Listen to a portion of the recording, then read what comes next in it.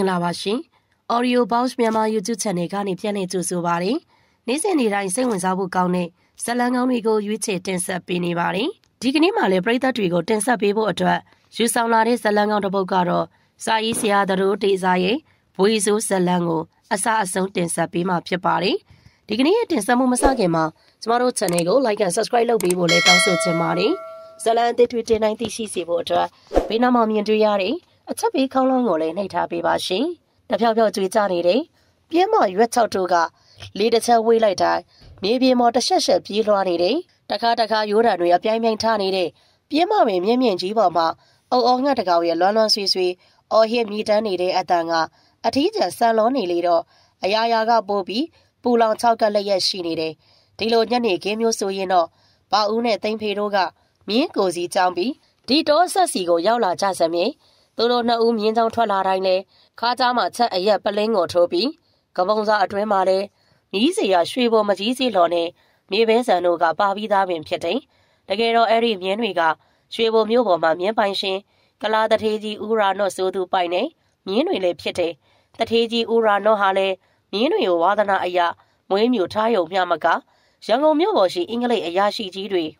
လူကုန်ထမ်းအတိုင်အဝန်းတွေကိုလည်း မတန်တဆစည်းနဲ့မြင်းတွေကိုရောင်းစားလိရှိသူဖြစ်တယ်။ဘာဦးနဲ့သိမ့်ဖေတို့လိုလူငယ်တွေဟာလည်းအဲ့ဒီခေတ်က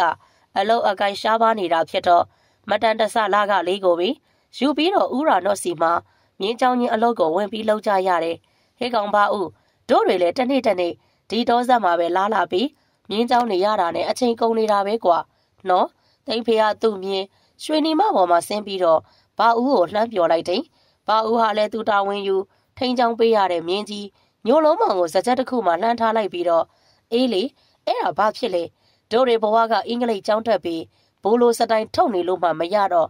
ဒီအလုပ်အပြင်မင်းကဘာလုပ်ချင်သေးလို့လဲမဟုတ်ပါဘူးဘာဦးရအခြားအချို့အချောက်အလုပ်ကလေးပါလေးတွေ့ရင်ပြောင်းပြီးတော့လုံမလားလို့ပါတိမ့်ဖေရဲ့အထူးအဆန်းစကားကြောင့်ဘာဦးဟာခါကြချက်အရက်ပလင်းကိုထုတ်ပြီးတော့မကြီးပေအောက်မှာထိုင်ချလိုက်တယ်အဲ့ဒီနောက်ဘာဦးကမင်းကအချို့အချောင်းအလုပ်ဆိုတာ ဘာကိုပြောတာလဲကွာသိမ့်ဖေကသိမ့်ဖေမှလည်းဘာဦးဖေးကိုခြေပြက်လက်ပြက်နဲ့ဝင်ထိုင်လိုက်ပြီးတော့သူ့ရဲ့ကပုံစအတွင်းကမကြီးစီလော်နဲ့မြေပဲဆန်တို့ကိုအင်ဘတ်အကျွေတရွက်ပေါ်ကို ပြန်ဖြီထဲလိုက်ရင်းနဲ့ဒီလိုကဘာဦးရငါစဉ်းစားမိတာတခုရှိတယ်ငါတို့အခုကြောင်းနေတဲ့ဥရာနော့ကြီးရဲ့မြင်းတွေကိုရန်ကုန်မြို့ပေါ်ကိုတက်ပြီးတော့ခိုးရောင်းလိုက်ရရင်မင်းရောငါရောအတော်လေးငွေစီသွားမယ်ကွပြီးတော့ရတဲ့ငွေနဲ့ဟိုမှာဖြစ်တယ်လို့လောက်ကင်စားတော့ပြီး ငါတို့ဘဝတွေကိုပြောင်းပြရအောင်ဘာဦးရတိမ့်ဖေရဲ့စကားကြောင့်ဘာဦးဟာချက်အရက်ပလင်းကိုမော့တောက်နေရမှဟင်မင်းဟာစိတ်ကူးတွေရင်လာကြည်လားတိမ့်ဖေရနည်းနည်းလေးစင်းစင်းစားစားလုပ်ပါအောင်ကွာမတော်လို့များလမ်းမှာဖတ်ဟဲစီးဟဲဆိုဘဲနဲ့လုံးမလဲအိုးကွာမင်းကလည်းကြောက်တတ်ရန်ကောဒီမှာဘာဦးအခုလိုညနေပဲမြင်းချောင်းချိန်မှာမင်းလည်းအိမ်ကငွေလေးကြီးလေးနည်းနည်းယူခဲ့ငါလည်းနည်းနည်းပါးပါးထည့်ခဲ့မယ်ပြီးတော့မန္တလေးဘက်ကိုဟောဒီဖြက်လန်းကြီးအတိုင်းစုံစင်းသွားမယ် ဟိုရောက်ရင်ကုံကားကြီးတွေမောင်းနဲ့ငါမိတ်ဆွေတယောက်ရှိတယ်သူကားနဲ့ပဲမြင်းတွေကိုရန်ကုန်ကိုတင်သွားမယ်ဘဲနဲ့လဲသိမ့်ဖေဟာသူ့ရဲ့ကြိုတင်ကြံစီထားတဲ့ကိစ္စတွေကိုဘာဦးကိုတက်တက်ကြွကြွနဲ့တလုံးချင်းရှင်းပြပြောဆိုနေတယ်ဘာဦးဟာလည်းသိမ့်ဖေရှင်းပြတဲ့အကြောင်းတွေကိုနားထောင်ရင်ချက်အရက်တွေကိုတစွတ်စွတ်နဲ့မော့တောင်နေလေတယ်သူတို့နှစ်ယောက်စကားတပြောပြောနဲ့ဒီတိုတိုင်မင်းနေအချိန်မှာတော့ပတ်ဝန်းကျင်တစ်ခုလုံးမှာတဖြည်းဖြည်းချင်းမှုံမိတ်၍ပင်လာနေလေတယ် ဇကြက်မှာလွှတ်ထားတဲ့မြင်းနှစ်ကောင်ကလည်းတဖြည်းဖြည်းသူတို့နှစ်ဦးနဲ့ဝေးရာကိုရောက်နေကြလေတယ်။မကြမီသိမ့်ဖေဟာလည်းချက်အရက်ရဲ့အရှိန်ကြောင့်တီတိုတိုင်မဲနေတဲ့သူ့စကားသံတွေကပိုပြီးတော့တောင်ကျဲလောင်လာတယ်။စောစောကအင်ဘတ်အကျွေးပေါ်မှာမကြီးစီလော်နဲ့မြေပဲဆန်းတွေပင်တစွတ်စွတ်နှိုက်မြည်ရင်ကုံလူကုံခင်ဖြစ်လာလေတယ်။အဲ့ဒီခါမှာသိမ့်ဖေနဲ့ဘာအိုးတို့ဟာသူတို့နှစ်ဦးရဲ့မြင်းတွေကိုတတိယသွားကြပြီးတော့အနီးပတ်ဝန်းကျင်ကိုလှည့်ပတ်ကြည့်လိုက်မိကြတယ်။သူတို့ရဲ့ရီဝေဝေဖြစ်နေတဲ့ မျက်လုံးတွေကမှောင်စားပြုတ်နေတဲ့အဲ့ဒီနေရာတစ်ခုလုံးတဲတဲကွဲကွဲပဲမမြင်ရတော့ဟင်ငါတို့မြင်းတွေဘယ်ရောက်နေကြပြီလဲမသိဘူးတိမ့်ဖေရဲ့ဒုက္ခပဲဘာဦးရဲ့စိုးရိမ်စကားနဲ့အတူတိမ့်ဖေဟာပလဲထဲမှာလက်ကျန်အရက်တွေကိုမော့တောက်ချလိုက်ရင်မတ်တက်ထရလိုက်တယ်ဒီအနီးတဝိုက်မှာပဲရှိမှာပါကွာဘာဦးရတိတ်လဲစိတ်မပူပါနဲ့ကွာအဲ့ဒီစကားနဲ့အတူသူတို့နှစ်ဦးဟာမြင်းနှစ်ကောင်ကိုရှောက်ဖွေဖို့အဲ့ဒီနေရာမှာတကြီးတရန်ခြေလမ်းများနဲ့ထွက်လာကြတယ်တိတ်စိတ်မဲမောင်စား ပြုတ်နေသောတောကြီးမှာအကောင်ပလောင်ငယ်တို့ရဲ့အတန်တွေနဲ့အိတ်တန်းတက်ရန်စူးစူးညံ့ညံ့ဖြစ်နေကြတဲ့ဇရက်တွေရဲ့အတန်ကအုပ်ဆိုင်နေသောတက်ပင်ကြီးတွေပေါ်မှာကြားနေရတယ်တခါတခါဆူးဆူးရှာရှာအောက်လိုက်တော့ပစင်းရင်ခွဲတကောင်ရဲ့အတန်ကိုလည်းဆူဆူရွာရွာကြားရလေတယ်သူတို့နှစ်ယောက်ဟာတောဆက်တော့ဝိုင်အတန်ကြာအောင်မင်းရှာဖွေကြတော့လေမြင်းနှကောင်မှာပျောက်ချင်းမလားပြောင်းနေတယ်အဲ့ဒီအချိန်မှပင်မြင်းဟီတန်တစ်ချက်ကိုပင်နိုင်တော်အဆက်စီမှာကြားလိုက်ရတယ်ဟာသိမ့်ဖေ အဲ့ဒီမြင်းဟီတန်ကတို့မြင်းတကောင်ကောင်ရဲ့အတန်မဲကွာတေးကြတာကတကောင်ရှိရင်နောက်တကောင်လဲအဲ့ဒီနားမှာပဲရှိမှာလာသွားစို့ဘာဦးဟာစိတ်မြန်လက်မြန်နေအတန်ကြားရအင်နိုင်တော်ဘက်စီကိုသွားဖို့ခြေလမ်းပြင်လိုက်တယ်သိမ့်ဖေကတော့အဲ့ဒီမြင်းဟီတန်ကြီးကိုကြားလိုက်မိတာနဲ့တစုံတရာကိုစဉ်းစားပြီးတွေးတွေးဝေဝေဖြစ်သွားက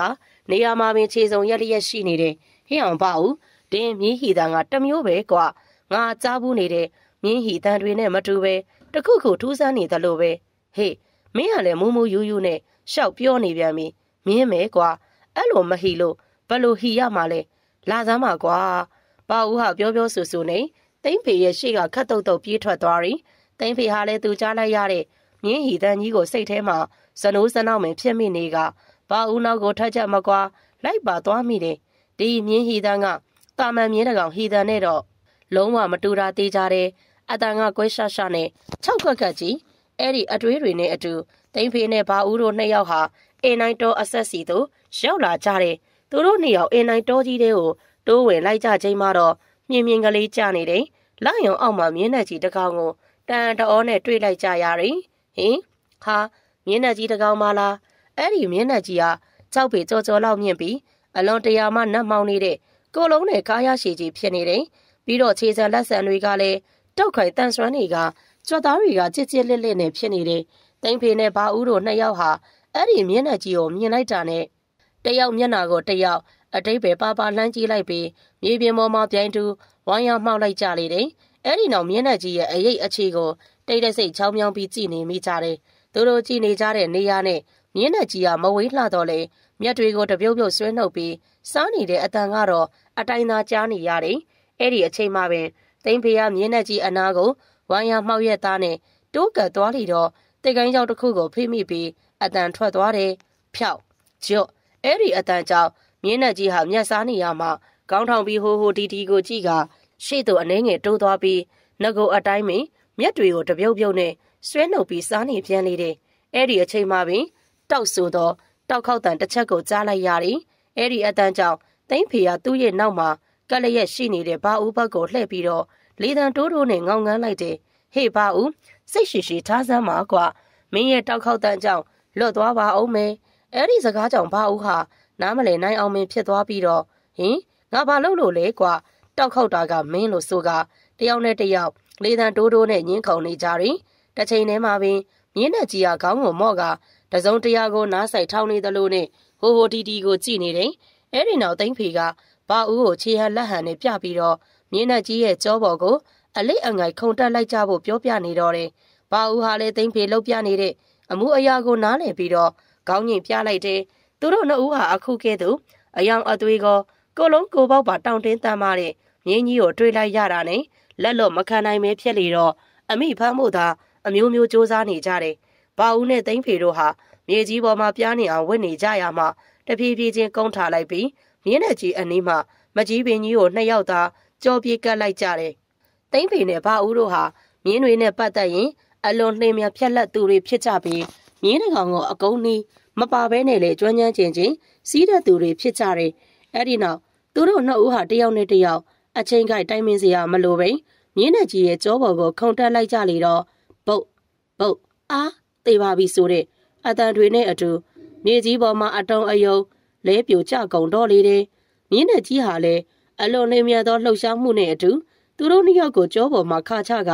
ကစုံပေါက်ပြီးတော့ပြေးတယ်ဒါပေမဲ့အဲ့ဒီမြင်းနဲ့ကြီးဟာသူတို့နဲ့ခက်လန်းလန်းနေရာကိုရောက်တဲ့အခါလေပြန်ဆောင်ခဲ့ပြီးတော့ပြန်ကြည့်နေတယ်အဲ့ဒီအချိန်မှပင်လူတယောက်ရဲ့ဥလိုက်သေးလိုက်ဟားတိုက်ရီမောလိုက်တဲ့အတန်ကြီးကိုကြားလိုက်ရတယ်ဟာဟာဟာဟာအဲ့ဒီအတန်ကိုကြားလိုက်ပေမယ့်သူတို့နှစ်ဦးဟာအံ့ဩမှင်သက်နေဖို့အချိန်မရတော့ပဲ မလန်းမကမ်းမှသူတို့ကိုပြန်ပြီးတော့စိုက်ကြည့်နေတဲ့မြင်းနဲ့ကြီးရဲ့နောက်ကိုလောဘဇောတွေနဲ့ထပြီးလိုက်ကြတယ်မြင်းနဲ့ကြီးဟာလည်းသူတို့နှစ်ဦးအသေးအမဲလိုက်လာကြတာကိုမြင်ပြီးတော့ရုတ်တရက်မတ်တက်ထရက်လိုက်ခါကြဲကြဲလောင်လောင်ကြီးဟီရင်ကကစုံပေါက်ပြေးလေတော့တယ်တိမ့်ဖေနဲ့ဘာဦးဟာလည်းမြင်းနဲ့ကြီးကိုဖမ်းမိဖို့ထက်တတခြားဘာဦးမှမမြင်တော့ပဲတစ်ပင်ချိုတစ်ပင်ကြားမှမနာရန်ပြေးလိုက်လေတယ် မြင်းကြီးကတော့သူ့ရဲ့ခန္ဓာကိုယ်ကိုတခါတခါတုံခနဲ့ရက်လိုက်တခါတခါဗရက်ထရက်လိုက်နဲ့ကိုယ်ကပတ်ခါပြေးနေတယ်အတန်ကြာအောင်ပြေးလိုက်ပြီးတော့သိမ့်ဖေနဲ့ဘာဦးတို့နှစ်ဦးသားဟာတောနဲ့ကြီးတဲ့တို့ရောင်မမသိရောက်လာခဲ့ကြတယ်အထူးသဖြင့်သူတို့ရှေ့မှအယောင်ပြကပြေးနေတယ်မြင်းနဲ့ကြီးကိုလည်းမိလူမိခင်ဖြစ်ခါမှာအမျိုးမျိုးလွတ်ထွက်သွားတဲ့ဖြင့်ပိုပြီးဒေါသထွက်မိနေကြတယ်တဖြည်းဖြည်းနဲ့သူတို့နှစ်ယောက်မြင်းနဲ့ကြီးရဲ့နောက်ကိုတဟုန်တို့ပြေးလိုက်နေရမှ ရေကန်ကြီးတကန်အနားသို့အရောက်မှာမြင်းကြီးမှာပျောက်ချင်းမလားပျောက်သွားတော့တယ်ဟင်းဘဲရောက်သွားပြီလဲတေးသေးချာချာကြီးကြည့်လိုက်ရဲ့သားနဲ့ဒီနာတဝိုက်မှာပဲပျောက်သွားတာဘာဦးရဲ့စကားကြောင့်အမောတကောနဲ့ပြေးလိုက်လာတဲ့သိမ့်ဖေဟာလဲဒူးဆန်းလှကြီးလားဒီအနီးပတ်ဝန်းကျင်မှာလဲရေကန်ကြီးကလွဲပြီးအခြားဘာမှရှိမနေဘူးတေးသေးချာချာရှာပါအောင်ဟာဘာဦးရဖြာချနေတဲ့လိုက်အောင်ကသူတို့ပတ်ဝန်းကျင်တစ်ခုလုံးကိုပြက်ပြက်ထင်းထင်းမြင်နေရတယ်ပြီးတော့ရေကန်ကြီးရဲ့ မျက်နှာပြင်ပေါ်မှာလဲလိုက်အောင်ကမလုံမရှက်ငိမ့်သက်တောက်ပနေလေတယ်အဲ့ဒီအချိန်မှာပင်ဟင်ဒီဒီမှာမြင်းချေရာတွေကတိမ့်ဖေရဘာဦးရဲ့အလန်တကြားနဲ့អော်လိုက်တန်းကြောင့်တိမ့်ဖေဟာကံရည်ပြင်အဆက်မိသားပြောင်ပြောင်ပေါ်မှာမြင်းချေရာတွေကိုငုံပြီးကြည့်လိုက်မိတယ်ဒီကံရည်ပြင်အဆက်မှာမြင်းချေရာတွေကိုတိမ့်ဖေတယောက်အမှန်တကယ်ပင်တွေးလိုက်ရတယ်အဲ့ဒီချေရာတွေကစောစောကသူတို့တွေးလိုက်ရတဲ့ကြီးမားတဲ့ခြေစံလက်ဆံတွေရှိတယ် မြင်းနဲ့ကြီးရဲ့ခြေရာပင်ဖြစ်နေတယ်တစ်ချိန်တည်းမှာပင်သူတို့နှစ်ယောက်စလုံးရဲ့မျက်လုံးတွေကမလုံးမရှက်ငြိမ်သက်နေတယ်ကဲရည်ပြင်းကိုပြိုင်တူပင်လှမ်းကြည့်လိုက်မိကြလေတယ်တိမ်ဖေနဲ့ဘာဦးတို့နှစ်ယောက်အဲ့ဒီကဲရည်ပြင်းကိုစိုက်ကြည့်နေတုန်းမှာပင်ဘွန်းဆိုတဲ့ရေတံကြီးနဲ့အတူနတ်မောင်နေသောအသားအရေးနဲ့ကိုလုံးကိုတဲ့တောင်တင်တမ်းမာတဲ့ယောက်ျားကြီးတစ်ယောက်ဟာကံရည်ပြင်းပေါ်မှာဘွားကနေပေါ်လာလေတော့တယ်ဟာဟွန်းအဲ့ဒီသူဟာရေထဲမှာခါးတစ်ပိုင်းသာပေါ်နေပြီး သူ့ရဲ့ခန္ဓာကိုယ်ပေါ်မှာကြွက်သားအဖုအထစ်များနဲ့ကြမ်းတမ်းတဲ့သပင်များမှာရေဆက်ရေပေါက်တွေတဖွာဖွာလွင့်စင်နေတယ်။အဲ့ဒီသူရဲ့မျက်နှာပေါက်ကလည်းတာမန်လူတစ်ယောက်ရှိတဲ့နေမျက်နှာထပ်ပင်ရှစ်လျားနေကမြင်းနှကောင်ရဲ့မျက်နှာနဲ့ပုတ်ပြီးတော့လေတူနေလေတယ်။တိမ့်ဖေနဲ့ဘာဦးဟာအဲ့ဒီမြင်ခွင်းကြောင့်ဘာစကားမှပဲမပြောနိုင်ကြတော့ပဲအလွန်တရာမှအံ့ဩမှင်သက်မိကုန်ကြတယ်။အဲ့ဒီအချိန်မှပင်ရေထဲမှာနှက်မောင်းနေတဲ့အသားအရေးနဲ့လူဟာ သူတို့နှစ်ယောက်ရှိရာဘက်ကိုကြောခိုင်းပြီးကံရည်ပင်ရဲ့အလဲကိုဆက်လျှောက်သွားလေတယ်။အဲဒီအခါမှာသိမ့်ဖေနဲ့ဘာဦးဟာအဲ့ဒီသူရဲ့နောက်ကျောကိုအထေအရှားပဲမြင်တွေ့လိုက်မိကြတော့တယ်။သူတို့နှစ်ယောက်မြင်လိုက်ရတဲ့အဲ့ဒီလူကြီးရဲ့ကြောပြင်ပေါ်မှာတော့နောက်စေမခါအထေရှေလျားနေတဲ့အမွှေးအမြင့်တွေကမြင်းတကောင်ရဲ့လေဆံမွေးတွေလိုကြမ်းတမ်းတန်ဆွမ်းနေလေတယ်။အဲ့ဒီမြင်ကွင်းကြောင့်သိမ့်ဖေနဲ့ဘာဦးတို့ဟာသွေးပြတ်မတက်ပဲအတန်ကုန်ဟိတ်ခါပြိုင်တူអော်လိုက်မိကြတော့တယ်။အာ အေရီဘာညော့နေထိုင်ရာတာမွေဘက်စီမှာခန်းနာထဲဝါတဲ့နှစ်ထပ်အိမ်မြင့်မြင့်ကြီးစီကိုအညာဖြင့်တပတ်ကျန်းကြီးတစ်ထဲကိုခေါင်းပေါ်ပတ်ချုံထားတဲ့အသက်50ဝန်းကျင်အမျိုးသမီးကြီးတဦးနဲ့အတူလွန်စွာမှညှိုးနွမ်းအားငယ်တဲ့မျက်နာနဲ့ရုပ်ရည်တနာကမရှိသူအသက်18နှစ်18အရွယ်မိန်းကလေးတဦးတို့ရောက်ရှိလာကြတဲ့အဲ့ဒီအမျိုးသမီးနှစ်ဦးတို့ဟာအင်ကြီးအတွင်းကိုရောက်တာနဲ့သူတို့နဲ့အတူပါလာရင်အထုပ်အပေါ်တွေကိုကျမ်းမြေမော်ချလိုက်ရင်အင်ကြီးအတွင်းခန္ဓာထဲဝါလှတဲ့ အတုံးအဆောင်တွေကြောက်စီပချီကားကြီးတွေလက်လက်ထအောင်တောက်ပြောင်နေတဲ့ပရိဘောကားတွေကိုတန်အံ့တော်နဲ့ငေးကြည့်နေရင်ကျမ်းမြေပေါ်မှာပစစ်တုံထိုင်လိုက်ကြတယ်ခဏအကြာဧည့်သည်ဆိုလို့ဘသူလဲမှတ်တယ်ဖွားမိကိုအတန်လာယာစီကိုလှမ်းကြည့်လိုက်တော့ကနုတ်ပန်းကတ်တွေထွင်းထုထားရင်ကျွန်းလီကမဲမဲကြီးပေါ်မှာရတနာကုံသေးကြီးအေရီဘာညွန့်နဲ့အေရီဘာညွန့်ရဲ့ကတော့ဒေါ်တဆုပ်တို့ဆင်းလာကြတာကို တွေးလိုက်ရတယ်အေရီဘာညွန့်ဟာအရက်မြင့်မြင့်အသားညွန့်ညွန့်နဲ့ တုတ်ခိုင်းသောခန္ဓာကိုယ်ရှိသူဖြစ်ပြီးနသားရောင်တိုက်ပုံအင်ဂျီနဲ့လိုက်ဖက်တင်ဘန်ကောက်လုံးကြီးကိုလည်းကပတ်ပြားကြီးနဲ့ပတ်ခါတေသက်ကြနာစွာဝတ်ဆင်ထားရင်အေဒီဘာညွန့်နဲ့အတူလေကလေးတွေပေါ်မှာလိုက်ဖက်ကြီးစွာဆင်းလာတဲ့အေဒီဘာညွန့်ရဲ့ကတော့ဒေါ်တဆုပ်ဟာပိုးသားအင်ကြီးရှင်ဘုံကိုဝတ်ဆင်ထားပြီးတော့ငွေမင်ငွေစားတွေတီတွဲထားတဲ့ပိုးထမင်ကိုချက်ချက်ရက်ရက်ပြီးဝတ်ဆင်ထားသည်မှာခန္ဓာထေဝါလာတဲ့ဒီအင်ကြီးနဲ့အထူးပင်လိုက်ဖက်ညီနေလေတဲ့အဲ့ဒီလို လေကားကြီးပေါ်မှာတလန့်ချင်းဆင်းလျှောက်လာလေတိုင်းလေကားလက်ရန်ကိုစုပ်ကင်ထားပြီးဒေါ်တဆုပ်ရဲ့လက်ကရွှေလက်ကောက်တွေရဲ့အချင်းချင်းပေါ့ထီတန်တို့မှာတချွင်ချွင်နဲ့ပင်မြင်းနေလည်းရရှိလေတယ်လေကားချင်းရင်းကိုရောက်တာနဲ့အဲရီဘာညွန့်ရဲ့ကြောဒေါ်တဆုပ်ကအသက်50ခန့်အမျိုးသမီးကြီးကိုကြည့်ပြီးတော့ဘဲနဲ့လဲဖွာမီစိုင်းမစင်ဘုံမစင်နဲ့ပါလားကြည်စမ်းမအောင်ဟဲ့ညီမလဲတော်တော်ပိန်ကျသွားလိုက်တာရုပ်ကိုမနေဖမ်းယူရတယ်ဒေါ်ဖွာမီကသူ့ကောင်းပေါ်ရစ်ပတ်ထားတယ် တပတ်ကျန်းကြီးကိုဖြေချလိုက်ပြီးညနာပေါ်မှချွေးစားတွေကိုတစ်ချက်နှစ်ချက်ပုတ်တက်လိုက်လေတယ်အဲ့ဒီနောက်ဖွားမိကဟုတ်ပါတထေးမင်းနဲ့တထေးကြော်ရဲ့အခုတလောကျမ်းမာကြီးကတိတ်ကောင်းလာတယ်တော့မဟုတ်ပါဘူးအဲ့ဒီဘာညောနဲ့ဒေါက်တာစုပ်တို့ဟာဖွားမီတို့ရှေ့မှာဆိုဖာစက်တီကြီးပေါ်မှာဝင်ထိုင်လိုက်ကြရင်ဖွားမီနဲ့အတူပါလာတဲ့မိန်းကလေးကိုကြည့်ပြီးတော့ဒါနဲ့ဟောဒီခလေးမလေးကဘသူသမီးလေးလေးရဲ့ဖွားမီရဲ့လာရင်ကိစ္စကလည်းအဲ့ဒါပါပဲတထေးမင်းနဲ့တထေးကြော်ရဲ့ ကလေးမလေးရဲ့နာမည်ကစိမ့်သုံးနဲ့ဒုက္ခမြအမေလို့သူကလည်းသူ့ကိုမွေးပြီးပြီးချင်းမိတွင်ထဲမှာပဲတေးခဲ့ရနောက်အဖေလို့သူလည်းမနစ်ကပဲပိုးထီလိုဆုံးရရှာပြန်နေအဲ့ဒါခိုးကိုရမယ်ဆွေးမရှိမျိုးမရှိဖြစ်နေတာနဲ့တထေးနဲ့တထေးကြော်တို့အိမ်မှာလက်တို့လက်တောင်းလေးခိုင်းလို့ရအောင်ကျမခေါ်လာခဲ့တာပါအဲရီဘာညိုနဲ့ဒေါ်တဆုပ်တို့ဟာဖွားမီခေါ်လာတဲ့စိန်တုံဆိုတဲ့မိန်းကလေးကိုခြေစုံကောင်းပြစိုက်ကြည့်လိုက်ကြတယ်မစိန်တုံဟာစတောက်ရွက်ဝိုင်းလေးနဲ့ဖြစ်ပြီး လွန်စွာမှလိန်မာရေးချရှိမဲ့ရုပ်ရည်ကလေးဖြစ်တဲ့အလက်ရောက်သားတော်သမီးကံမရှိတဲ့သူတို့အဖို့အားကိုးစရာသမီးမိန်းကလေးအဖြစ်ချက်ချင်းပင်သဘောကျနှစ်ချိုက်မိကြတယ်အဲဒီနောက်ဒေါ်တဆုပ်ကကျမ်းမြန်မှာပစစ်တုံထိုင်နေကြတဲ့မစိန်တုံနဲ့ဖွားမီကိုတလဲစီကြည့်ပြီးတော့ဘာပဲပြောပြောပေါ်ဖွားမီရင်ကလေးမလေးခမမိဘကလည်းမရှိဆွေမျိုးညာတကာကလည်းမရှိဆိုတော့အတော့ကိုတနာစရာလေးပါပဲကွတို့မယ်လေအသက်ကလေးတွေကရလာကြပြီဆိုတော့ အိမ်မှာလက်တို့လက်တောင်းခိုင်းမှုမိန်းကလေးအဖော်လိုနေတာတော့အမှန်ပဲလေနောက်ပြီးတော့လိမ့်လိမ့်မာမာနဲ့အလောက်ကိုတစ္ဆာရှိရှိကြိုးကြိုးနွန်နွန်သာလုပ်ရင်ငါတို့ဟာသားသမီးအရင်အချလို့ရွှေတွေငွေတွေတောင်ဆင်ပေးအောင်မှာဟဲ့စိန်သုံးဘဘကြီးနဲ့ဖွားဖွားကြီးတို့ကိုကျေးဇူးတင်ကြောင်ပြန်ပြောလိုက်အောင်လေဖွားမီကသူ့ဘေးမှာခက်ရိုးရိုးလေးထိုင်နေတဲ့စိန်သုံးကိုတထောင်နဲ့တွန်းတိုက်လိုက်ရင်ပြောလိုက်လေတယ်စိန်သုံးဟာလေတိုးဖြော့လွန်သောလေတံလေးနဲ့ဟုတ်ဟုတ်ကဲ့ပါဘဘကြီးနဲ့ဖွားဖွားကြီးတို့ကို တမီကျေးဇူးအရန်တင်ပါတယ်တမီအိမ်အလုပ်တွေကိုလည်းကြိုးကြိုးစားစားနဲ့လုပ်ပါမယ်ရှင်အေးကွယ်အေးအေးအဲ့ဒီဘာညွန့်ဟာ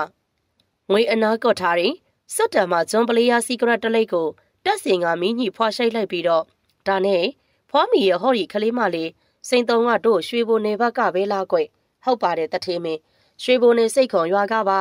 ဒေါ်ဖွားမီရဲ့စကားအဆုံးမှာစိန်တုံကခေါင်းငုတ်ထားရမှာအဲရီဘာညောနဲ့ဒေါ်တဆုပ်တို့ကိုမော့ပြီး မုံမရေးနဲ့လှမ်းကြည့်လိုက်လေတယ်အဲရီဘာညောကလည်းရွှေဘိုနေစိတ်ခွန်ရွာကလို့ဆိုလိုက်တာနဲ့ဟင်ဒါဆိုမြင်းတွေနဲ့ပတ်သက်ရင်အတော်ကလေးကိုကျွမ်းကျွမ်းကျင်ကျင်ထိန်းချောင်းနိုင်တဲ့ထုံးတောင်ကြီးတို့ရွာကပေါ့ဟုတ်လားဖွားမီဟုတ်ပါရှင်အဲ့ဒီမြင်းထိန်ထုံးတောင်ကြီးဆိုတာဟောဒီကစိန်တုံတို့နဲ့တောင်ရွှေနီးမျိုးဆက်တော်ပါသေးတယ်တထေးမင်းအဲ့ဒီဘာညွန့်ဟာဘန်ကောက်လုံးကြီးပေါ်မှာတင်းကျပ်စွာပတ်ထားတဲ့ကပတ်ပြားကြီးကိုအနှင်းငယ်ချောင်းသွားစီဖို့လက်နှစ်ဖက်နဲ့အနေအထားပြင်လိုက်ရင်ဟာ အဲ့ဒီထုံးတောင်ကြီးဆိုတဲ့လူကမြင်းအကြောင်းတော်တော်နားလေတဲ့လူပဲကွနောက်ပြီးမြင်းတွေကိုပြုစုထိန်းချောင်းတဲ့နေရာမှာလဲဒိတ်ပဲဟိအခုရောထုံးတောင်ကြီးတယောက်ရွာမှာကြမ်းကြမ်းမာမာရောရှိရလားဟဲ့ဖွားမိရဲ့ကိုထုံးတောင်ကြီးလည်းပြီးခဲ့တဲ့နှစ်ကုံမိုင်းလောက်ကဖျားလိုက်တာငှက်ဖျားဆိုလားဘာဆိုလားပဲအခုတော့တရှောင်ရှောင်နေတိတ်ကျမ်းမာရီတော့ကောင်းမှမရပါဘူးတထေးမင်းရဲ့ဖွားမိရဲ့စကားကြောင့်အဲရီဘာညွန့်ဟာစုတ်တက်တက်တက်နဲ့ဖြစ်သွားပြီးဖြစ်မှဖြစ်ရလေကွယ်အေးလေ ထုံးတောင်ကြီးတယောက်နေကောင်းလာမှပဲငါ့ရင်ကပြိုင်မြင်းလေးကောင်ကိုလေ့ကျင့်ထိန်းချောင်းပေးဖို့ခေါ်ထားရမယ်ကွရတနာကုံသေးကြီးအဲရီဘာညွန့်ဟာရွှေနာကော့ထားရီစွတ်တန်နဲ့ဂျွန်ပလေးယာစီကရက်ကိုပါဇက်မှာတိတ်ကဖွာရှိုက်လိုက်လေတော့ကြီးမတောက်ခိုင်းနဲ့သူ့ရဲ့လက်ချောင်းကနဝရကိုးတွေလက်စော့ကြီးရဲ့အယောင်ကပြိုးကနေပြက်ခနဲပင်လင်းလက်သွားရီအဲဒီနောက်အဲရီဘာညုံကသူစကားကိုဆက်ပြန်နေငါမလဲလန်ဒန်တို့ပဲရစ်တို့ကိုရတနာအယောင်အဝယ်နဲ့တွာလာနေရတော့ အိမ်ကပြိုင်မြင်းတွေကိုထောင်းဆောင်ကြီးလိုကျွမ်းကျွမ်းကျင်ကျင်ဂယုဆိုင်မဲ့လူရှိနေမှာစိတ်ချလက်ချရှိမှာကွအဲရီဘာညုံဟာရတနာကုံတဲ့အလုပ်ကိုတစ်ဖက်တစ်လက်မှာလုံနေတော့လေအဲ့ဒီခေတ်ကလူကုန်တန်းတွေမင်းဆိုးရာစာတွေအသိအမဲလုံနေကြတဲ့ပြိုင်မြင်းမွေးမြူတဲ့အလုပ်ကိုပါဝါသနာအရလှုပ်လေတယ်။ဒါအပြင်အေရီဘာညွန်ကိုတိုင်ကမြင်းလောင်းဝါသနာပါသူပြီးပြီးသူ့အိမ်မှာမွေးမြူထားတဲ့မြင်းလေးကောင်စလုံးကအင်္ဂလန်မှာတာရာဘရက်ဆိုတဲ့ပြိုင်မြင်းမျိုးတွေနဲ့ သားဆက်ထားတဲ့တန်ဖိုးကြီးမြင်းတွေသာရွေးပြီးတော့မွေးထားတဲ့အဲ့ဒီအချိန်မှာပင်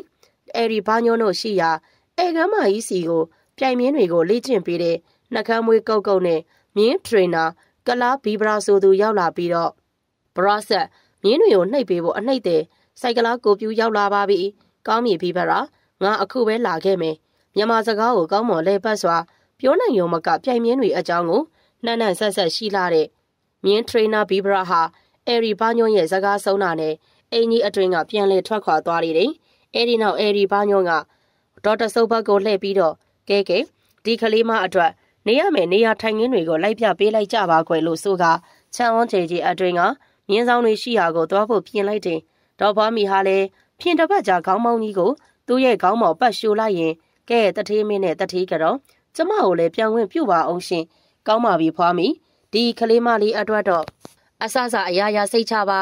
မတ်စိန်သုံးဟာလေတထေးကတော့တော့တက်ဆုပ်ခေါ်ဆောင်ရအိမ်ကြီးအတွင်းကိုအထုပ်အပိုးတွေကိုတဲဆောင်ကခက်ရိုးရိုးလေးပင်လိုက်ပါခဲ့တော့တယ်အဲဒီဘာညော့နေထိုင်ရာချောင်းဝန်းကျယ်ကြီးကအတော်အတန်ကျဲဝန်းတာလေးဖြစ်တော့အိမ်မကြီးကနေပြီးတော့မြင်းဆောင်တွေထားရှိရာနေရာကိုခြေလန်းအနှဲငယ်များရှောက်သွားရလေတယ်ခြံကြီးအတွင်တရက်ပင်အုပ်တွေမယမ်းမင်မြင့်မြင့်ကြီးတွေကြောင့်နေအောင်နေပြောက်ဟူ၍မရှိသလောက်ပင်အဲ့ဒီတရက်ပင်မယမ်းမင်ပိန်းနေပင်ကြီးတွေ အုံမောနေတဲ့ချမ်းဝင်းကျဲကြီးရဲ့တောင်းတနေရာမှာတော့အဲ့ဒီဘာညိုကိုတိုင်းစိတ်တိုင်းကြမွေးမြူထားတဲ့ပြိုင်မြင်းတွေထားရဇောင်းကြီးရှိတယ်မြင်းဆောင်တဲ့ဘေးချင်းကက်ရက်မှာတော့တဲငယ်တစ်လုံးရှိနေပြီးအဲ့ဒီတဲငယ်မှာမြင်းတွေရဲ့ဝေယဝတ်ဆကိုလှုပ်ဆောင်ပေးရတဲ့မောင်ပါစီဆိုရင်လူငယ်လေးတစ်ယောက်နေထိုင်နေတယ်မောင်ပါစီကအသက်၁၂နှစ်73နှစ်အရွယ်သားရှိသေးတော်လေအေရီဘာညော့မွေးထားပြီးပြိုင်မြင်းလေးကောင်ကိုရေတိုက်ချိန်တိုက်ရိုက်အစာကျွေးချိန်ကျွေးရရေချိုးချိန်ပုံမှန်ချိုးပေးရနဲ့ အရွယ်နဲ့မှမြအောင်လောက်ကင်ပေးရတယ်ဟေးဘာစီ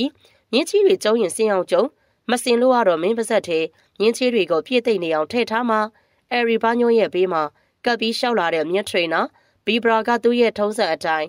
တထေးကိုမျက်နှာလိုမျက်နှာရလှုပ်ချင်စောနဲ့မောင်ပါစီကိုလှမ်းပြီးတော့ငေါငန်းလိုက်တယ်မောင်ပါစီဟာလည်းမြင်းထရိနာဘီဘရာရဲ့အကျင့်ကိုတည်ထားပြီးဖြစ်လေတော့သူ့ရဲ့အလုပ်ကိုပင်သူဆက်ပြီးလုပ်နေတယ်။အဲရီဘာညောနဲ့ဘီဘရာတို့နှစ်ဦး မြင်းဆောင်ရှိရာကိုရောက်လာတဲ့အခါမှာမြင်းအနှိမ့်သိမ့်စိတ်ကလားကိုဖြူဟာသူ့ပခုံးပေါ်မှာပိတ်ဖြူလွှဲအိတ်ကြီးကိုချွတ်ခါတိုင်မှချိတ်လိုက်ပြီးစိန်လျံမိုးလိုအမိပေးထားတဲ့ပြိုင်မြင့်ကြီးရဲ့လဲပင်နှက်ခေါင်းနဲ့ဂုတ်တို့ကိုပထမဆုံးစိုက်ပိတ်နှိပ်တယ်။အဲရီဘာညောဟာရတနာကုံတဲ့ကြီးဖြစ်တဲ့အလျောက်သူ့ရဲ့စိတ်ကြိုက်မွေးမြူထားတဲ့ပြိုင်မြင်းတွေကိုလည်းစိန်လျံမိုးကြောက်စိမ့်မောင်ဗရံမြောင်းငွေတိုးဆိုပြီးတံမိုးကြီးရတနာတွေရဲ့အမည်တွေကိုသာမှဲ့ပေးထားတယ်။အဲ့ဒီပြိုင်မြင်းတွေအားလုံးဟာလည်း အင်္ဂလာမမျိုးကောင်းမျိုးသက်ပြိုင်မြင်းမျိုးတွေဖြစ်တဲ့တာရာဘရက်မြင်းမျိုးတွေနဲ့ဆက်ထားလို့အယောင်ဟာနေချင်းချင်းညိုတိုတိုနဲ့မျက်နှာပေါ်မှာအဖြူခွက်တွေပါတဲ့ပေမီတောက်မီမြင်းကြီးတွေပဲဖြစ်လေတယ်။အဲ့ဒီအချိန်ကလူကုန်ထမ်းမင်းဆိုးရာဇာတွေတောင်ပြိုင်မြင်းတွေကိုအပြိုင်အဆိုင်မွေးမြူကြတော့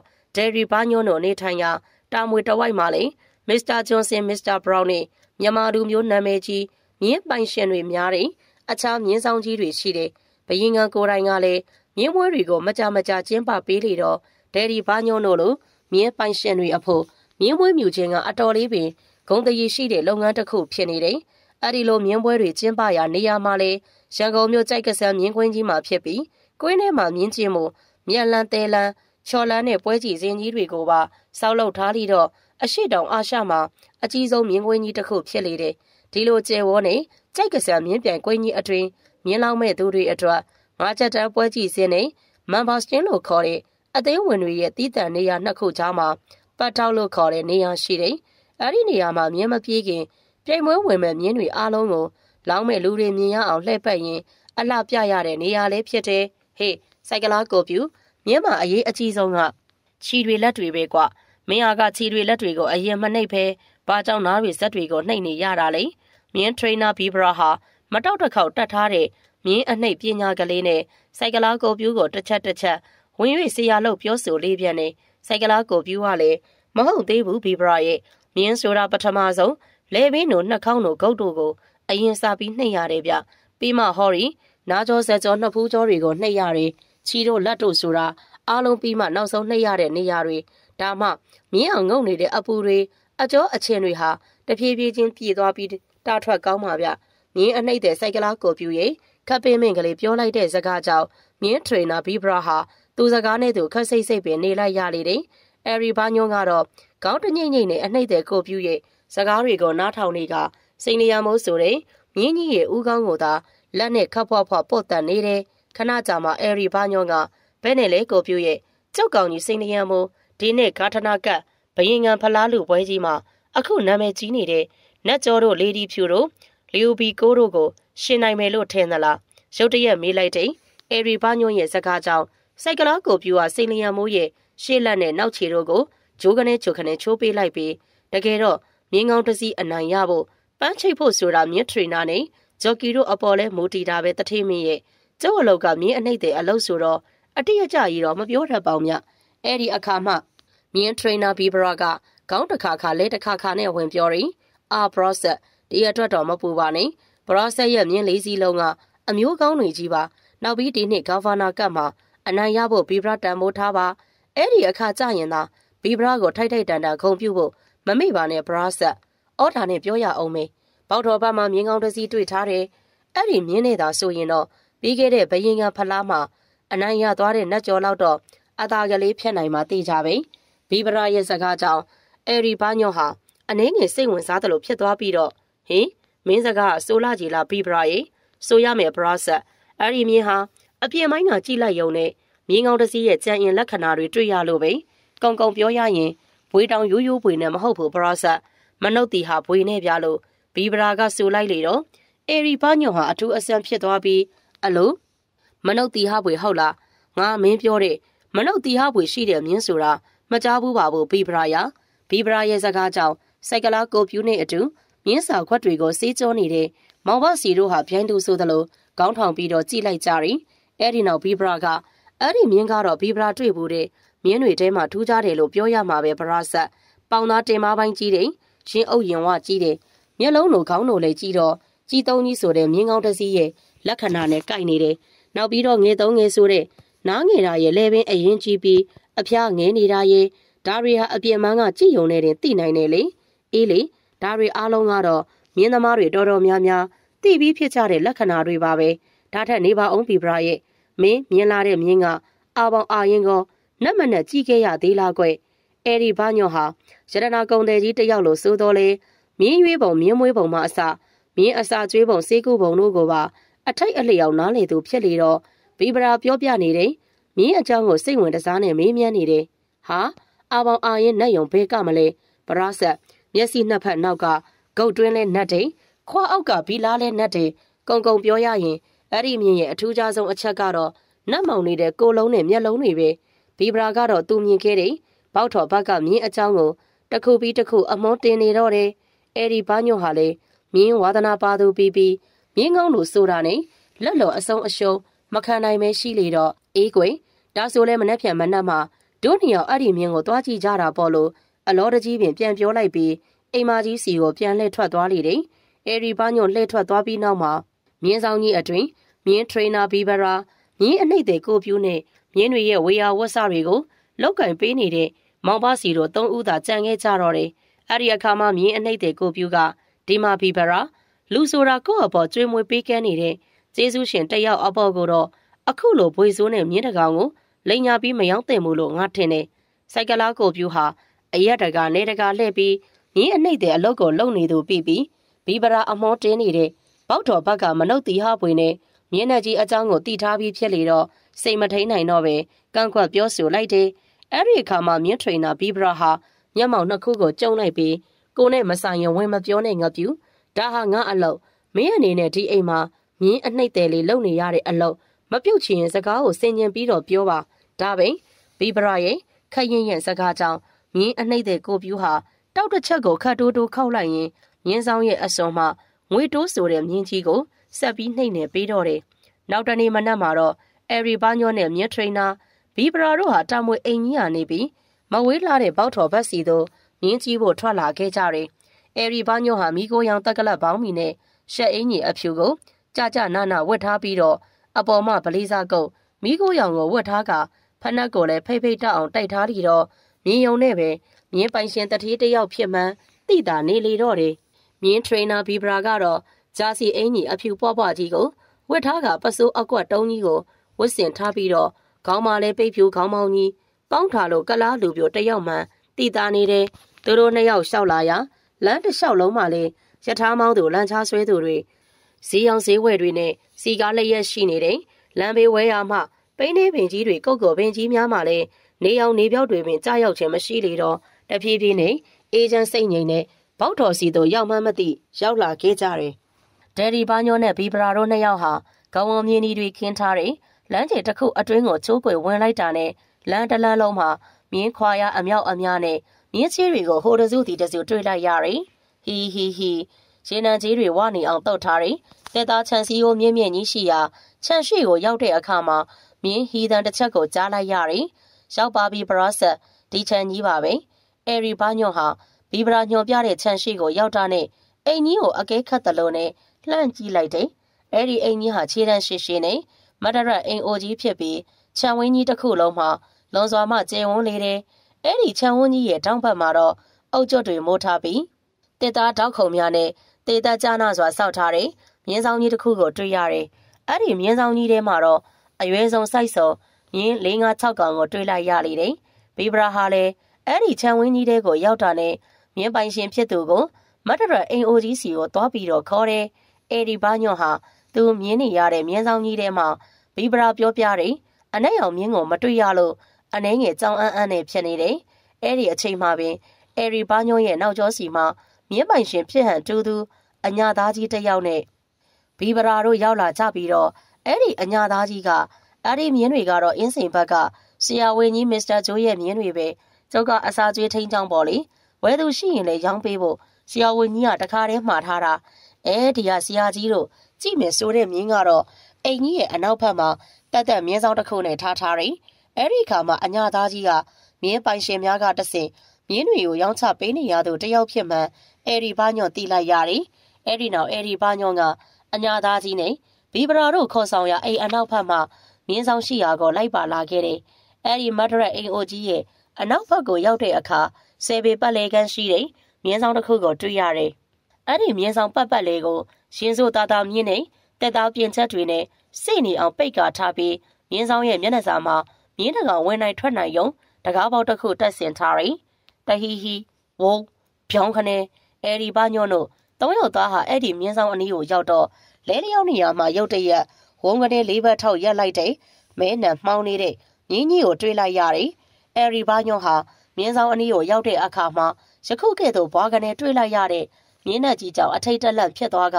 ကိုကိုအနောက်ကိုစုံပြီးရက်သားပင်ဖြစ်သွားလေတယ်။အဲဒီနောက်အညာသားကြီးကစောက်တက်တက်တက်နဲ့မြင်းနဲ့ကြီးရဲ့ဦးကောင်းကိုချော့ကပုတ်တက်ပေးလိုက်တယ်။ဟာနဲတဲ့ကောင်ကြီးမဟုတ်ဘူး။ကြည်စမ်းမအောင်မြအယောင်ကလည်းနပ်ပြီးစိုးနေတာပဲ။အဲဒီဘာညွန့်ဟာမြင်းနဲ့ကြီးကိုကြည့်ပြီး ချက်ချင်းပင်သဘောကျတယ်လို့ရှိသွားတယ်။အဲ့ဒီအချိန်မှပင်အညာသားကြီးကမြင်းဆောင်တကားကိုဆွဲဖွင့်ကမြင်းနဲ့ကြီးကိုအပြင်ကိုထုတ်ပြတယ်။မြင်းနဲ့ကြီးဟာ6ပေကတောင်းမြင့်လေတော့အတော်အတန်မြင့်နဲ့မြင့်ဖြစ်ပြီးတကောလုံးနတ်မောင်နေတဲ့အမွေအမြင်တို့ကြောင့်အယောင်အသွေးမှရှွန်းဆိုလျက်ရှိနေတယ်။အဲဒီနောက်အဲဒီဘာညွန့်ကမြင်းရဲ့ဦးကောင်းမိုင်းကိုကြည့်လိုက်တော့ဟင်မြင်းနဲ့ကြီးရဲ့မျက်လုံးမှာလူတယောက်ရဲ့မျက်လုံးများကဲ့သို့တစုံတရာကိုနားလည်ပြီးတည်နေတဲ့ရောင်ဖြစ်နေလေတယ်။ အဲဒီမျက်လုံးတွေကအဲဒီဘာညွန့်ကိုတလှည့်အညာသားကြီးနဲ့ဘီဗရာတို့ကိုလည်းတလှည့်စီစိုက်ပြီးတော့ကြည့်နေတယ်တခါတခါဘီဗရာဘက်ကိုစိုက်ကြည့်နေတယ်မျက်လုံးဟာမျက်မှောင်ကျုပ်ပြီးစိုက်ကြည့်နေတဲ့လူတစ်ယောက်လိုပင်ဖြစ်နေတယ်ဘရာဆက်သဘောကျပါရဲ့လားဘီဗရာရဲ့အမေးစကားကြောင့်အဲ့ဒီဘညွန်ဟာမျက်နှာကြီးကိုစိုက်ကြည့်နေရမှအညာသားကြီးဘက်ကိုလှည့်ပြီးတော့ဟော်ရီမြင်းဟာပြိုင်မြင်းအမျိုးတော့မဟုတ်ပေဘူးဗျဟုတ်ဟုတ်ပါပြီလေဆရာကြီးကျုပ်လည်းအဆကလေးက ဟော်ရီယာမောင်ရင်ကိုပြောပြပါတယ်နောင်ကြီးတို့ကပြိုင်မြင်းတွေပဲမွေးတာဆိုတော့အခုလိုရွှေဘိုမြင်းနဲ့မတရက်မြင်းဆက်တွေဆိုရင်ကြိုက်ပါမလားလို့လေအဲရီဘာညွန့်ဟာ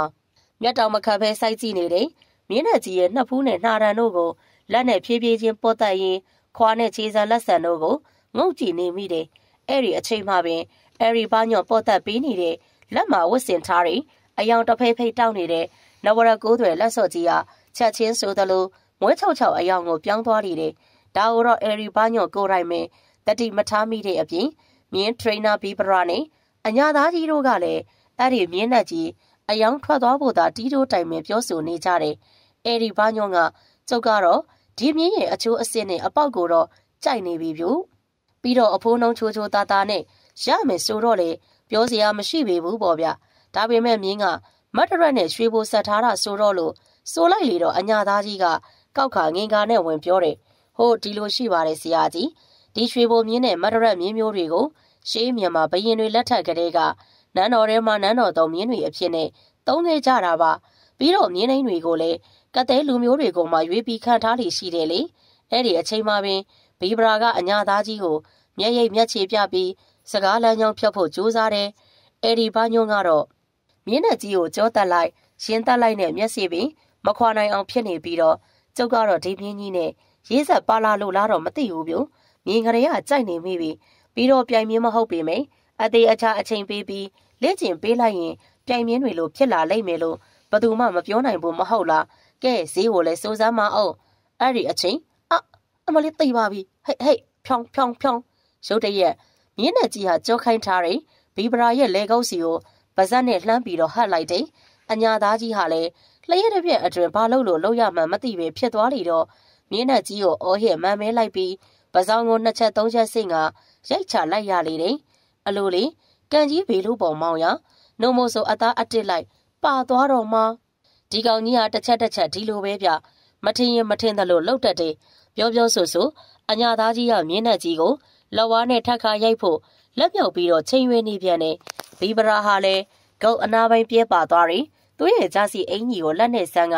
အဲရီဘာညွန့်ရဲ့ရှေ့မှာမျက်စိမျက်နှာပြတ်သွားရလေတယ်အဲရီဘာညွန့်ကတော့လျှက်တစ်ပြက်အတွဲမှာသူမျက်ဝါးထွင်ထင်တွေးလိုက်ရတဲ့အဖြစ်အပျက်ကြောင့်အံ့ဩပနံဖြစ်သွားပြီးတော့အလူဒီမြင်းကြီးကထူးဆန်းလာကြီးလားကြားတွေချင်းသေးတွေလို့လဲကုတ်ကုံမှရွေးပြီးကြိုက်တက်ခဲတဲ့တာပါပဲလားဘီဗရာဟာလည်းအဲရီဘာညွန့်ရဲ့စကားကြောင့်ပြတ်သွားတဲ့သူ့ရဲ့အမှုအရာတွေကိုချက်ချင်းပင်ပြန်ပြင်ကဟုတ်ဟုတ်တယ်ပရာဆတ် မြင်းကောင်းမှန်ရင်တော့အကျင့်ဆိုလေးတစ်ခုပါစမြဲပဲလေလို့ဖဖထေးထေးနဲ့ပြန်ပြီးတော့ပြောလိုက်ရလေတယ်အဲရီဘာညွန့်ဟာလည်းကောင်းတဆက်ဆက်ငိမ့်ကမြင်းနဲ့ကြီးကိုစိုက်ကြည့်နေရမှာအေးဟုတ်တယ်ဘီဗရာမြင်းကောင်းမှန်ရဲ့ညံစိုးလေးတော့ပါတဲ့စမြဲပဲအဲ့ဒီနေ့ကအဲ့ဒီဘာညော့ဟာမနုဿီဟဖွေနဲ့မြင်းနဲ့ကြီးကိုအညာသားကြီးဆိုတဲ့ဇီးအတိုင်း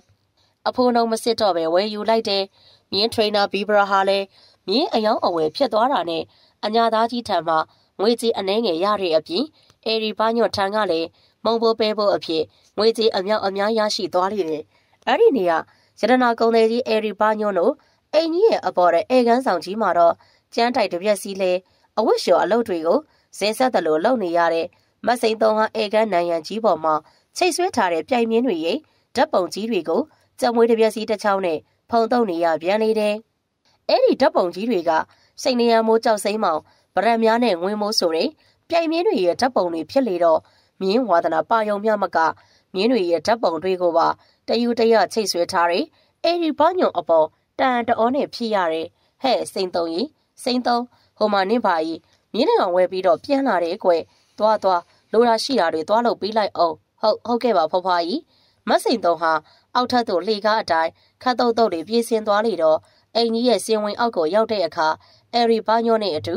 ပြီးခဲ့တဲ့ရက်ကဖြတ်ခနဲမြင်လိုက်ရတဲ့နှကမ်းမွေးကုတ်ကုတ်နဲ့ကလားတို့ဟာမြင်းအနက်ကြီးတစ်ကောင်ကိုခြံဝင်းအတွင်းကိုဆွဲလာကြတာကိုတွေ့လိုက်ရလေတယ်မစိန်သုံးအဲ့ဒီအနားကိုရောက်တဲ့အခါမြင်းနဲ့ကြီးကလူတယောက်လိုစူးရှာတောက်ပတဲ့မျက်လုံးအစုံနဲ့မမိတ်မတုံပြန်ပြီးစိုက်ကြည့်နေတာကိုတွေ့လိုက်ရတယ်ဟင်မစိန်သုံးရဲ့ရင်တစ်ခုလုံးဟာအဲ့ဒီမြင်းကြီးရဲ့အကြည့်ကြောင့်လှက်ခနဲပင်ဖြစ်သွားမိတယ်သူမရဲ့ဘဝမှာလည်းတကြိမ်တစ်ခါမှမမြင်ဘူးခဲ့တဲ့မြင်းတကောင်ရဲ့ထူးထူးခြားခြား မျက်လုံးတွေကြောင့်စိတ်က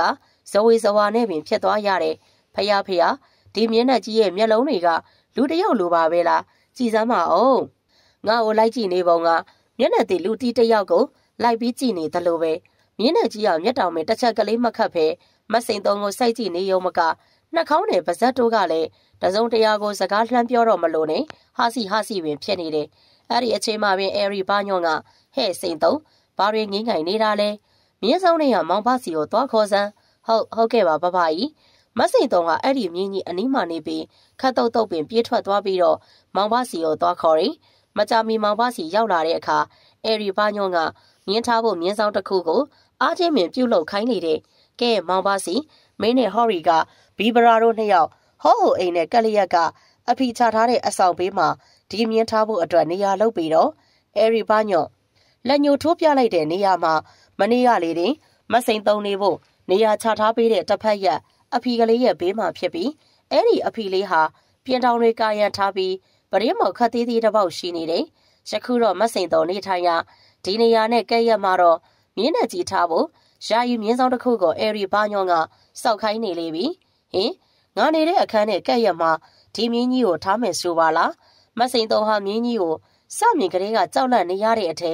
သူမနေထိုင်ရအခန်းနဲ့ ပြင်အောင်တစ်ချက်သာချားတဲ့နေရာမှာအဲ့ဒီမြင်းကြီးကိုထားမယ်ဆိုတဲ့အခါမစိန်သုံးအဖို့ဘာတစ်ခုမှမပြောတာပဲမပြောရဲပဲရှိလေတော့စိတ်တော့ကတွေအကြီးအကျယ်ပင်ရောက်ရတဲ့ကဲဒီနေ့ကစပြီးဟောဒီမြင်းနဲ့ကြီးကိုမဟူရလို့နာမည်ပေးလိုက်မယ်ဟိနောက်ပြီးတော့ဒီကောင်ကြီးတို့အိမ်ကိုရောက်လာတဲ့အထိန်အမှတ်နဲ့ဒီညမှာမင်းတို့တွေအားလုံးကိုပါတီပွဲလေးတစ်ခုကျင်းပပေးမယ်ဘဲနဲ့လေအဲရီဘာညွန့်ရဲ့စကားဆုံးတာနဲ့အားလုံးကသဘောကျဝမ်းသာသွားကြတဲ့အပြင် မြင်းနဲ့ကြီးမဟူရဟာပေဆောင်ဆောင်နဲ့လူတွေကိုလိုက်ပြီးကြည့်နေရမှာရှေ့သွားကြီးများကိုဖြဲကရုတ်တရက်ထပြီးဟီလိုက်တယ်မြင်းနဲ့ကြီးမဟူရကရှေ့သွားဝါချင်းချင်းကြီးတွေကိုဖြဲကဟီနေပုံမှာမစိန်တုံရဲ့မျက်လုံးထဲမှာမျက်လုံးမျက်ဖန်တောက်တောက်နဲ့လူတယောက်ဦးလိုက်သေးလိုက်ရီမောနေတယ်လို့ပဲမြင်နေမိတယ်။အဲဒီနောက်အဲဒီဘာညွန့်ကအော်မောင်ပါစီမနှက်ဖြန်မနှက်စောစောမှာကင်မရာဆရာလဲသွားခေါ်ခဲ့ပါကွ။မဟူယာရဲ့တပ်ပုံကို စိန်လျံမိုးတို့ကြောက်စိမ့်မောင်တို့လိုပုံကြီးချေပြီးအပေါ်တဲ့အေကမ်းမှာချိတ်ရအောင်လို့အဲဒီဘာညွန့်ဟာမောင်ပါစီကိုလိုအပ်တဲ့ကိစ္စမှန်သမျှကိုမှားချပြီးတော့အိမ်ကြီးအတွင်းကိုဝင်ခဲ့တယ်။အိမ်ကြီးအတွင်းကိုရောက်တာနဲ့အေရီဘာညွန့်ကတော့ဒေါ်တဆုပ်ကတော့မှတနေ့တနေ့ဒီမြင်းတွေနဲ့ပဲအချိန်ကုန်နေတော့တာပဲဖះတရားလေးလေးနည်းနည်းပါးပါးလုပ်ဖို့စဉ်းစားပါအောင်ကျုပ်တို့အသက်တွေကငယ်တော့တဲ့အရွယ်တွေမဟုတ်တော့ဘူးငါနားလေပါတယ်ဒေါ်ရွှေတဆုပ်ရဲ့အခုဟာကအဖိုးလေးနဲ့မြင်းလေးကောင်းမွန်ပေါ်တော့ တခြားလူတွေလက်ဦးသွားမှဆိုလို့ဝယ်ခဲ့ရတာပဲကွမင်းလဲဘာထူးလို့လဲစိန်ကြောက်ကောင်းကောင်းတွေ့ရင်အခြားကုန်တွေလက်ထဲရောက်မှစိုးရင်နာပဲမဟုတ်လားအဲရီဘာညွန့်ဟာရတနာကုန်တဲ့ပြီးပြီးဇနီးဖြစ်သူဒေါ်တဆုပ်ကိုပင်တခါတရံဒေါ်ရွှေတဆုပ်လို့ခေါ်လေးရှိပြီးသူ့ရဲ့မြင်းဝါသနာပါတဲ့အလုပ်ကိုဒေါ်တဆုပ်ကတညင်းကြီးတညွညူပြောတိုင်းယခုကဲ့သို့တာတာထိုးထိုးပြန်ပြောပြတတ်တယ်ဒါတော့ဒါပေါ့ရှင်။အော်ရှင်ကိုပြောဖို့မိနေလိုက်တာမနှ က်ပြန်ညမှာဒေါ်ပူများတို့အိမ်ကဖျားကိုးစုလာဖိတ်ထားတယ်အဲ့ဒါရှင်ရောကြုံရောမသွားလို့တော့မဖြစ်ဘူးအဲ့ဒီစကားပြောပြီးတော့ဒေါ်တဆုပ်ဟာခက်လန်းလန်းမှာမတ်တိုက်ရက်နေတယ်မတ်စိန်တုံဘက်ကိုလှည့်ပြီးတော့ဟဲ့စိန်တုံ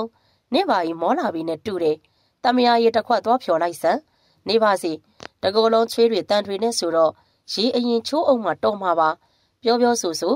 အေရီပညုံဟာအိတ်ကန်းအတွင်းကိုဝင်သွားပြီးတော့အဝတ်အစားလဲတယ် ဒေါ်တဆုပ်ဟာလည်းလက်ကောက်တန်းတချွင်ချွင်နဲ့အေရီပညုံရှိရာအိတ်ခမ်းအတွင်းကိုလိုက်ဝင်သွားတော့တယ်အေရီပညုံဟာအခန်းအတွင်းကိုရောက်တာနဲ့အဝတ်အစားနဲ့လက်ပတ်နာရီတို့ကိုချွတ်တယ်အဲဒီနောက်သူ့ရဲ့နဝရကိုပါစီချဲထားတဲ့လက်စွပ်ကြီးကိုချွတ်ခါဖျားစင်မော်ကိုလှမ်းတင်လိုက်လေတော့လက်နဲ့ဖျားပန်းအိုးတို့တိုက်မိပြီးလက်စွပ်ကကျမ်းမြေမော်ကိုတောက်ခနဲပင်ပြုတ်ကျသွားတယ်။အဲဒီဘာညွန့်ဟာကျမ်းမြေမော်ကျသွားတဲ့လက်စွပ်ကိုပြန်ကောက်ယူက နောက်တစ်ချိန်ဖျားစင်မော်ကိုတင်လိုက်ပြန်တယ်။ဒီတစ်ချိန်တော့နဝရလက်စွပ်ကင်ထားတယ်။အဲဒီဘာညွန့်ရဲ့လက်ကိုတစုံတစ်ယောက်ကပုတ်ချလိုက်တယ်လို့ဖြစ်သွားကလက်စွပ်ကကျမ်းမြေမော်ကိုပြုတ်ကျလေးပြန်တယ်။ဟင်ဒီနေ့မှငါဘာတွေများဖြစ်နေလဲမသိဘူး။အဲ့ဒီအချိန်မှပင်အဲရီဘာညွန့်ရဲ့ဘေးမှာမတ်တက်ရက်နေတဲ့ဒေါက်တာဆုပ်ဟာပြပြတလဲနဲ့ဖြစ်သွားပြီးတော့ရှင်လင်းအသက်ကြီးလာမှခြေမမြဲလက်မမြဲနဲ့ပေးပေးအဲ့ဒီလက်စောဒီလက်စောကဆရာထုံးကြီးကိုယ်တိုင် နက်ခတ်အဝင်အထွက်တွေနဲ့တိတ်တီတင်ထားတဲ့လက်စောဖုံးတွေဘာတွေနှိမ်ကုန်မအောင်မေအဲရီဘာညောနဲ့ဒေါက်တာဆုပ်တို့ဟာကြောက်အယောင်အဝယ်လုံနေကြတယ်ရတနာကုံတဲ့ကြီးတွေဖြစ်တဲ့အားလျော်စွာထိုးထိုးသောအတိတ်နမိတ်နဲ့အယူအဆတွေရှိသူတွေဖြစ်ကြတယ်ဒေါ်တဆုပ်ကသူ့လက်ထဲကိုရောက်လာတဲ့နဝရကိုဘလက်စော့ကြီးကိုငုံကြည့်လိုက်လေတော့ဟင်းကိုဘညွန့်ရင်ရှင်ရဲ့တိတ်တီတင်ထားတဲ့နဝရလက်စော့ကဘလို့ဖြစ်သွားရတာတော့အယောင်မရှိအစင်းမရှိမွဲချောက်ချောက်နဲ့ပါလာတော့ ကြဲကြဲလောင်လောင်နဲ့တန်တော်ကြီးရေရွတ်လိုက်တဲ့ဒေါ်တဆုပ်ရဲ့စကားကြောင့်အဲ့ဒီဘညွန့်ဟာကိုနာကိုပင်မယုံကြည်နိုင်လောက်အောင်ဖြစ်သွားပြီးတော့ဟေးဟုတ်ရဲ့လားပြစားမအောင်ဘာဖြစ်တာပါလဲအဲ့ဒီဘညွန့်ကအဲ့ဒီလက်စော့ကိုယူပြီးကြည့်လိုက်တဲ့အခါအရင်ကပြိုးပြိုးပြက်ပြက်တောက်ပနေတဲ့နဝရကိုးသွဲလက်စော့ဟာမွဲချောက်ချောက်နဲ့အယောင်အစင်မရှိတော့တာကိုတွေးလိုက်ရလေတယ်။အဲ့ဒီအချိန်မှာအခန်းရဲ့အပြင်ဘက်မှာမတ်တက်ရက်နေတဲ့မစိန်တုံကအဲရီဘာညွန့်တို့ ပြောဆိုနေကြတဲ့တွေကိုကြားပြီးတော့အခန်းထဲကိုတစ်ချက်လှမ်းပြီးကဲကြီးလိုက်လေတော့ဒေါ်တဆုပ်လက်ထဲမှာအယောင်အသွေးညိုညင့်ညင့်ဖြစ်နေတဲ့လက်စော့တကွင်းကိုတွေးလိုက်ရတယ်။မစိန်တုံဟာတာမန်တော်သူတယောက်ပြီးပြီးဒေါ်တဆုပ်လက်ထဲမှာနဝရကိုးသွဲလက်စော့ကြီးရဲ့အယောင်အစင်းကိုကြည့်ကဆန်ဆက်ထဲမှာကြိတ်ပြီးသားဆန်စစ်တွေထဲမှာရောပြီးပါလာတတ်တဲ့ကြောက်ခဲအပိုင်းအစလေးတွေနဲ့ပင်တူးနေတယ်လို့ထင်လိုက်မိတယ်။အင်းကြောက်မြက်ရတနာဆိုတာကြာကြာထားရင်အယောင်မှိန်သွားတဲ့သဘောတော့ရှိတာပဲ။ ကျုပ်ကတော့ကျုပ်ရဲ့စိတ်နှကတ်တွေအယောင်မှိန်လာတာနဲ့ရှာလကာရီထဲမှာခဏဆင်ထားပြီးပေါ့တိုင်စေးကြောလိုက်ရင်သူ့ငကိုအတိုင်းပြန်လင်းလာတာပဲ။ကဲပါတော့ရှင်ရေချိုးစရာရှိတာသာသွားချိုးပါ။ကျုပ်လုံးလိုက်ပါမယ်ပြောပြောဆိုဆိုနဲ့ဒေါ်တဆော့ဟာနဝရလက်စုပ်ကိုအင်ကြီးအောက်နားစောနဲ့ပုတ်တိုက်နေရမှာအခန်းဝါမှာမတ်တက်ရက်နေတယ်မစိန်သုံးကိုဟဲ့စိန်သုံးဘာရက်လုံနေတာလဲငါ့ကိုမိဖို့ကြောင့်နဲ့ရှာလကရေသွားယူပေးစမ်းမစိန်သုံးဟာမိဖို့ကန်ရှိရာကို ကြပြကြရပင်ပြေးသွားပြီးရှာလကရေပလင်းကိုယူလာခဲ့တယ်အဲ့ဒီရှာလကရေကိုခွက်ကလေးတစ်ခုတည်းကိုထည့်ပြီးတော့ဒေါက်တာဆုပ်ကခေါင်းစာလေးနဲ့စုပ်ယူလိုက်တယ်အဲ့ဒီနောက်လက်ခတ်အဝင်အထွက်တွေနဲ့စီမံထားတဲ့နဝရကိုးတွေလက်စွပ်ပေါ်မှာညိုညင်းချင်းဖြစ်နေတဲ့စိန်ချောင်းနီလာအောက်သက်ဖျားအဆရှိတဲ့ရတနာကြောက်တွေကိုဖြည်းဖြည်းချင်းပို့တိုက်လိုက်တဲ့အခါမှာတော့ဟင်ဘဲနဲ့ဖြစ်တာပါလေဒေါက်တာဆုပ်လက်ထဲမှာဗရမ ्या နီလာအဆရှိတဲ့ကြောင်မြတ်တွေရဲ့မျက်နှာပြင်ပေါ်မှာ အကြောင်းအရာလေးတွေပေါ်လာတာကိုတွေ့လိုက်ရတယ်မစိန်တုံအနေနဲ့လဲကြောက်မြတ်ရတနာတွေအကြောင်းကိုဘာမှညာမှမသိနားမလဲတော့လေကြောင်မြတ်တွေရဲ့မကြောတဲ့အကြောင်းတွေကိုကြားဘူးနာဝါရှိထားသူဖြစ်လေတော့ခေါင်းစားလေးနဲ့ပုတ်တက်လိုက်ရုံနဲ့ယခုကဲ့သို့အကြောင်းတွေထသွားရတဲ့အဖြစ်ကိုနားမလည်နိုင်အောင်ဖြစ်သွားရလေတယ်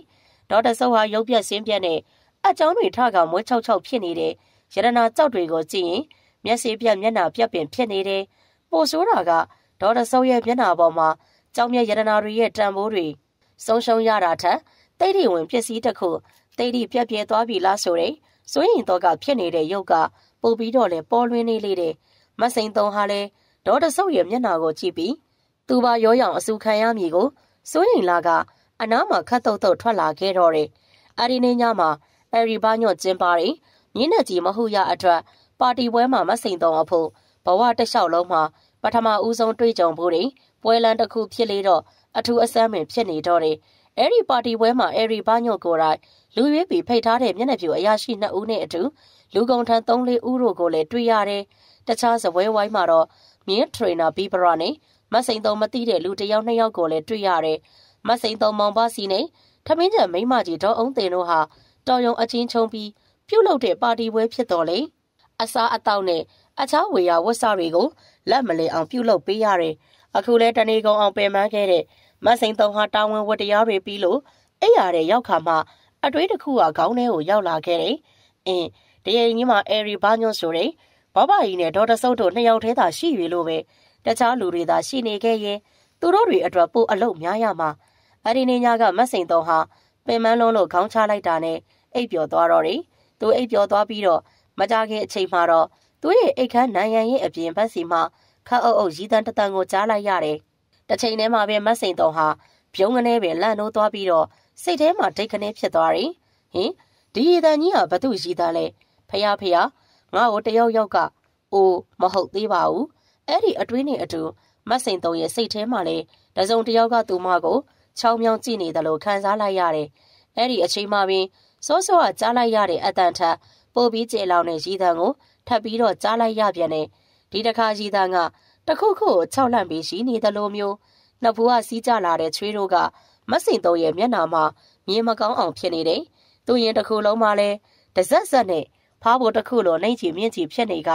အချိန်ချင်းမျိုးချနေရတဲ့တရွေးတို့ဟာလည်းလေချောင်းဝမှာတက်ဆူဆူဖြစ်လာနေတယ်သူဘာလို့ရမည်လဲ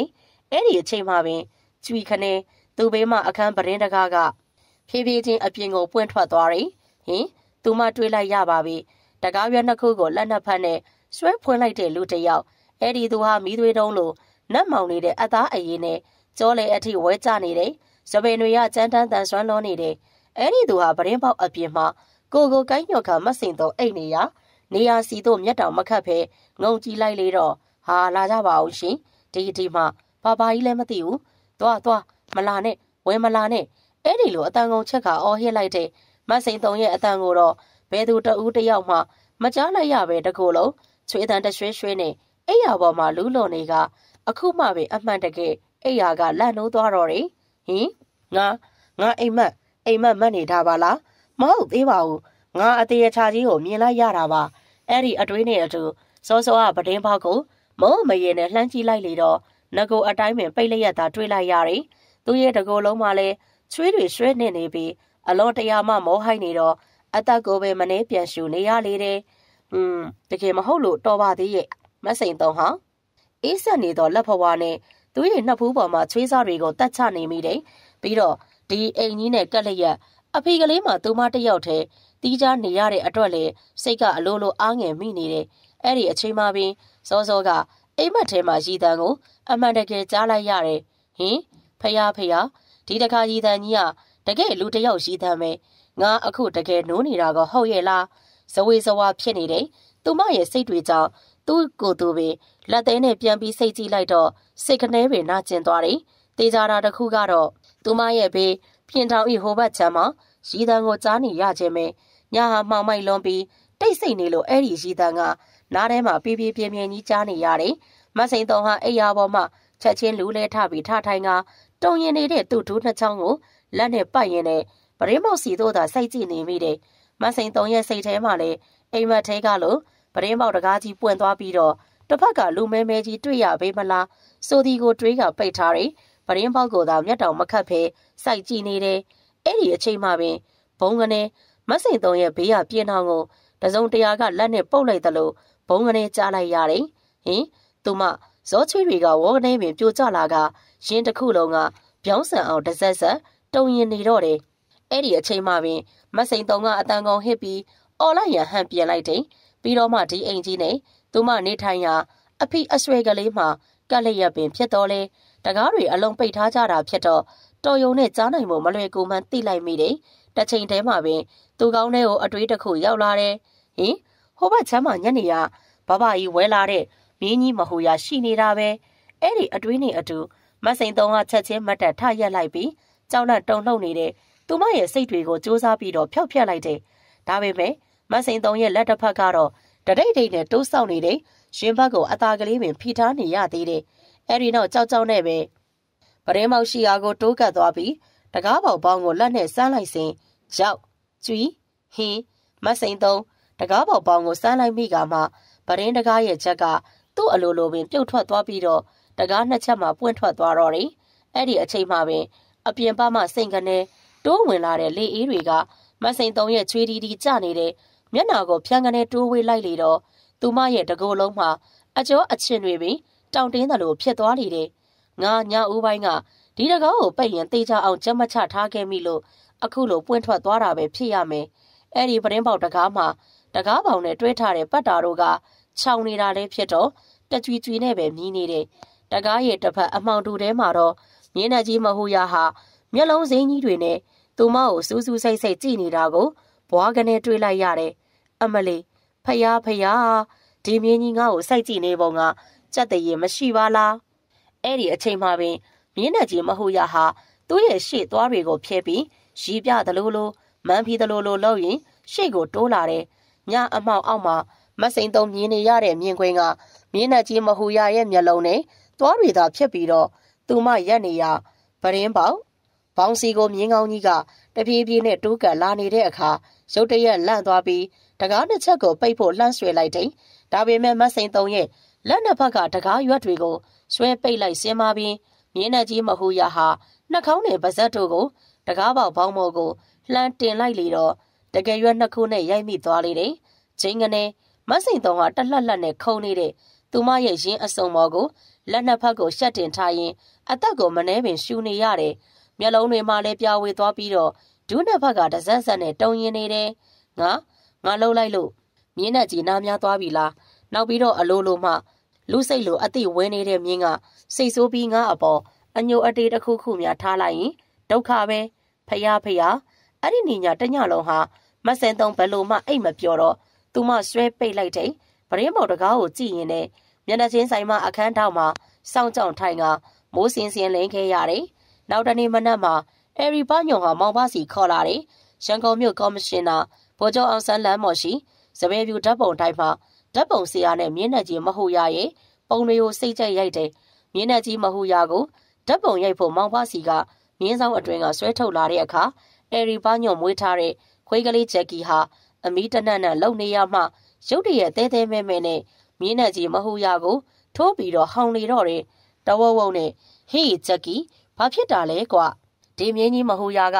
အခုတော့တို့အိမ်သားဖြစ်သွားပြီလေမဟောင်ရဘူးပြောပြောဆူဆူအယ်ရီဘာညွန့်ဟာအမွှေးစုံများနဲ့ခွေးကလေးဂျက်ကီကိုကောက်ယူပွေ့ချီမီပြုတ်လိုက်စင်မှာဂျက်ကီဟာမြင်းနဲ့ကြီးမဟူရရဲ့အနီးကိုပြေးသွားပြီးတော့လှည့်ပတ်ဝင်းဟောင်နေတော့တယ်ဂျက်ကီကိုကြည့်ရသေးမှခါတိုင်းနဲ့မတူပဲအမီးကိုကုတ်ထားကကနာမငိမ်ဖြစ်နေတယ် ခွေးကလေးဂျက်ကီဟာခါတိုင်းဆိုရင်မြင်းကြီးစိန်နရံမို့ကြောက်စိမ့်မောင်ဗရမ ्या ကြီးတို့နဲ့အတူပြေးလွှားစော်ကစားနေကြဖြစ်တော်လေဒီတစ်ခါမြင်းနဲ့ကြီးမဟုတ်ရကိုမြင်လိုက်ခါမှသူ့ပုံစံကထူးထူးခြားခြားပြီးကြောက်လန့်တကြားနဲ့ဖြစ်နေတယ်မစိန်သုံးဟာလဲ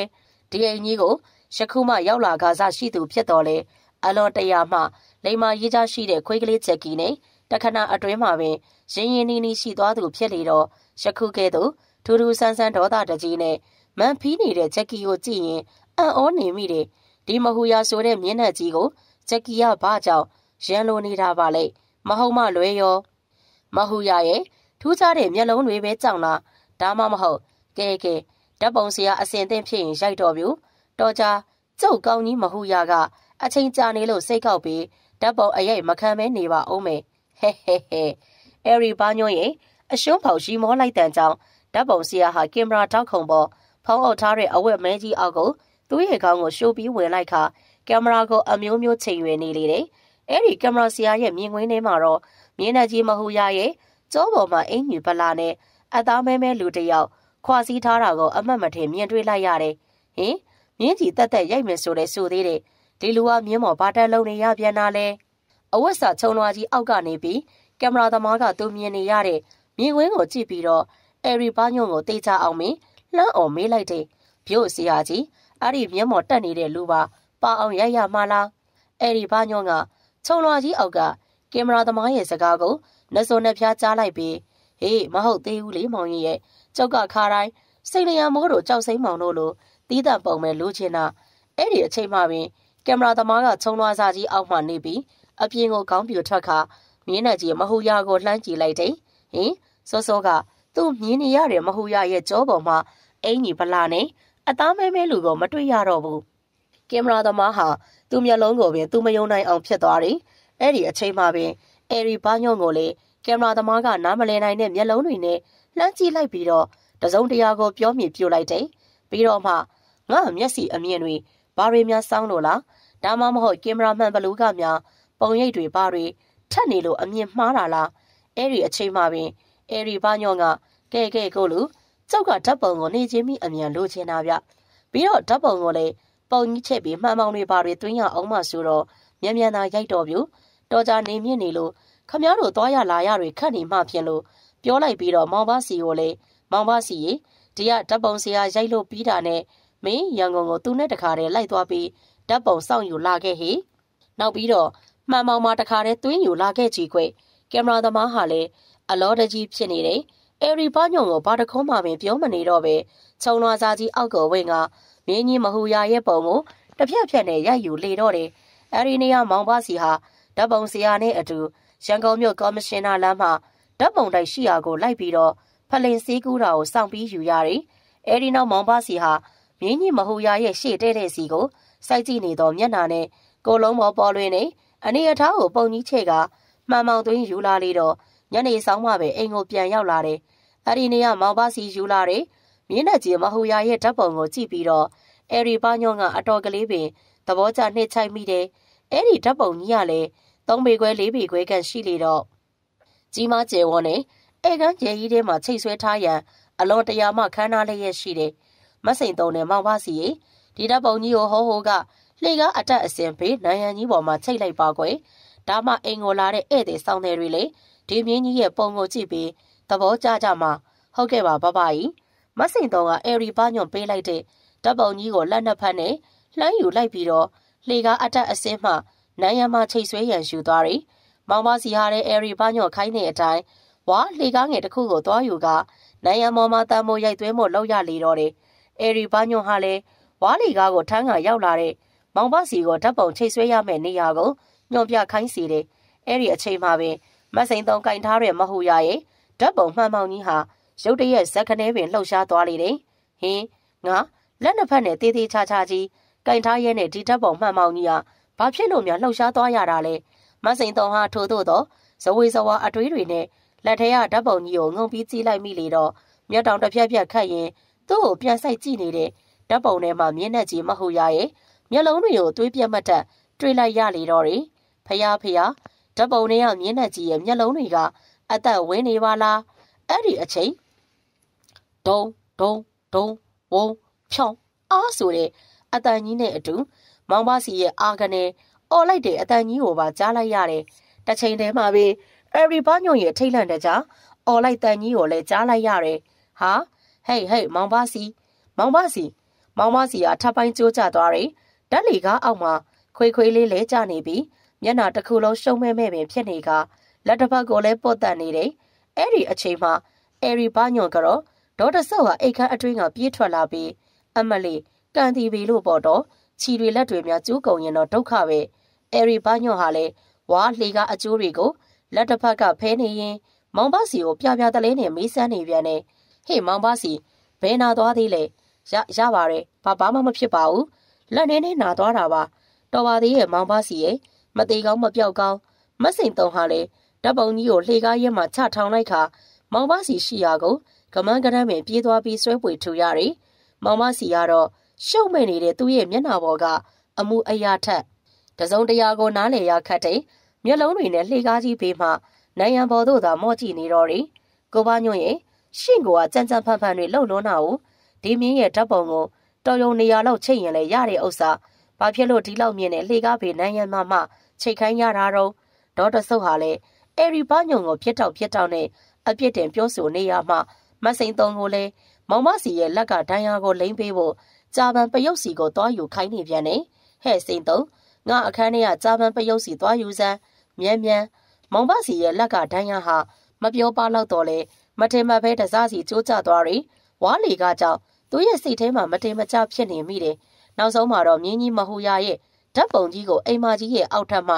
နိုင်ရန်တစ်ဖက်မှာချိတ်ဆွဲထားလိုက်ရလေတယ်အဲ့ဒီနိုင်ရန်မှာမစိန်သုံးနေထိုင်ခွင့်ရတဲ့အဖီကလေးနဲ့ကလေးရဲ့ရှိနေတဲ့နိုင်ရန်ဖြစ်ပြီးမစိန်သုံးရဲ့အခန်းအဝင်အထွက်တကားပေါင်းနဲ့လည်းနီးကလေးရပင်ဖြစ်နေတယ်။မစိန်သုံးဟာမြင်းနဲ့ကြီးမဟူယာရဲ့ဓာတ်ပုံကိုသူမနေထိုင်ရာအခန်းနဲ့ကက်လက်ရအိမ်မကြီးရဲ့အတွင်းဘက်မှာလာပြီးချိတ်ထားလို့လွန်စွာမှစိတ်တော့ကရောက်ရတယ်။ဒါပေမဲ့မစိန်သုံးအဖို့သူတော်ရဲ့အိမ်မှာ ယခုကဲ့သို့ကူပေါ်လောင်ပတ်အလုပ်ကိုလုပ်ခွင့်ရဖို့ကိုပင်မလွယ်ကူပဲရှိလေတော့ဘာတစ်ခုမှမပြောတာမပြောရဲပဲဖြစ်နေမိတော့တယ်။အဒီနီညာကအဲရီဘာညော့နဲ့ဒေါ်တဆုပ်တို့ဟာသူတို့ရဲ့မိတ်ဆွေဒေါ်ပူများတို့အိမ်မှာဖျားကိုစုကိုသွားကြလေတော့အိမ်ကြီးတအိမ်လုံးမှာထမင်းကျန်မိမကြီးဒေါ်အောင်တင်နဲ့မစိန်သုံးတို့နှစ်ဦးသာကြံခဲ့တယ်မကြမီဒေါ်အောင်တင်ဟာလည်းတနေ့တာဝေယဝတ်စတွေလောက်ကင်ပြီးတဲ့အခါသူနေထိုင်ရာတစ်ဖက်မှရက်ကွက်ကိုနေ့စဉ်ပြန်နေကြအတိုင်းပြန်သွားလေတော့ မစိန်သုံးတယောက်သာလျင်အိမ်ကြီးအတွင်ကြံခဲ့ရတော့တယ်တဝူဝူတဝဝုံနဲ့ရုတ်တရက်ဆူးဆူးရှာရှာကြီးဦးလိုက်တဲ့ဂျက်ကီရဲ့အတန်းကြောင့်မစိန်သုံးဟာအိမ်ရှိဧကမ်းမကြီးစီကိုကြပြကြရပြေးထွက်လာကဂျက်ကီဂျက်ကီလာလာလာ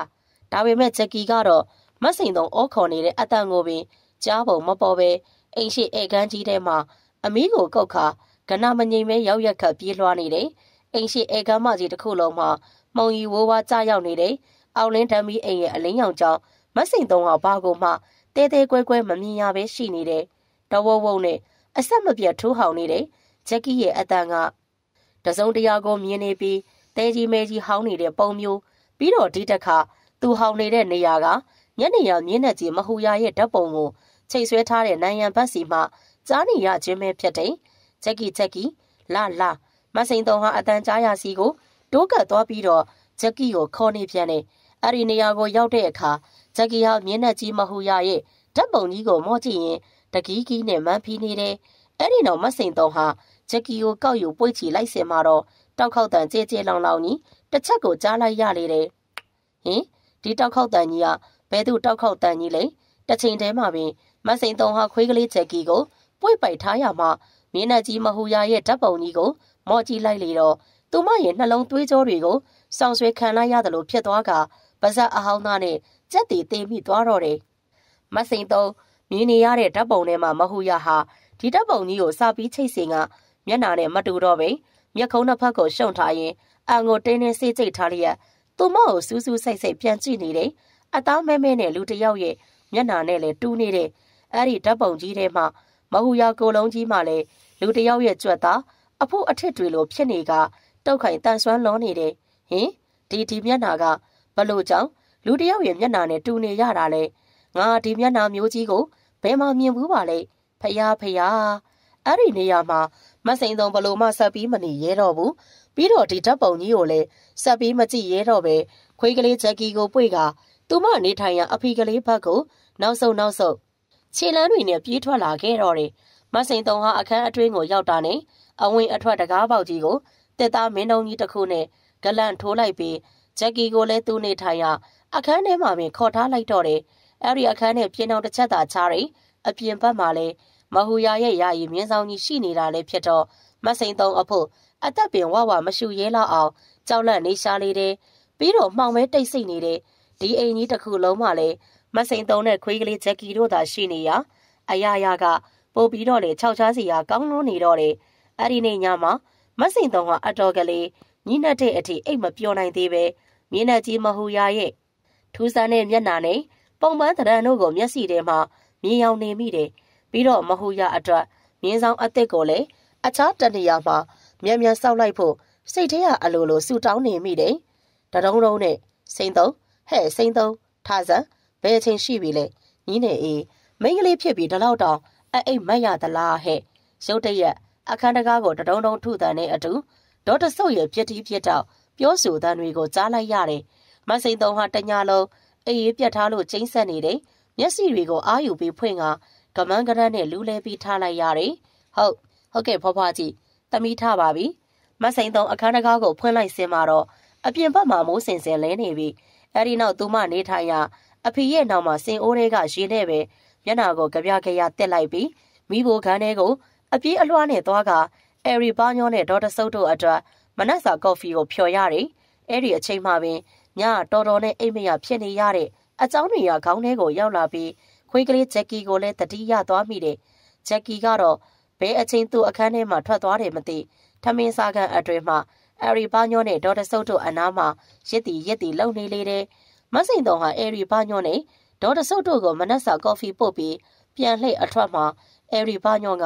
အော်စိန်တုံရင်မောင်မစီကိုတော့ပြောစမ်းပါကွ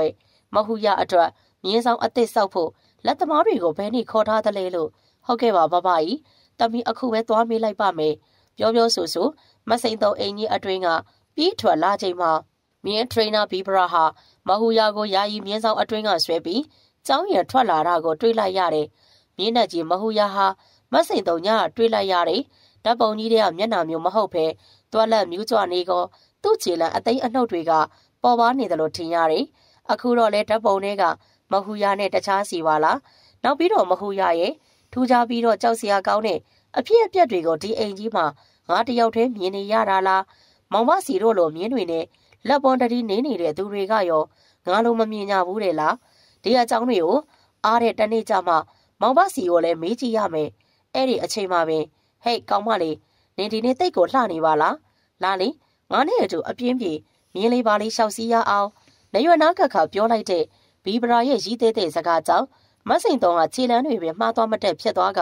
ခန္ဓာကိုယ်ကဘေးသို့ပင်ရိုက်သွားမိတယ်။တစ်ချိန်တည်းမှာမြင်းကြီးမဟူယာရဲ့ဟီလိုက်တန်ကလည်းဘီဗရာရဲ့စကားကိုနားလည်ပြီးသဘောကျတဲ့ရောင်နဲ့အားပေးအားမြောက်ပြုတ်နေတယ်လို့ပင်ထင်လိုက်မိတယ်။ဟီဟီဟီဘီဗရာဟာလက်တစ်ဖက်ကမြင်းဆက်ကြိုးကိုဆွဲထားရင်သူ့ရဲ့နှက်ခမ်းမွေးကုတ်ကုတ်ကြီးတို့ကိုလက်တစ်ဖက်နဲ့အောက်ကိုဆွဲသက်ချနေတယ်။မစိန်တုံးကိုစိတ်ကြည့်နေတယ်။ မျက်လုံးတွေကအလွန်အမင်းချိတ်ဝင်နေပြီးချောမိနေတဲ့နာရန်ကြောင့်ပါးနှစ်ပတ်ကရှိကိုငေါထွက်နေတောင်ရှိနေလေတော့စုပ်ချွန်းချွန်းမျက်နှာပေါက်ဖြစ်နေတယ်။မစိန်တုံးဟာမျက်နှာကြီးမဟူရကိုကြောက်လန့်နေရတဲ့အထက်အခုလိုမျက်နှာမချိုမချင်တဲ့သူ့ကိုရှိသေးတဲ့တွေပြောဆိုနေတဲ့ဘီဗရာကိုယွန်းလဲယွန်းကြောက်လဲကြောက်လာမိကအဲ့ဒီနေရာမှာခတ်တုတ်တုတ်ခြေလန်းတွေနဲ့မောင်ပါစီရှိရာကိုဆက်လျှောက်လာမိတယ်။မောင်ပါစီရှိရာမြင်းဆောင်အတွင်းကိုရောက်တော့ဟဲ့ပါစီ နဲ့လက်ကဒိုင်ယာဘလို့နေသေးလဲဘာမှမဖြစ်လိုက်တော့တိတ်မခံရဘူးပေါ့အမရအဲ့ဒီတော့ကကျွန်တော်လက်သာကျိုးသွားရင်ဒီအလုပ်တွေဘလို့မှလုံနိုင်တော့မယ်မထင်ဘူးမောင်ပါစီကဩစတြေးလျအုပ်လို့ခေါ်တယ်အခွန်ချွတ်မထားတဲ့အဖူးကလေးတွေကိုကျုံတဲ့ရုံးဝင်တွေကမြင်းစားအတွက်အလုပ်ရှုံနေရင်မစိန်တုံကိုပြန်ပြောလိုက်တယ်ရတနာကုံတဲ့ကြီးအဲရီဘာညော့ဟာသူ့မြင်းတွေကိုအလွန်ဂယုတက်ဆိုင်ကျွေးမွေးသူတွေဖြစ်လေတော့မြင်းတွေကိုအလေးချိန်ထားပြီးတနစ်လင်အစာ ဘဏ္ဍပေါင်ကျွေးရမလဲလို့လည်းသတ်မှတ်ထားတယ်ပြီးတော့မောင်ပါစီကအဲရီဘာညော့မှာကြားထားတဲ့အတိုင်းမြင်းတွေတောက်ဖို့ထုံးတက်ပါတယ်ရေနဲ့ထုံးတက်ပါတယ်ပျော်ပွဲမြတ်ချောက်တို့ကိုလည်းနေ့စဉ်ဂယုတက်ဆိုင်နဲ့ဝတ္တရားမပြတ်ကျွေးမွေးပေးရတယ်။ပါယိုနှစ်ဖက်ကရှေ့ကိုငေါထွက်နေတဲ့ရောင်ရှိနေလေတော့စုတ်ချုံချုံမျက်နှာပေါက်ဖြစ်နေတယ်။မဆင်တုံကမျက်နှာကြီးမဟူရအောင်ကြောက်လန့်နေရတဲ့အထက်အခုလိုမျက်နှာမထိုးမချင်းနဲ့သူ့ကိုရီးသေးသေးတွေပြောဆိုနေတဲ့ဘီဘရကိုယုံလဲယုံ ကြောက်လဲကြောက်လာမိက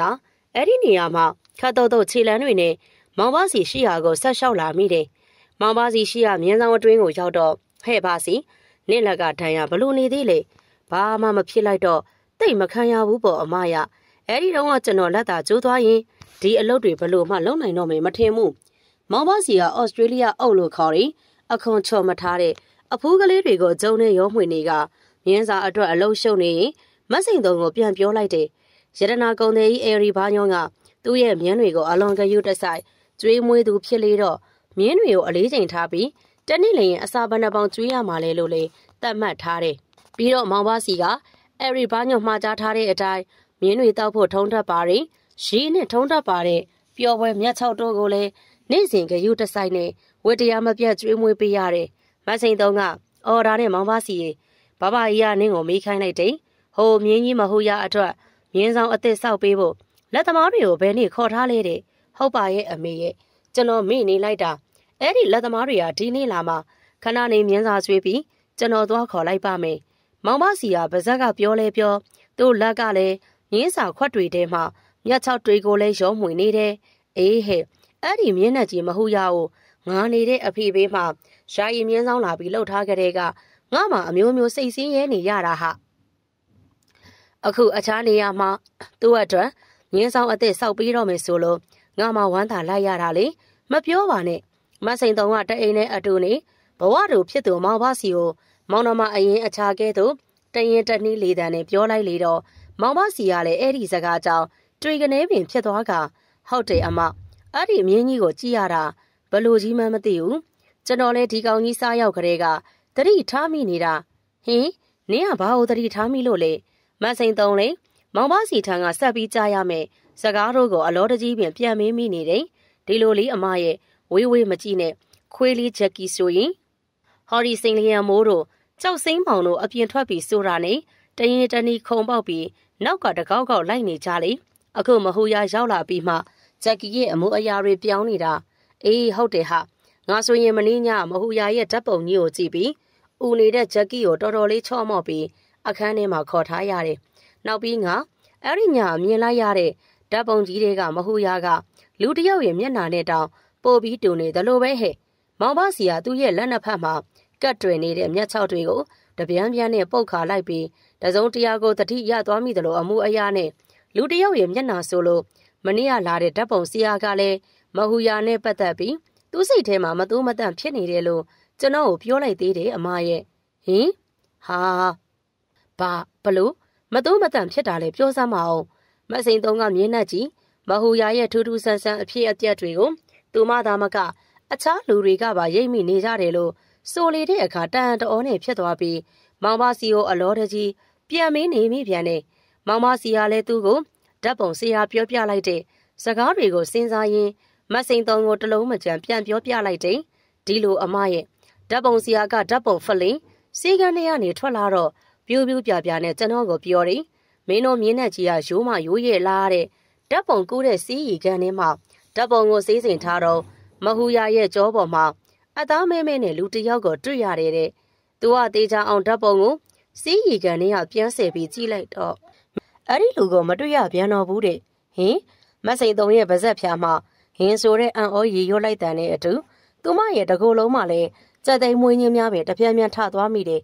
ပြီးတော့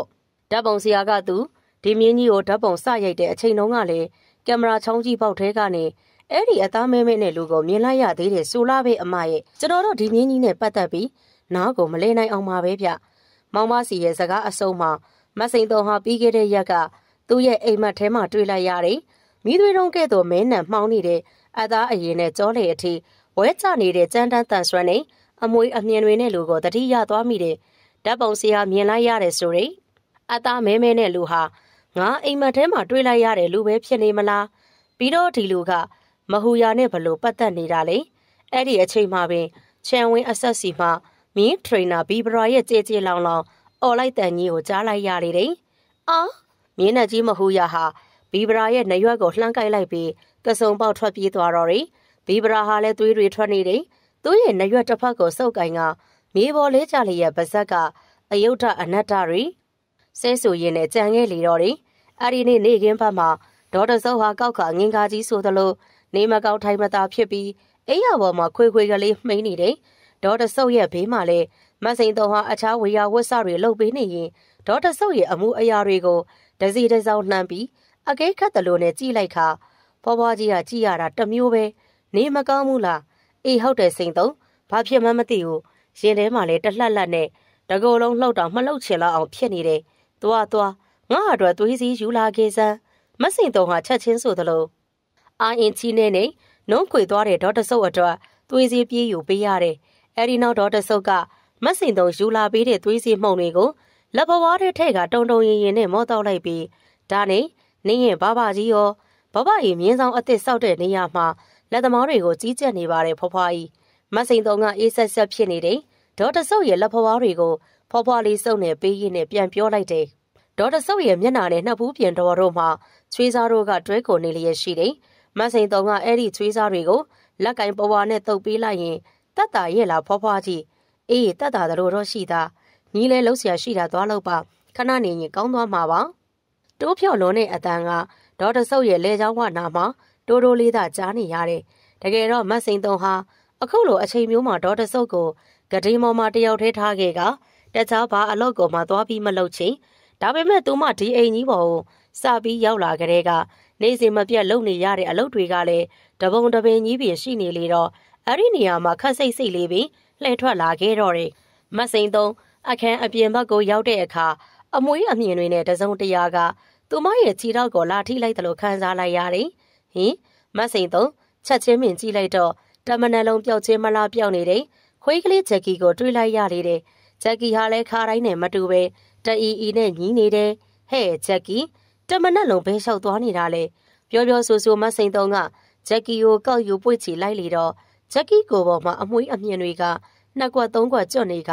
အဲ့ဒီနေရာတဝိုက်မှအရေးပြားတို့ကရဲရဲနေလျက်ရှိနေတာကိုတွေ့လိုက်ရတယ်။အဲ့ဒီအချိန်မစိန်သုံးရဲ့နောက်ကျောဘက်စီမှာထမင်းချက်မိမကြီးဒေါ်အောင်တင်ရဲ့အတန်ကိုလည်းကြားလိုက်ရတယ်။ဟဲ့စိန်သုံးလက်သမားတွေမြင်းဆောင်အသက်စောက်နေတယ်။ နေရာကိုသွားလိုက်အောင်နင်းရဲ့ဘဘကြီးဘာခိုင်းစရာရှိလို့လဲမသိဘူး။ဟုတ်ဟုတ်ကဲ့ပါကြီးကြီးမစိန်သုံးဟာချက်ကီကိုပွေ့ချရင်အိမ်မကြီးအတွင်ကမြင်းဆောင်အသက်စောက်ရနေရာကိုခတ်တုတ်တုတ်ခြေလမ်းတွေနဲ့ရှောက်သွားတယ်။သူမမြင်းဆောင်အနီးကိုရောက်တဲ့အခါအုံမွေးငပြောပွဲတွေနဲ့အမွေးနသားတိုင်းတို့ကိုထုံးညှိပြင်ဆင်ထားက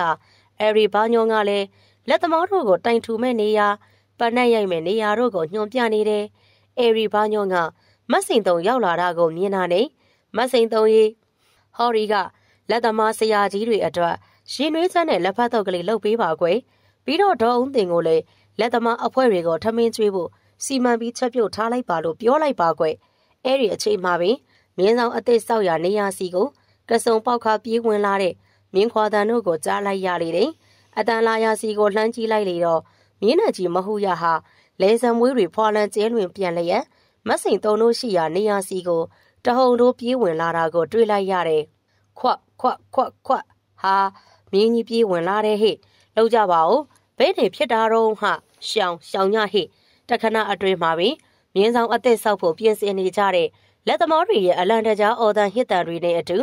အဲရီဘာညောနဲ့မစိန်တုံတို့ဟာလည်းတဟုန်တို့ပြင်းဝင်လာတဲ့မြင်းနဲ့ကြီးမဟုတ်ရကိုလွတ်ယုံကလေးတွေရှောင်မိလျက်သာဖြစ်သွားတယ်။တဟီဟီနဲ့မြင်းနဲ့ကြီးမဟုတ်ရဟာ မြင်းဆောင်ဆောက်ဖို့ပြင်ဆင်ထားတဲ့နေရာကိုအရောက်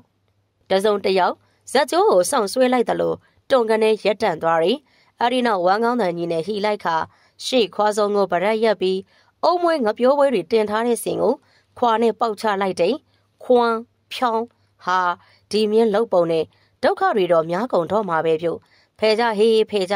မြင်းကစိတ်ရိုင်းဝင်နေပုံရတယ်တယောက်တစ်ပါးဝိုင်းအော်နေကြတယ်လက်သမားတွေကမြင်းနဲ့ကြီးမဟုတ်ရရဲ့ အမှုအရာတွေကိုကြည့်ကခက်လန်းလန်းမှဝိုင်းအော်နေကြတယ်အဲရီဘာညိုနဲ့မတ်စိန်တုံတို့ဟာလည်းလဲပြိုကျသွားတယ်အုံမွေးငပြောပွဲနဲ့အမွေးနသားတိုင်းတွေကိုကြည့်ပြီးကြက်သေးပင်သေနေမိကြတယ်အဲဒီအခါမှခက်လန်းလန်းမှမြင်းရိုက်ကျင်းတစ်ချောင်းကိုကြစ်ကြစ်ပါအောင်ကိုင်ကဒေါနဲ့မောနဲ့ပြေးလိုက်လာတဲ့မြင်းထရိနာဘီဗရာကိုတွေ့လိုက်ရတယ်။ဘီဗရာရဲ့ခေါင်းပေါ်မှာအမြဲတစေပေါင်းထားတဲ့ပိတ်ဖြူစကြီးကမနက်ကမဟူရာကြိုက်လိုက်တဲ့ နရွက်တစ်ဖက်ကဒိုင်းဟာကို လုံအောင်ပတ်ပေါင်းထားက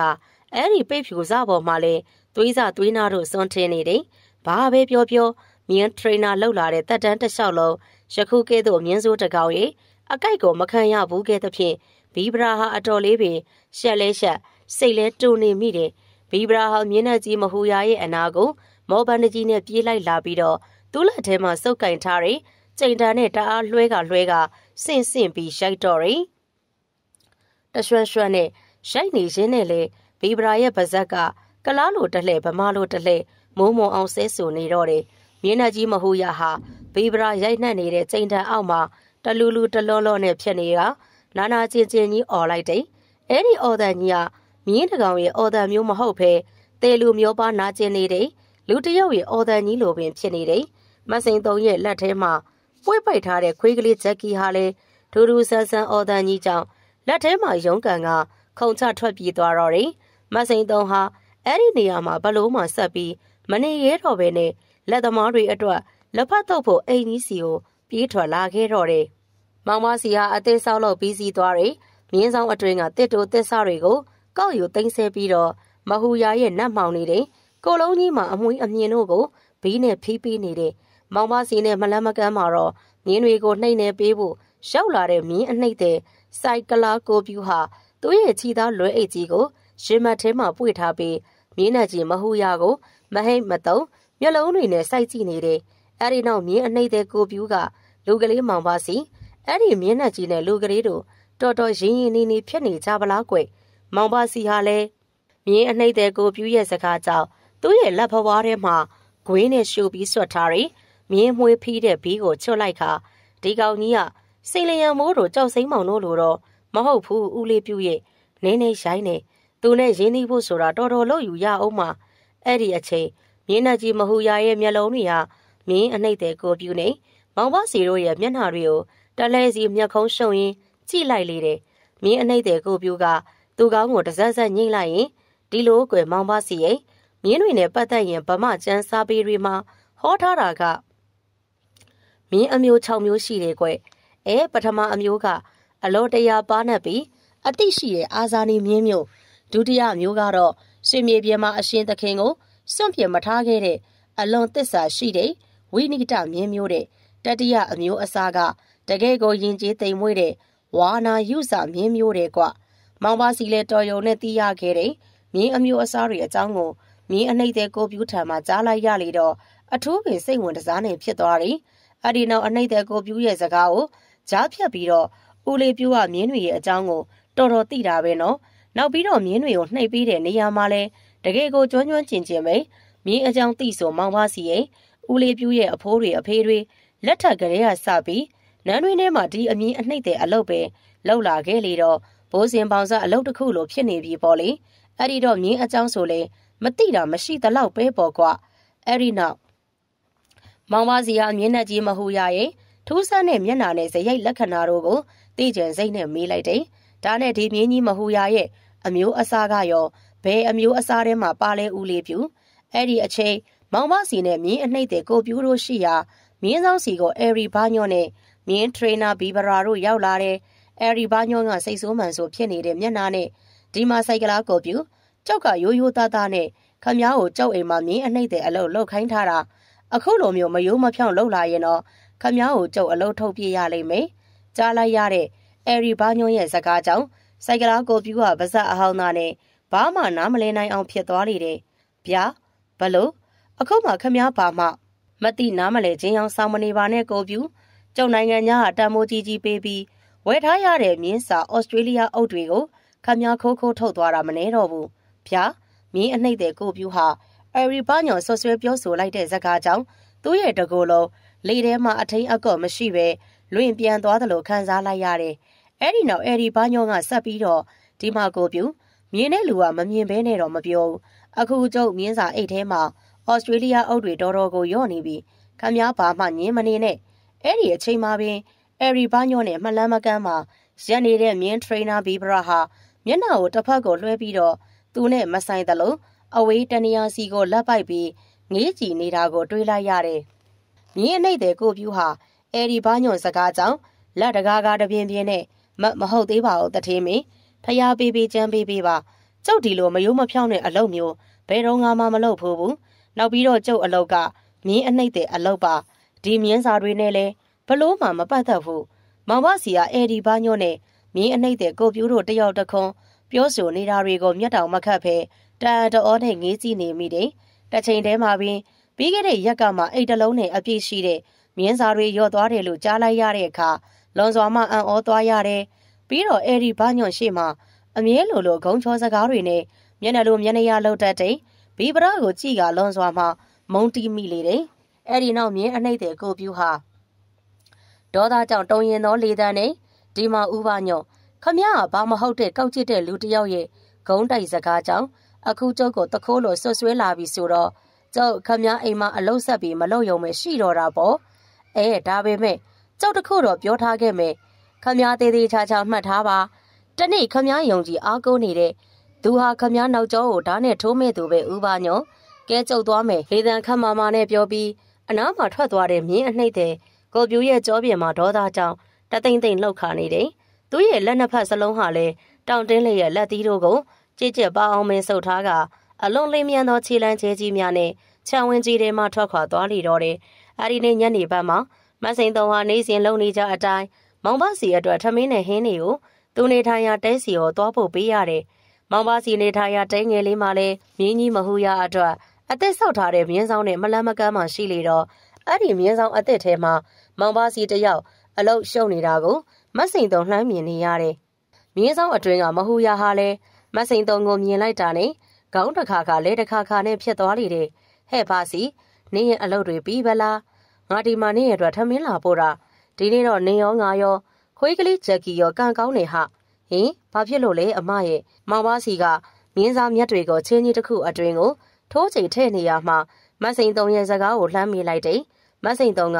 ဟိုလေဖွားဖွားကြီးကအတော်လေးနေမကောင်းဖြစ်နေတာအဲ့ဒါဖွားဖွားကြီးကသူ့အတွက်ချက်ထားတဲ့စက်သားပြုတ်ကျော်နေငကြိုတွေကိုတိတ်မစားနိုင်ရှာပါဘူးဟာ ငါကလည်းနေရဲငါရဲ့ခွေးကလေးချက်ကီရဲ့စားဖို့ပဲဆိုပြီးအဲ့ဒီပိုးနေတဲ့ဟင်းတွေကိုခွဲထည့်လာခဲ့တာရော့ဒီမှာနင့်အတွက်မစိန်တုံလှမ်းပေးနေတယ်ထမင်းပကံများထဲမှာထမင်းနဲ့စက်သားပြုတ်ကျော်တွေကအပြည့်အမောက်ဖြစ်နေတယ်မောင်မစီကလည်းပေးချန်နေတဲ့လက်တွေကြောင့်မစိန်တုံထံကထမင်းပကံများကိုလှမ်းမယူနိုင်အားသေးပဲမြင်းဆောင်အတွင်မှာတင့်တော်ရာနေရမှာတင်ထားခိုင်းလေတယ်။အဲဒီနောက်မောင်ပါစီဟာမြင်းဆောင်မြတ်ထုံးတွေထည့်ထားတယ်။ချင်းထုံကြီးကိုစိန်လျံမိုးတို့ ကြောက်စိမ့်မောင်တို့မြင်းဆောင်စီကိုတဲပိုးပြီးတော့သွားပိုးရလေတယ်။ဟဲ့ဘာစီဒီလောက်ကြီးတဲ့ချင်းကြီးကိုနင်းတယောက်တည်းမနိုင်လို့လားဟာပေးပေးငါပါဝိုင်းကူပြီးတော့တဲပေးမယ်။ပြောပြောဆိုဆိုမစိန်တုံကမောင်ပါစီကစားတစ်ဖက်ပေါ်မနိုင်တနိုင်နဲ့ဆွဲတင်နေတယ်။မြတ်ချင်းကြီးကိုကူပြီးမှပေးတယ်။ရပါရဲ့အမရဲ့ဒီအလုပ်တွေကကျွန်တော်နေတိုင်းလုပ်နေရတဲ့အလုပ်တွေပါအဲ့ဒီနေရာနဲ့တစ်ဖက်မှာမြင်းဆောင်မှာမဝေးလှတော့လေအတော်အတန်မင်းလေးလံလာတဲ့မြင်းဆောင်မြတ်ချင်းကြီးကို မစိန်တော်ကလက်အံသေးလောက်အောင်မင်းကုပြီးတော့တဲ့ပေးရတယ်သူတို့နှစ်ယောက်မြင်းဆောင်အသက်စီတော်မောကြီးပန်းကြီးနဲ့ပြန်ရောက်လာချိန်မှာတော့မောင်ပါစီအတွက်ထဲယူလာခဲ့တယ်ထမင်းပကံများထဲမှာထမင်းနဲ့ဟင်းတွေကတစ်စက်ကလေးမှပဲမကြမ်းတော့ဟင်းဟဲပကံလေးကထမင်းနဲ့ကြက်သားကြော်တွေဘယ်ရောက်သွားတာလဲတစ်ချိန်တည်းမှာပဲမစိန်တုံနဲ့မောင်မစီတို့ကလည်းအဒီပတ်ဝန်းကျင်ကိုလှည့်ကြည့်လိုက်လေတော့မထင်မှတ်ထားတဲ့မြင်ကွင်းကြောင့်အလုံးတရာမှအံ့ဩတုန်လှုပ်သွားမိကြလေတယ်။ သူတို့မြင်နေရတဲ့မြင်ကွင်းကတော့မြင်းနဲ့ကြီးမဟူရာရဲ့ပါဇက်တွေကတပြက်ပြက်နဲ့လှုပ်ရှားနေပြီးအစီတဝင်းဝင်းဖြစ်နေတယ်။ပါဇက်ကြီးကိုလည်းရှာနေရက်နေတယ်။အလုံး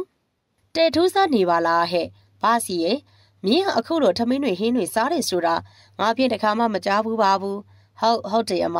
ကျွန်တော်လည်းမြင်းတွေနဲ့နေလာတာကြပြီဒီလိုသားတွေငါးတွေစားတဲ့မြင်းမျိုးတခါမှမမြင်ဘူးဘူးမစိန်တုံနဲ့မောင်ပါစီက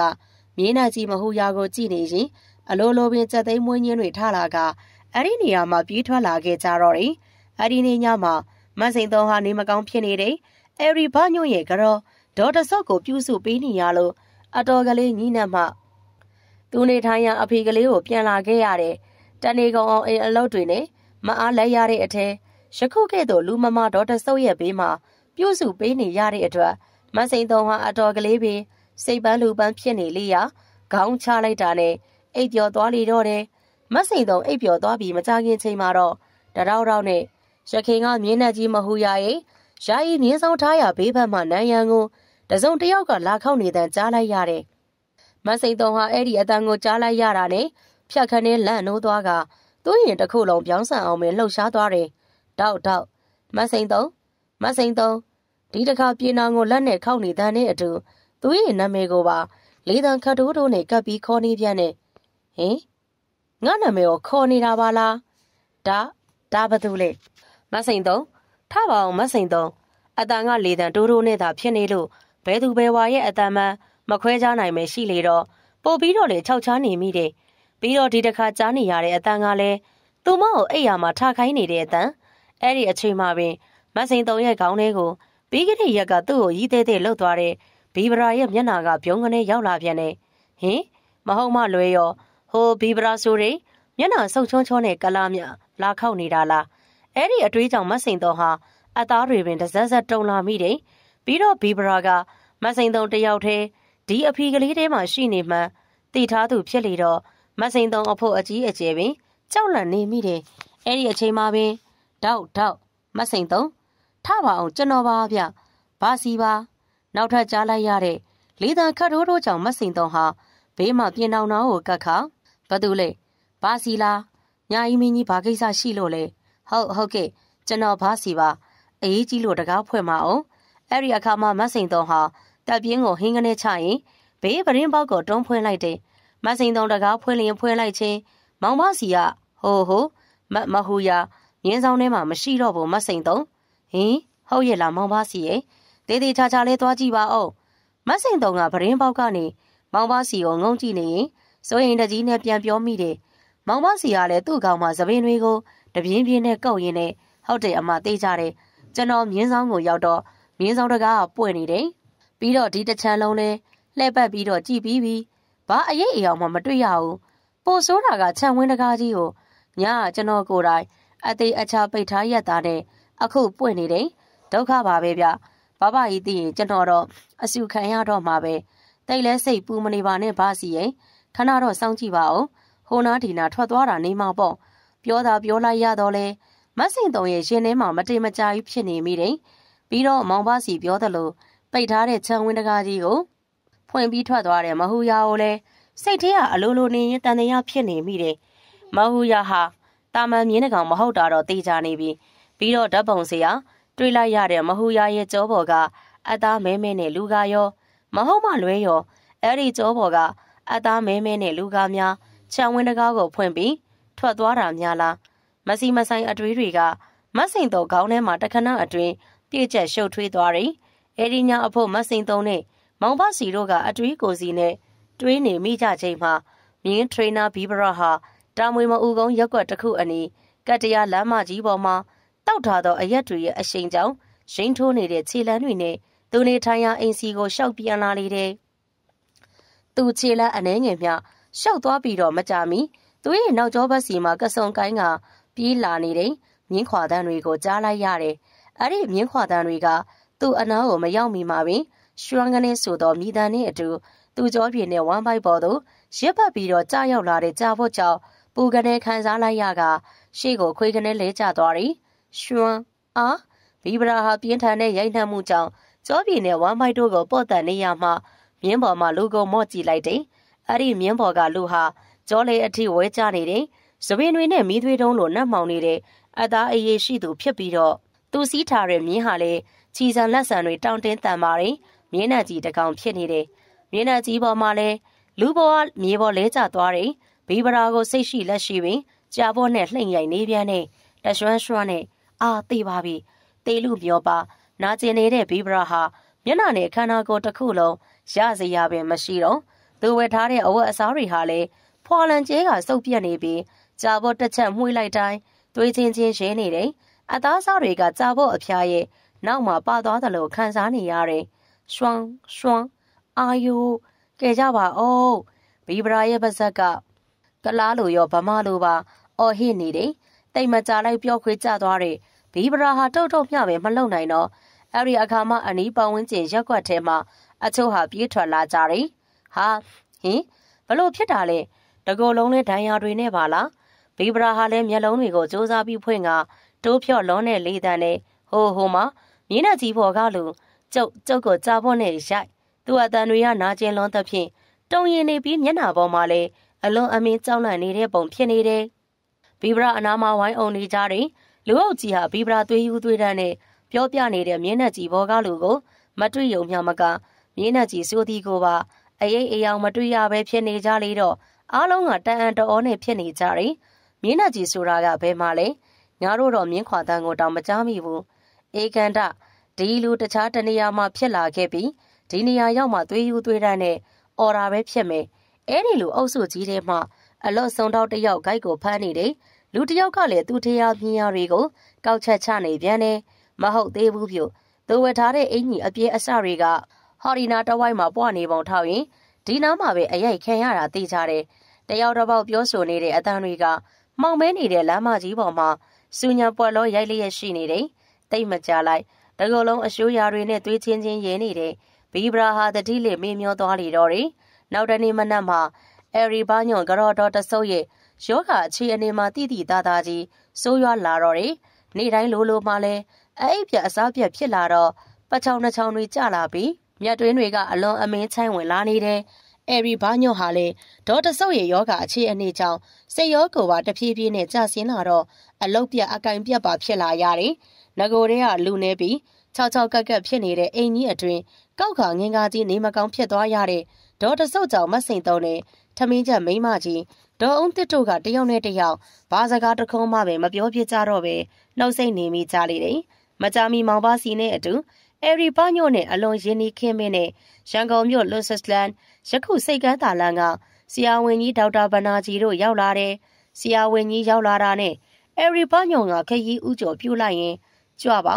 ကြွပါဒေါက်တာဆရာဝန်ကြီးဒေါက်တာဗနာကြီးဟာလေဒေါ်တဆုပ်ရှိရာဂရင်ဘေးကိုသွားရက်ခါလူနာရဲ့အခြေအနေကိုအကဲခတ်တယ်လို့နဲ့ကြည်လိုက်ပြီးဘလို့ဖြစ်တယ်ဆိုတာပြောပြပါအောင်ဒေါ်တဆုပ်ဟာလည်းတိုးဖြောသောလေတံနဲ့ခံစားနေရတဲ့ ဝေဒနာတို့ကိုတလုံးမကြံပြောပြလေတော့တယ်ဒေါက်တာရေကျမဖြင့်ညညကောင်းကောင်းလေးအိတ်မပြောဘူးတစ်ချက်တစ်ချက်မှီကနေအိတ်ပြောသွားပြီဆိုရင်လေကျမကရင်ဘေးနာကိုအသားမဲမဲနဲ့လူတယောက်ရောက်ရောက်လာတယ်လို့အိမ်မက်မှတ်တယ်ဒေါက်တာဟင်အသားမဲမဲနဲ့လူဆိုပါလားဖယားဖယားအခုတလော်ဒီအသားမဲမဲနဲ့လူဟာငါရဲ့အိမ်မက်ထဲတွေမကဖွားဖွားကြီးကိုပါအိမ်မက်တွေနဲ့ဒုက္ခပေးနေပြန်ပြီအဲ့ဒီအတွင်းနဲ့အတူမဆိန်သုံးဟာချက်ချင်းပင် ကောင်းနှပန်းတွေကြီးသွားပြီးဆရာဝန်ကြီးဒေါက်တာဗနာကြီးဟာလည်းဒေါက်တာဆုပ်ပြောပြနေတာတွေကိုလက်ပိုက်ပြီးခေါင်းတညိမ့်ညိမ့်နဲ့နားထောင်နေတယ်ဒေါက်တာဆုပ်ကတတွေးတစ်ချက်ကိုမျိုးချလိုက်ရင်သူစကားကိုဆက်ပြန်တယ်အဲ့ဒီအိမ်မက်ထဲကအသားမဲမဲနဲ့လူကကျမချီတော့နှစ်ချောင်းကိုသူ့ရဲ့လက်ချမ်းချမ်းကြီးတွေနဲ့ကတိအောက်ကိုဆွဲချပြီးသူနဲ့လိုက်ခဲ့ဖို့အတိန်ခေါ်တော့တာပဲဒေါက်တာရဲ့ပြီးတော့သူကပြောသေးတယ်ကျမသူ့နောက်ကိုမလိုက်မချင်းဒီအိမ်ကြီးမှာသူရှိနေမှာပဲတဲ့ကြားလိုက်ရတဲ့စကားကြောင့် ဒေါက်တာဆိုးရဲ့ဘေးမှာရက်နေကြတဲ့အဲရီဘာညောနဲ့ဒေါ်အောင်တင်တို့ကမျက်စိပြက်မျက်နှာပြက်တွေဖြစ်ကုန်ကြတယ်။မောင်ပါစီနဲ့မစိန်တုံတို့ကတော့တယောက်မျက်နှာကိုတယောက်အထိတ်ပဲပါပါနဲ့လှမ်းကြည့်လိုက်ကြတယ်။ဒီလိုရှိပါတယ်မစ္စတာဘာညွန်ကရော်ရေ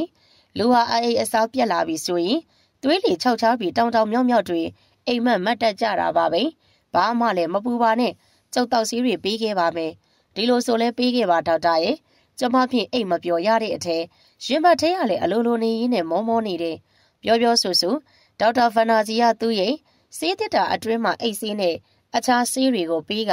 တနေ့လည်းရဲ့ဗနချင်းတောက်ရမည်လို့ညွန်ကြားပြီးပြန်ကြွသွားလေတယ်ဆရာဝန်ကြီးပြန်ကြွသွားတဲ့အခါအဲရီဘာညွန်ကအခုအချိန်ရထိရောက်မလာသေးတဲ့မြင်းထရိနာဘီဘရာကိုတတိရသွားပြီးဒေါက်တာဆုပ်ရဲ့ခြေပြားလက်ပြားတွေကိုနှိမ့်နေပေးနေတဲ့မစိန်သုံးကိုလှမ်းမိလိုက်တယ်ဟဲ့စိန်သုံး ဒီနေ့တစ်နေ့လုံးဘီဘရာကိုမတွေ့ပါလားခတ်တော့တာပဲ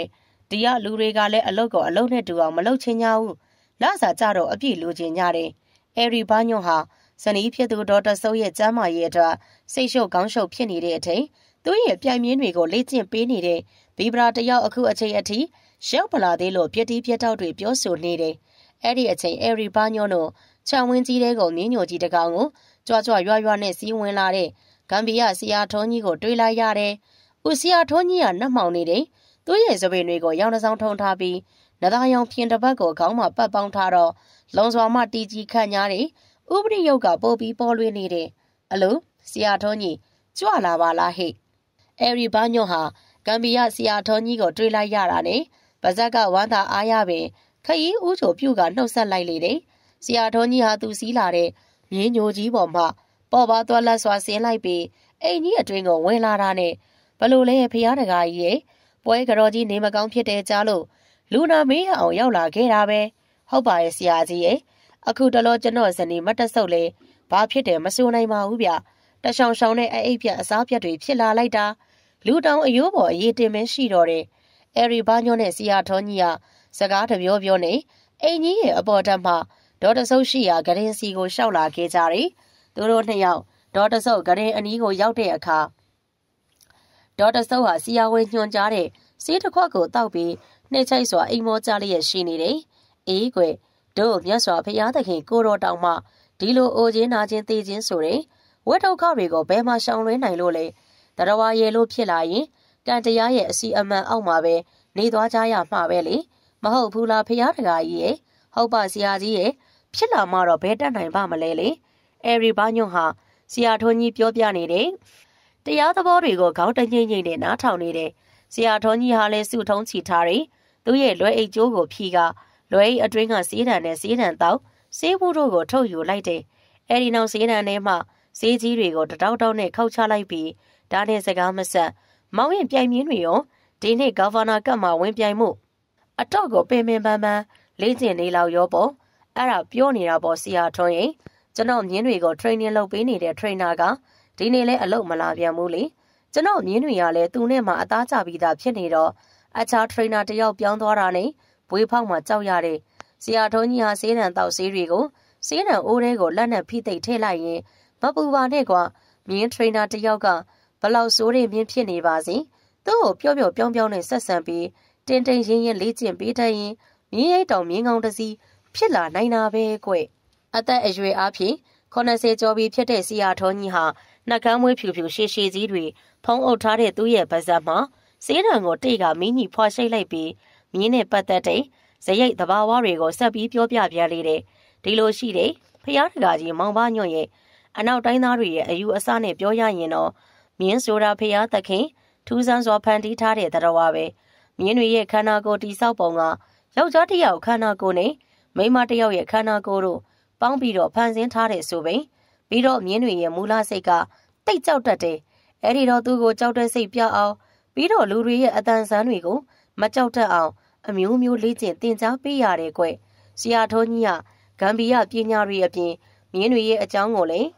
နှံ့နှံ့ဆက်ဆက်ရှိလေတော့မြင်းဘွေတွေအကြောင်းနဲ့အတော်များများတော့သိမယ်ထင်ပါတယ်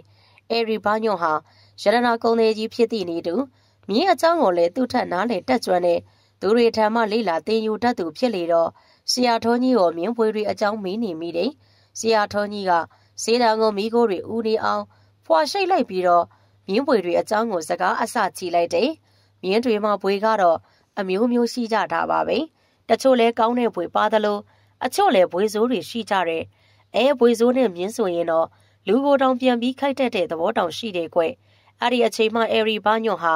မြင်းထရိနာဘီဘရာတစ်ချိန်က ပြောပြဖို့တဲ့မနုဿီဟာဘွေဆိုးတဲ့အကြောင်းကိုတတိယသွားပြီးတော့ကျွန်တော်လည်းမကြသေးခင်ကမှဘောက်တော်ဘက်ကမြင်းတကောင်ဝဲလိုက်သေးတယ်ဆရာထွန်းရင်အဲ့ဒီမြင်းကခြေစံလက်ဆန်းကောအယောင်အသွေးကောတော်တော်လေးစိတ်ဝင်စားတာနဲ့ကျွန်တော်ဝယ်လိုက်တာလေမြင်းကနှစ်ဖူးကလည်းခတ်ကြဲကြဲနှာခေါင်းတွင်းတို့သူ့အိမ်တို့လည်းကျဲတယ်လေပြီးတော့ပေါင်သားတင်မားပိုင်းနဲ့ရင်းအုပ်ရင်းဝပိုင်းကလည်းတခြားမြင်းတွေထက်တောင်ကြီးနေလေတော့ဆိုတဲ့ဈေးကိုတောင်စစ်မနေတော့ပါဘူးဗျာ တခါတည်းဝယ်လိုက်တော့တာပါပဲအဲဒါပေမဲ့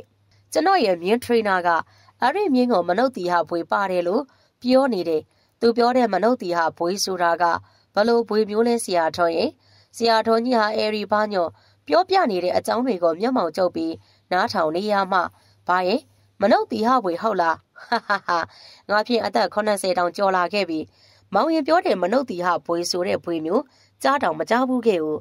အဲရီဘာညော့ရဲ့မရေမရာစကားကြောင့်ဆရာထော်ကြီးဟာဟဟပပရီလိုက်ပြီးအထူးအဆန်းဖြင့်ဖြစ်နေလေတော့အဲရီဘာညော့ကခက်စိတ်စိတ်ပင်နေလိုက်ရလေတယ်အေးလေဘာပဲပြောပြောဒီမနုဿတီဟာဘွေးဆိုတဲ့အကြောင်းကိုတော့ဘေဘရာကတီးလို့ပြောတာပဲဖြစ်မယ်ငါသူ့ကိုမေးကြည့်တာပဲကောင်းပါတယ်အဲ့ဒီနောက်ဆရာထွန်းကငါကြားဘူးတာကတော့မြင်းဆိုတာကယတနာတပါးပဲမောင်ရင်ရဲ့အဲ့ဒီအခါမှာအဲ့ဒီဘာညွန့်ဟာပြီးခဲ့တဲ့ရက်က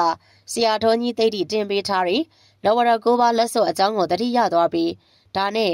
ရတနာဆိုလို့မပြောမဖြစ်ပြောရအောင်မယ်ဆီယာထွန်းရေ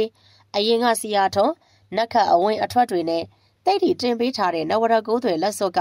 အလိုလိုနေရင်မွေးချောက်ချောက်အယောင်တွေပြောင်းသွားလိုက်တာကျွန်တော်ဖြင့်အံ့ဩလို့ကိုမစုံဘူးဒါကြောင့်ပဲထင်ပါတယ်ဆီယာထွန်းရေကျွန်တော်ဇနီးမတက်ဆုပ်လေကောက်ခါငင်းကားကြီးအဲ့ရတဲ့ဘုံဘုံလဲရတယ်ထင်မရဲ့အဲ့ဒီဘာညွန့်ဟာပြောပြောဆူဆူနေအိတ်ခမ်းအတွင်းမှာအယောင်အသွေးတွေ မွဲချောက်ချောက်နဲ့ဖြစ်နေတယ်နဝရကိုပါလက်စွပ်ကြီးကိုသွားယူလာပြီးဆီယာထုံးကိုပြလေတယ်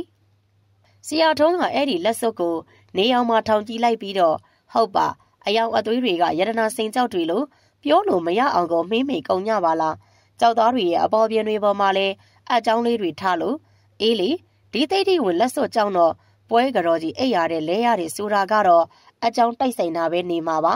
ငါကတော့ဒီလိုအသေးအဖွဲ ကိစ္စလေးတစ်ခုကိုအကြောင်းပြုပြီးဥပဒံကြောင့်ဥပမရောက်စေခြင်းမူအဲ့ဒီအခါမှဆရာတော်ကြီးဟာလည်းစောစောကစကားအဆက်ပြတ်သွားပြီးမနုဿီဟာဘွေးဆိုးတဲ့အကြောင်းကိုအဲ့ဒီဘညွန့်ကိုထပ်ပြီးမေးလိုက်ပြန်လေတယ်ဒါနဲ့နေစမ်းမအောင်မောင်ရင်စောစောကမောင်ရင်ပြောတဲ့မနုဿီဟာဘွေးဆိုတာဘလို့ထူးခြားတဲ့ဘွေးမို့လို့မေးတာလဲဒီလိုပါဆရာထွန်းရင်ကျွန်တော်လဲမနုဿီဟာဘွေးဆိုတာကိုဂဂနာနာမသိပါဘူးနောက်ဝယ်တဲ့မြင်းနဲ့ကြီးကိုကြည့်ပြီးကျွန်တော်ရဲ့မြင်းထရိနာ ဘီဗရာဆိုတဲ့လူဟာပြောတာပါ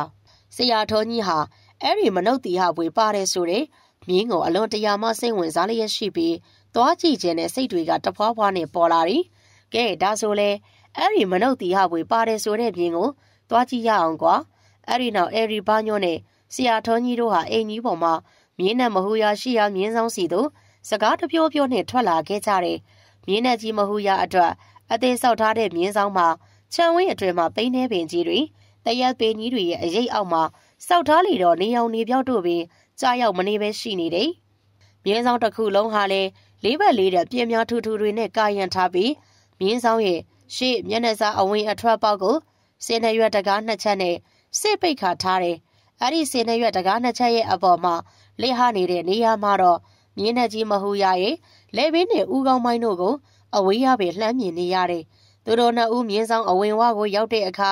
မြင်းနဲ့ကြီးမဟူရဟာစင်နှရွက်တကားချက်ပေါ်မှနေပြီးခေါင်းတစ်ခါခါလဲတစ်ခါခါနဲ့စိုက်ကြည့်နေတာကိုတွေ့လိုက်ရတယ်။ဆရာထုံးကအဲ့ဒီစင်နှရွက်တကားနားကိုသွားကတုံးဖွင့်လိုက်ရန်လှန်လှန်လိုက်စင်မှာဟင်လက်ဟာနေတဲ့စင်နှရွက်တကားအောက်ခြေပိုင်းမှာမြင်းတကောင်ရဲ့ခြေတောင်းမဟုတ်ဘဲအမွှေးအမြင့်တွေနဲ့ကျန်းတန်းတန်ပါတဲ့အသားမဲမဲလူတယောက်ရဲ့ခြေတောင်းနှစ်ချောင်းကိုလှမ်းမြင်လိုက်ရတယ်။အလိုဘဲနဲ့ မြင်းရဲ့ခြေတောက်ကလူတယောက်ရဲ့ခြေတောင်းနဲ့တူနေရတာလေအဲ့ဒီအတွင်းနဲ့အတူသူရဲ့နောက်ကျောမှာကက်လေးရဲ့လိုက်ပါလာတယ်။အဲရီဘာညွန့်ကိုချက်ချင်းပဲလှည့်ကြည့်လိုက်တော့အဲရီဘာညွန့်ဟာမောင်ပါစီရှိရာမြင်းဆောင်ဘတ်စီကိုလှည့်ကြည့်ရင်မြင်းထရိနာဘီဘရာအလုံးမလာတဲ့ကိစ္စတို့ကိုပြောဆိုနေတယ်။ဆရာတော်ကြီးဟာသူမြင်လိုက်ရတဲ့မြင်းကွင်းကိုတေးချအောင်စင်ရွက်တကားအောက်ခြေသို့နောက်တစ်ချိန်ပြန်ကြည့်လိုက်လေတော့မြင်းနဲ့ကြီးမဟုတ်ရရဲ့ခြေတော့တွေကဘာမှမပြောင်းလဲပဲ ငကိုတဘာဝအတိုင်းပင်ဖြစ်နေတာကို တွေ့လိုက်ရတယ်။ဟင်ငါစောစောကမြင်လိုက်ရတဲ့လူတယောက်ရက်နေတဲ့ခြေတော့မဟုတ်တော့ပြန်ပါလား။ဒါဒါကဘလို့ဖြစ်တာတော့ငါမျက်စိအမြင်ပဲမှားတာလား။အေးလေမြင်းရဲ့ခြေတော့တွေကလည်းအနက်ရောင်ငါမြင်လိုက်ရတဲ့လူတယောက်ရဲ့ခြေတော့ဆိုတာလည်းအမဲအောင်ဖြစ်နေလေတော့မျက်စိမွဲပြီးထယောင်ထင်မားတွေပြင်မိတာထင်ပါတယ်။ဘာပဲပြောပြောဒီမြင်းနဲ့ကြီးကငါမျက်စိထဲမှာတော့အတော့ကိုထူးဆန်းနေသလိုပဲ အဲ့ဒီနောက်ဆရာတော်ကြီးဟာသူမြင်လိုက်ရတဲ့အဖြစ်အပျက်တွေကိုအဲ့ဒီဘာညွန့်ကိုဘာတခေါမှပြောပြမနေတော့ပဲသူစိတ်ဝင်တစားဖြစ်သွားရတဲ့မြင်းနဲ့ကြီးရဲ့ကိုယ်ပေါ်မှာမနုဿတီဟာဘွေကိုကြည့်ဖို့စင်နရတကားကိုဖြင်းချင်းစွာတုံးဖွင့်လိုက်တယ်။အဲ့ဒီဘာညွန့်ဟာလည်းသူဝယ်ယူထားတဲ့မြင်းနဲ့ကြီးမဟုတ်ရရဲ့အလုံးအပေါက်နဲ့အယောင်အသွေးတို့ကိုဆရာတော်ကြီးကိုပြသလိုတဲ့စန္ဒတွေကြောင့်မြင်းဆောင်အတွင်းကိုသူပါလိုက်ဝင်သွားလေတယ်။သူတို့နှစ်ဦးမြင်းဆောင်အတွင်းကို ဝင်လိုက်တာနဲ့မြင်းဆောင်ရဲ့ဘေးဘက်နိုင်ရန်တောက်မှာသွေးရဲရဲတန်ရဲရဲနဲ့တေဆုံးနေတဲ့ခွေးကလေးဂျက်ကီကိုတန်တော်နဲ့တွေးလိုက်ရလေတယ်။ဟင်ဂျက်ကီအမွေးစုပ်ဖွားနေခွေးကလေးဂျက်ကီဟာဝမ်းမိုက်တစ်ခုလုံးဟင်းလင်းပွင့်နေပြီးအတွင်းမှာကလီစာတွေကအကောင်တကောင်ရဲ့ကြိုက်ခဲစားတော့ခြင်းခံထားရတယ်လို့မျိုးမြေပြင်ပေါ်မှာပွားစာကျဲနေတယ်။မြင်းထရိနာဘီဗရာတယောက်အလောက်မစင်းတီမှာသုံးလေးရက်ပင်ရှိပြီဖြစ်လို့အဲရီဘာညွန့်ဟာဘီဗရာနေထိုင်ရာ တာမွေအိုးစုကုံရက်ကွက်ဘက်ကိုလိုက်သွားတယ်။တာမွေအိုးစုကုံရက်ကွက်မှာပြုတ်သိမ့်နေတဲ့အိမ်ငယ်ကလေးတွေကဟိုတစုဒီတစုနဲ့ရှိနေပြီးလမ်းတွေကလည်းကျင်းမြောင်းရှောက်ထွေးလျက်ရှိလေတယ်။အဲ့ဒီရက်ကွက်ထဲမှာနေထိုင်သူအများစုဟာလည်းကလားလူမျိုးတွေလည်းဖြစ်တော့အဲရီဘာညွန့်ဟာလမ်းမှာတွေ့သူတဦးစားနှစ်ဦးစားကိုမင်းမြန်စုံစမ်းလိုက်တာနဲ့ဘီဗရာနေထိုင်ရာအိမ်စီကိုစိုက်စိုက်မြိုက်မြိုက်ကြီးပင်ရောက်သွားလေတယ်။ခြံစည်းရိုးမရှိတဲ့ဝါအိမ်ငယ်လေးရဲ့အိမ်ရှိကွက်လက်မှာအဝိအစားဗလာနဲ့ကလေးနှစ်ယောက်ဟာ မြေကြီးပေါ်မှာဖုံအလိမ့်လိမ့်နဲ့စော်နေတယ်။ပထမတော့အဲ့ဒီကလေးနှစ်ယောက်ကိုဘီဗရာရဲ့အိမ်ဟုတ်မဟုတ်တေချာအောင်မင်းမြန်မြပြူပြီးကမှအဲရီဘာညွန့်ကဘာတခုံးမှာမေးစမ်းမနေတော့ပဲအိမ်အတွင်းကိုခြေလန်းကျဲကြီးများနဲ့အလောတကြီးဝင်သွားလေတယ်။အမလေးမြင်းနဲ့ကြီးမြင်းနဲ့ကြီးလာကြပါအောင်ကျုပ်စီကိုမြင်းနဲ့ကြီးလာနေပြန်ပြီ။ကဲကြပါအောင်အိမ်ဝအယောက်ရုတ်တရက်ကြားလိုက်ရတဲ့အတန်ကြောင့်အဲရီဘာညော့ခြေလန်းတွေကတုံခနဲပင်ဖြစ်သွားပြီး အိမ်အတွင်းကိုလှမ်းကြည့်လိုက်လေတော့ဟင်မျက်စံကြောင်ကြီးများနဲ့အဲရီဘာညော့ကိုစိုက်ကြည့်ကအော်ဟစ်နေတယ်ဘီဗရာကိုတန်တော်နဲ့တွေးလိုက်ရလေတယ်ဘီဗရာရဲ့မျက်နှာပေါ်မှာလဲဒဏ်ရာဒဏ်ချက်တွေကမြင်မကောင်းအောင်ရှိနေပြီးမောက်စိမ်မွေးနှက်ခမ်းမွေးတွေကသူ့ကောင်းပေါ်မှာသပင်တွေလိုဖွာလန်ကျဲပြီးရှုပ်ပွားနေတယ်ဘီဗရာရဲ့အနီးမှာတော့စာလီကိုကဘိုးကယိုနဲ့ခြုံထားတယ်မိမတယောက်ကအလွန်အမင်းပူဆွေးတော့ကရောက်နေရတဲ့မျက်နှာနဲ့အဲရီဘာညုံကိုလှမ်းကြည့်နေတယ်။ အဲဒီနောက်မျက်လုံးမျက်စမ်းကြောင်ကြီးနဲ့ကမွန်ရှူရိုးတွေအော်ဟစ်နေတဲ့ဘီဗရာရဲ့ပါဇက်ကိုအဲ့ဒီမိမကလက်နဲ့လှမ်းပိတ်ခါအဲရီဘာညုံကိုလှမ်းပြောလိုက်တယ်။လာပါရှင်။ကြွပါ။ဘာကိစ္စများရှိလို့လဲ။တရားနှမကဘီဗရာရဲ့ဇနီးမှတ်တယ်။အဲရီဘာညုံဟာလေမျက်နှာမသားမရနဲ့စာလီခြုံထားတဲ့မိမကိုအကဲခတ်ရင်မေးလိုက်တယ်။ဟုတ်ဟုတ်ပါတယ်။ကျမကသူ့ဇနီးပါ။မြန်မာစကားကိုလဲလဲပတ်ပတ်ပြောနိုင်တဲ့ဘီဗရာရဲ့မိန်းမဟာအရီဘာညောကိုနိုင်ရမှာ လိပ်ပြီးထောင်ထားတယ်တင်ပြူးပြတစ်ချက်ကိုကြပြကြရခင်းပေးရှာတယ်အရီဘာညောဟာလေဘီဗရာရဲ့အခြေအနေတို့ကိုသိလို့ဆိုနေကျောက်ကဘီဗရာအလုတ်လုတ်နေတဲ့မြင်းဆောင်ကမြင်းပိုင်ရှင်ဥဘာညောမှာဒါနဲ့ဘီဗရာကဘလို့ဖြစ်ပြီးအရီဘာညောရဲ့စကားမဆုံးခင်မှာပင်ဘီဗရာရဲ့အိမ်မော်ကိုအရက်ထောင်းထောင်းမောင်းမောင်းနဲ့အနောက်တိုင်းဝတ်စုံကိုကြာကြာနာနာဝတ်ဆင်ထားတယ်အသက်40ခန့်ယောက်ျားတအုပ်ရောက်လာတယ်။အဲဒီသူဟာလုံစွာမှမျက်နှာကြောခတ်ထန်နေပြီးကြောင်ကရန်းတွေအော်ဟစ်နေတဲ့ ဘီဗရာကိုမြင်လိုက်တာနဲ့စိတ်ပြက်လက်ပြက်ဖြစ်သွားတဲ့အမှုအရာနဲ့ခတ်တော်တာပဲဒီလိုအခြေအနေမျိုးမှာငါရဲ့အကျွေးတွေဘလို့မှရတော့မှာမဟုတ်တော့ပါဘူးလို့ညင်းညူလိုက်တယ်။အဲဒီနောက်ဘီဗရာရဲ့မိန်းမဘက်ကိုလှည့်ပြီးတော့လက်ညှိုးငေါငေါထိုးပြီးဒီမှာနှစ်ယောက်ကြားဘီဗရာငါစီကအကျွေးတွေယူထားတာမနေတော့ဘူးအဲ့ဒါငါအကျွေးကိုဘယ်နည်းနဲ့ဆက်မလဲပြုံးစားကြီးကြားလိုက်ရတဲ့စကားကြောင့်ဘီဗရာရဲ့မိမဟာအဲ့ဒီသူမျက်နှာကိုတလှည့် အဲ့ရပေါ်မှာပက်လက်ဖြစ်နေတယ်ဘီဗရာကိုတလှည့်ကြည့်ကဘလို့မှနားမလည်နိုင်အောင်ဖြစ်သွားရတယ်ရှင်ဘလို့အောင်မနေရပါအခုမှဘာမသိချင်အောင်စောင်းနေပြန်တာလေရော့ဒီမှာနင်းလေငါစီယာယူထားတဲ့ငွေတွေကိုစရင်စရာကောယူတဲ့နေပါရေးမှတ်ထားတဲ့စာရွက်အဲ့ဒီသူဟာဘောင်းမီအိတ်ထဲမှာအကျွေးစရင်စာရွက်ကိုဖြတ်ကနေဆွဲထုတ်လိုက်ပြီးဘီဗရာရဲ့မိမကိုလှမ်းပေးလိုက်တယ်ဘီဗရာရဲ့မိန်းမမှလည်းများပြားလာတဲ့ငွေတွေကို အကြိမ်ကြိမ်အလီလီလက်မှတ်ထိုးပြီးယူထားတဲ့ဘီဗရာကြောင့်ဘာတစ်ခုမှမပြောသားတော့ပဲငိုကြီးချမ်းမနဲ့ပင်အဲ့ဒီသူကိုတောင်းပန်တိုးရှိုးရလေတယ်ကျကျမလက်ထဲမှာလည်းပတ်စံကများများဆဆမရှိပါဘူးရှင်ခလေးနှစ်ယောက်နဲ့စားဖို့တောက်ဖို့တောင်အနိုင်နိုင်မှာပြီးတော့ဟောဒီကျမယောက်ျားဘီဗရာအခုလိုကောက်ခါငင်္ကာကြီးဖြစ်သွားတော့စေးဖို့ဝါကားကလည်းမရှိမဲ့ရှိမဲ့နဲ့ကုနေရလို့ပါတော်စံငါအဲ့ဒီအကြောင်းတွေကိုနားထောင်ဖို့လာတာမဟုတ်ဘူး ငါစီယာယူထားတဲ့အကျွေးကိုဘယ်နည်းနဲ့ဆက်မှာလဲလို့မေးနေတာအဲရီဘာညွန့်ဟာအဲ့ဒီသူပြောဆိုနေတဲ့စကားတွေကြောင့်စိတ်မတတ်မသားနဲ့ဖြစ်နေကြတယ်ဘေဘရာရဲ့မိမဟာလည်းမျက်ရည်တဆန်းဆန်းနဲ့ကျမဖြည်းဖြည်းတော့ဆက်ပါမယ်ရှင်ဘေဘရာနဲ့အဆူဆက်လုပ်နေတဲ့ပေါ့တော်ဘက်ကအညာသာကိုဆောင်စီယာရစီယာရှိတာလေးတွေရရင်အကူကြီးရဲ့ပတ်စံကိုအမြန်ဆုံးပြန်ဆက်ပါမယ်အဲ့ဒီအချိန်မှပင်အကျွေးတောင်းသူလူရွေဟာမျက်မှောင်တစ်ချက်ကုတ်လိုက်ပြီးဘာ နင်းကအညာသားငဆောင်စီကရစရာတွေရမှပေးမယ်ဟုတ်လားအဲ့ဒီအညာသားငဆောင်ဆိုတဲ့အကောင်ကမနေ့တနေ့ရပဲမြင်းအကန်ခံရလို့တေချင်းစိုးနဲ့တေပါပေါ့လားရှင်ဘီဗရာရဲ့မိမဟာကြားလိုက်ရတဲ့စကားကြောင့်ပါဇက်အဟောင်းသားနဲ့ဖြစ်သွားလေတယ်အဲ့ဒီသူကဆက်ပြီးနေလင်ဘီဗရာနဲ့အဲ့ဒီဘောက်တော်ဘက်ကအညာသားငဆောင်တို့ပေါင်းပြီးဟိုတလောကတတိတယောက်ကိုမြင်းတစည်းလိန်ရောင်းလိုက်လို့အချီကြီးပွားသွားတယ်ဆို အဲ့ဒါငါမသိဘူးမှတ်နေလားအဲ့ဒီပတ်စံတွေအခုဘဲရောက်သွားပြီလေ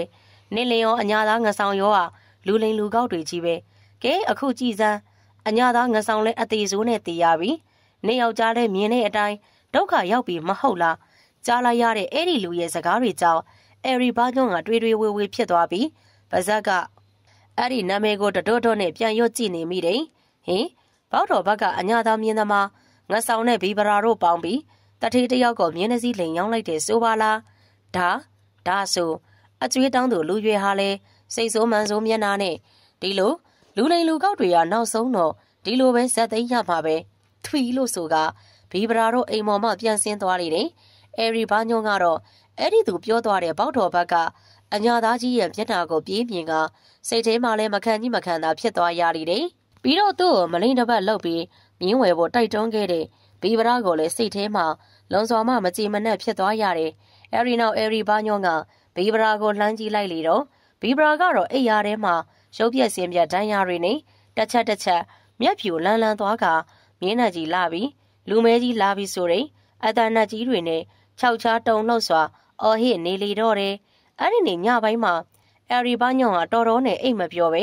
အိမ်ကြီးအောက်ထပ်မှာခောက်တော့ခောက်ပြန်လန်းလျှောက်နေရင်သူ့အပေါ်မလိမ့်တစ်ပတ်လှုပ်သွားတယ် ဘီဗရာနဲ့ပေါတော်ဘက်ကအညာသာငဆောင်တို့အကြောင်းကို အဖမ်းမအလီလီစဉ်းစားနေမိတယ်သူတို့နှစ်ယောက်ပေါင်းပြီးငါ့ကိုမြင်းလိန်ရောင်းလိုက်တယ်ဆိုပါလားတကယ်ဆိုရင်ဒီမြင်းနဲ့ကြီးကဘာများချွေရင်းနေလို့ပါလေမဟုတ်မလွဲရောဒီမျက်နှာကြီးဝဲလာတဲ့နေ့ကငါရဲ့တိတ်တီဝင်နဝရကိုးသွဲလက်စွပ်ကြီးထူးထူးဆန်းဆန်းအယောင်မိန်သွားခဲ့တယ်ပြီးတော့ငါမိမမတ်တဆုပ်လေကောက်ခါငင်ကာကြီးအိပ်ရတဲ့လဲတဲ့ဘဝရောက်ရတယ်ဒါတွေဟာဒီမျက်နှာကြီးမဟုတ်ရရဲ့ ချုံရင်းချက်တွေပဲလားဒါမှမဟုတ်တိုက်ပဲတိုက်ဆိုင်လောနေတာများလားအဲ့ဒီအတွေးတွေကြောင့်အယ်ရီဘာညွန်ဟာခေါင်းတစ်ခုလုံးရှုပ်ထွေးနောက်ကြီးလျက်ရှိနေတယ်ဒီကြားထဲမိမဖြစ်သူဒေါ်တဆုပ်ရဲ့ကျမ်းမာရေးကြောင့်အလွန်တရာမှစိတ်သောကတွေဖိစီးခြင်းခံနေရတယ်။အဲ့ဒီနောက်အဲ့ဒီဘာညွန့်ဟာအိမ်ကြီးအတွင်ခောက်တော့ခောက်ပြန်လမ်းလျှောက်နေရမှာမဟူယာရဲ့ဓာတ်ပုံကြီးချိတ်ဆွဲထားရာနိုင်ရန်ဘက်စီကိုရောက်သွားတယ်။အဲ့ဒီနေရာကိုရောက်တဲ့အခါအဲ့ဒီဘာညွန့်ဟာမြင်းနဲ့ကြီးမဟူယာရဲ့ ဓာတ်ပုံကြီးကိုမော်ပြီးကြည့်လိုက်လေတော့ဓာတ်ပုံတွေကမဟူယာရဲ့ရုပ်ပုံကိုမတွေ့ရတော့ပဲဓာတ်ပုံစက်ကူသာဖြူဖြူကြီးကိုသာတွေ့လိုက်ရလေတော့တယ်။ဟင်တစ်ချိန်တည်းမှာပင်သူ့မျက်လုံးတွေကိုပင်သူမယုံကြည်နိုင်လောက်အောင်ဖြစ်သွားပြီးတော့ဓာတ်ပုံရှိကိုနှစ်လန်းသုံးလန်းတိုးကကပ်ပြီးကြည့်လိုက်ပြန်တယ်သူရဲ့စိတ်ထဲမှာလည်းမြင်းနှံကြီးမဟုတ်ရရဲ့ထူးခြားဆန်းပြတဲ့အဖြစ်အပျက်တွေကိုပို့ပြီးတန်တရားဖြစ်မိလာလေတယ်အဲ့ဒီအချိန်မှပင်သူမြင်နေရတယ် ဓာတ်ပုံမှန်မောင်ကြီးထဲမှာမဟူယာရဲ့ရုပ်ပုံဟာငကူအတိုင်းပင်မပြောင်းမပြတ်ရှိနေတာကို တွေ့လိုက်ရလေတယ်အလိုဓာတ်ပုံကမှန်မောင်ကြီးထဲမှာရှိနေတာပဲအင်းလေမှောင်ကြီးမဲကြီးထဲမှာမို့လို့ငါရဲ့မျက်စိအမြင်မှားတာပဲနေမှာဘာပဲပြောပြောဒီမြင်းကြီးနဲ့ပတ်သက်ပြီးတော့အရာရာကိုရှော့မတွက်ထားတာအကောင်းဆုံးပဲပြီးတော့ဘီဘရာနဲ့အညာသာငါဆောင်ဆိုတဲ့လူတွေကငါ့ကိုမလိမ့်တစ်ပတ်နဲ့ဒီမြင်းကိုရောင်းလိုက်ကြတာဆိုတော့မြင်းကိုတစည်းတစောင်း အကဲခတ်ကြည့်ဖို့တော့လိုလိမ့်မယ်အဲ့ဒီနောက်အဲ့ဒီဘာညွန်ဟာစောစောကဓာတ်ပုံကားချက်ကြီးကိုလှမ်းကြည့်မိလိုက်တဲ့နေရာမှနေပြီးမဟူယာရဲ့ဓာတ်ပုံကိုပြန်မော့ကြည့်လိုက်လေတော့ငကိုအတိုင်းပင်နေရာမရွေပဲရှိနေတာကိုထင်းထင်းရှားရှားတွေ့လိုက်ရတယ်အဲ့ဒီနေညာကမောင်ပါစီကလည်းသူနေထိုင်ရာတင်းငယ်အတွင်အိမ်မပြောနိုင်သေးပဲရှိလေတော့အတွေးပေါင်းစုံတို့ကသူ့ကောင်းထဲမှာတအုံနွေးနွေးနဲ့ဖြစ်နေတယ်။သူဒီအိမ်ကြီးကိုစပြီးရောက်လာကြတဲ့က မြင်းတွေနဲ့တသားတည်းကြအောင်နေလာခဲ့သူဖြစ်တော်လေမြင်းနဲ့ကြီးမဟူရာရောက်လာမှသူ့ရဲ့စိတ်တွေကအရာရာမလုံးမကြုံနဲ့ဖြစ်လာတယ်လို့လည်းခံစားရတယ်။ပြီးတော့မဟူရာရဲ့ထူးထူးဆန်းဆန်းအဖြစ်တွေကခလေးတယောက်သားသားသူ့အတွက်တော့ခြောက်ချာတုံလို့စရာတွေအံ့ဩစရာတွေကြီးပဲဖြစ်ခဲ့ရတယ်။ဒီလိုထိတ်လန့်စရာတုံလို့ခြောက်ချားစရာတွေတွေ့ရကြုံရကြားရတိုင်းမောင်မစီဟာသူ့ရဲ့လူမမဲအရွယ်ကရှေ့စစ်နောက်ဆင့်တွေကွဲလွန်သွားကြတဲ့မိဘတွေကိုလည်းတန်းတားမိတယ်။ ပြီးတော့သူ့ကိုမြင်းအနှိပ်ပညာနဲ့မြင်းအကြောင်းဗဟုသုတတွေကို အချိန်ရတိုင်းသွန်သင်ပေးခဲ့တဲ့မြင်းအနှိပ်တဲ့ကိုပြူးကိုလည်းတတိယအောင်မေးလျက်ရှိနေလေတယ်။အဲ့ဒီအချိန်မှပင် မောင်မစီရှိရာတဲငယ်စီကိုထမင်းချက်မိမကြီးဒေါအောင်သိန်ဟာလက်ဆွဲမိအိမ်တစ်ခုကိုဆွဲကပြပြတလဲနဲ့ရောက်လာပြီးဟဲ့ပါစီဆရာဝန်သွားပြင်စမ်းဟိုမှာဒေါ်တဆုပ်အမောဖောက်နေပြီသွားသွားမြက်မြက်ဟုတ်ဟုတ်ကဲ့ပါကြီးကြီးအောင်မောင်ပါစီကလည်းဒေါ်အောင်သိ တုတ်သီးတုတ်ပြနဲ့ပြောလိုက်တဲ့စကားကြောင့်အပေါ်အင်ကြီးတစ်ထဲကိုကြပြကြရာကောက်ဝက်ပြီးဆရာဝန်ကြီးဒေါက်တာဗနာစီကိုပြေးခေါ်ရတယ်မောင်မစီကလည်းမဲမှောင်နေတဲ့ချန်ဝင်းကြီးရဲ့အပြင်ကိုရောက်တဲ့အခါအခန်းသစ်မင်တွေ့ရတယ်လန်ချားတစ်စီးကိုငှားပြီးတော့ဆရာဝန်ကြီးဒေါက်တာဗနာဂျီရှိရာယခုစိတ်ကဲသာလန်းကိုတက်တော့ရိုက်ပြီးသွားလေတဲ့မတာမီမောင်မစီဟာစေးတစ်တာကိုဆွဲကင်ပြီးဒေါက်တာဗနာဂျီနဲ့အတူရောက်လာတဲ့မောင်မစီနဲ့ဆရာဝန်ကြီး ဗန်နာဂျီတို့ရောက်လာချိန်မှာအင်ကြီးရဲ့အပေါ်မှာတော့လူမမာဖြစ်တဲ့ဒေါက်တာဆုပ်ကိုရေနွေးအိတ်ကပ်ပေးနေတဲ့မစိန်တုံနဲ့မျက်စိပြက်မျက်နှာပြက်တွေဖြစ်နေကြတဲ့အဲရီဘာညိုနဲ့ဒေါအောင်တင်တို့ကိုပါတွေးလိုက်ရတယ်။ဆရာဝန်ကြီးကလူနာရဲ့အခြေအနေကိုအမျိုးမျိုးစမ်းသပ်ကြည့်နေလေတော့ဒေါက်တာဆုပ်ဟာလည်းပြီးခဲ့တဲ့ရက်ကဒေါက်တာဖနာဂျီလာရောက်ကူတာခဲ့စဉ်ကထပ်ပို့ပြီးတော့ပိန်ချုံလာကဖြူဘက်ဖြူရော်နဲ့ပဲဖြစ်နေတယ်။ကဲကျုပ်ကို စေးတော်တွေပြုတ်ဖို့ရင်နှွေးပူတစ်စလုံးလောက်ပေးပါ။လူနာရဲ့အခြေအနေကိုကျုပ်တော့တိတ်အားရတယ်မရှိဘူးမစ္စတာဘာညော့ဖြစ်နိုင်ရင်စေယုံတင်လိုက်ဖို့အကြံပေးခြင်းမာတယ်။မစိန်သုံးနေဒေါ်အောင်တင်တို့ဟာလည်းလူနာအတွက်လိုအပ်တဲ့ကိစ္စမှန်သမျှတို့ကိုပြရာခတ်နေအောင်ပဲလုပ်ပေးကြလေတဲ့။အဲရီဘာညွန်းကတော့ဒေါက်တာဆော့ရဲ့ဘေးမှာမျက်နှာမသားမရနဲ့တပ်ပြင်းတွေအကြိမ်ကြိမ်ချနေတဲ့မကြမီဒေါက်တာဗန်နာကြီးကလူနာကိုဆေးထိုးပေးပြီးတဲ့အခါလိုအပ်တဲ့တောက်ဆေးတို့ကိုပါပေးပြီး ပြန်ကြွဖို့လုပ်တယ်။အဲရီဘာညွန့်ဟာလည်းဒေါက်တာဗန်နာကြီးအတွက်ဆေးဘိုးဝါးကားနဲ့ခြေကြွားကားတို့ကိုပေးပြီးမောင်မစီကိုပြန်လိုက်ပို့ခိုင်းနေ။မောင်မစီရေဟောရီယာဆီယာဝင်ကြီးကိုအိမ်ရောက်တဲ့အထိလိုက်ပို့ပေးလိုက်ပါကွ။ဟုတ်ကဲ့ပါဘဘကြီးကျွန်တော်လန်ချားတစည်းကိုကြိုးပြီးငှားထားနှင့်ပြီးပါပြီ။မောင်မစီလည်းပြောပြောဆူဆူနဲ့ဆရာဝန်ကြီးရဲ့ဆေးတက်တာကိုဆွဲပြီးတော့ရှေ့ရနေထွက်သွားလေတယ်။မောင်မစီဆရာဝန်ကြီးကိုပို့ပြီးပြန်လာချိန်မှာအတော်ကလေးပင်ညှိနှံနေပြီဖြစ်တော့ ခြံဝင်းကြီးတစ်ခုလုံးနဲ့အိမ်ကြီးဟာလည်းတိတ်ဆိတ်မဲမောင်လျက်ပင်ရှိနေလို့အိမ်ကြီးအတွင်ကိုဝင်းမနေတော့ပဲသူနေထိုင်ရာတဲစီကိုရှောက်ပြန်သွားလေတယ်။အဲ့ဒီအချိန်မှပင်အရက်၆ပေကြော်ကြော်မြင့်နဲ့လူရိတ်မဲမဲတရံတစ်ခုကမဟူယာရှိရာမြင်းဆောင်အတွင်းကိုဝင်သွားတာကိုရိတ်ခနဲတွေးလိုက်ရတယ်။ဟင်မောင်မစီကချက်ချင်းဆိုသလိုအဲ့ဒီလူရိတ်ကိုမြင်လိုက်တာနဲ့ဗဇက်ကဟင်းကနေဟုပင်ရေရွတ်မိသွားတယ်။တစ်ချိန်တည်းမှာပဲ အဲ့ဒီမြင်းဆောင်ရှိရာနေရာကိုသွားကြည့်ခြင်းနဲ့စိတ်တွေကတဖွာဖွာနဲ့ပေါ်လာလေတယ်။ငါသွားကြည့်တာတော့ဟုတ်ပါပြီ။မတော်လို့တခိုးတဝက်များဖြစ်နေပြီ။ငါ့ကိုတခုခုရမ်းမှုရင်ဘလို့လုံးမလဲ။အဲ့ဒီအတွင်းနဲ့အတူမောင်မစီရဲ့ခြေလမ်းတွေကတုံကနေပင်ဖြစ်သွားတယ်။အတန်ကြာမှအိုးဘာပဲဖြစ်ဖြစ်သွားကြည့်လိုက်တာကောင်းပါတယ်။တခိုးဆိုလဲអော်လိုက်ရုံပေါ်လို့တွေးကမဲမောင်နေတဲ့မဟူယာရဲ့မြင်းဆောင်စီတို့ခြေတန်းကိုလုံနိုင်သမျှလုံအောင်ရှောက်ပြီး သွားကြည့်လေတဲ့သူမြင်းဆောင်ကိုရောက်တဲ့အခါမြင်းဆောင်ထဲမှာဘာလူရိတ်လူရောင်မှမတွေ့ရဘူးဟင်စောစောကမြင်လိုက်ရတဲ့လူဘဲရောက်သွားပြီလေတစ်ချိန်တည်းမှာပင်မောင်ဘစီကမြင်းနဲ့ကြီးမဟူယာဘက်ကိုလှည့်ကြည့်လိုက်လေတော့ဟာမစိန်တုံမစိန်တုံထစားမအောင်ကျွန်တော်ဘာစီပါဗျမစိန်တုံဟာလည်းအချိန်မတော်ကြီးလာနှိုးနေတဲ့မောင်ဘစီရဲ့အတန်ကြောင့်လန့်နိုးသွားပြီးဟဲ့ဘာလဲဘာလဲဘာဖြစ်လာတာလဲမောင်ဘစီကမစိန်တုံကို ရှင်းမပြနိုင်လောက်အောင်မောဟိုက်နေပြီးမစိန်တုံအိမ်ထဲကအပြင်ကိုထွက်လာခဲ့ဖို့သာလက်ရက်ခေါ်နေတယ်။မစိန်တုံဟာလည်းမောင်မစီရဲ့ထူးထူးဆန်းဆန်းအမှုအရာကြောင့်ကြပြားကြရပဲအိမ်မော်မှပြေးဆင်းသွားမိတယ်။အဲဒီနောက်မစိန်တုံဟာမောင်မစီခေါ်ဆောင်ရနောက်ကိုထက်ချက်မကွာပင်လိုက်လာတယ်။မဟူယာရဲ့မြင်းဆောင်ကိုရောက်တဲ့အခါမောင်မစီလက်ညှိုးထိုးပြနေတယ်။မြင်းနဲ့ကြီးကိုကြီးလိုက်လေတော့မဟူယာဟာချင်းသေးတကောင်လိုစောင့်ကြောင်ကြီးထိုင်နေတာကိုတွေ့လိုက်ရလေတယ်။ မဟူယာရဲ့မျက်လုံးနှလုံးဟာလည်းမီဝင်းဝင်းတောက်မတက်သူတို့နှစ်ယောက်ကိုပြန်ဆိုင်ကြည့်နေတယ်။အဲဒီအခါမှာမောင်ပါစီနဲ့မစိန်တုံတို့ဟာတယောက်နဲ့တယောက်မတိုင်ပင်ရပဲအဲဒီနေရာမှာခက်ကြောက်ကြောက်နဲ့ပြန်လှည့်ထွက်လာကြလေတယ်။မစိန်တုံကမြင်းနဲ့ကြီးမဟုတ်ရရဲ့မြင်းဆောင်ရှိရာကမောင်မရဲနဲ့စောင်းငဲကြည့်ရင်ဟဲ့မြင်းကြီးထိုင်နေပုံကကြောက်စရာကြီးနော်။အဲ့ဒါချင်းသေးတိုင်ထိုင်နေလို့ခေါ်တယ်အမရဲ့။အဲ့ဒီလိုချင်းသေးတိုင်ထိုင်နေတဲ့မြင်းကိုမွေးမိတဲ့မြင်းပိုင်ရှင်ဟာတနည်းမဟုတ်တနည်း ခိုက်ထက်တယ်လို့ကျွန်တော်ကဦးလေးပြူကပြောဘူးတာပဲမစိန်သုံးဟာလဲမောင်ပါစီထံမှကြားရတယ်ထူးထူးဆန်းဆန်းစကားကြောင့်နေပါဦးပါစီရဲ့အဲ့ဒီချင်းသေးတိုင်ထိုင်းရင်မြင်းပိုင်ရှင်ကိုဘလို့ခိုက်တာတဲ့လေဟာအမကလည်းအဲ့ဒီလိုချင်းသေးတိုင်ထိုင်းနေတဲ့မြင်းပိုင်ရှင်ဟာတေတတ်တယ်တဲ့ဘာမှတ်လို့လဲမစိန်သုံးဟာမောင်ပါစီရဲ့လက်မောင်းကိုဖျန်းကနေနေအောင်လှမ်းရိုက်လိုက်ပြီးတော့ဟဲ့နင်းကလည်းတောက်တီးတောက်တဲ့တွေမပြောပါနဲ့ဟိုမှာဖွားဖွားကြီးက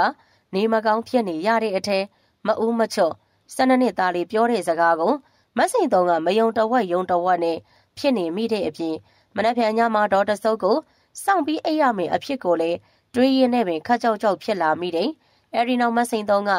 နင်းဒီကိစ္စကိုတခြားသူတွေကိုလည်းရှောက်ပြောမနေနဲ့အောင်တော့ဘဘကြီးသိရင်နင့်ကိုဒီအိမ်မှာတောင်ထားမှာမဟုတ်ဘူးကြလား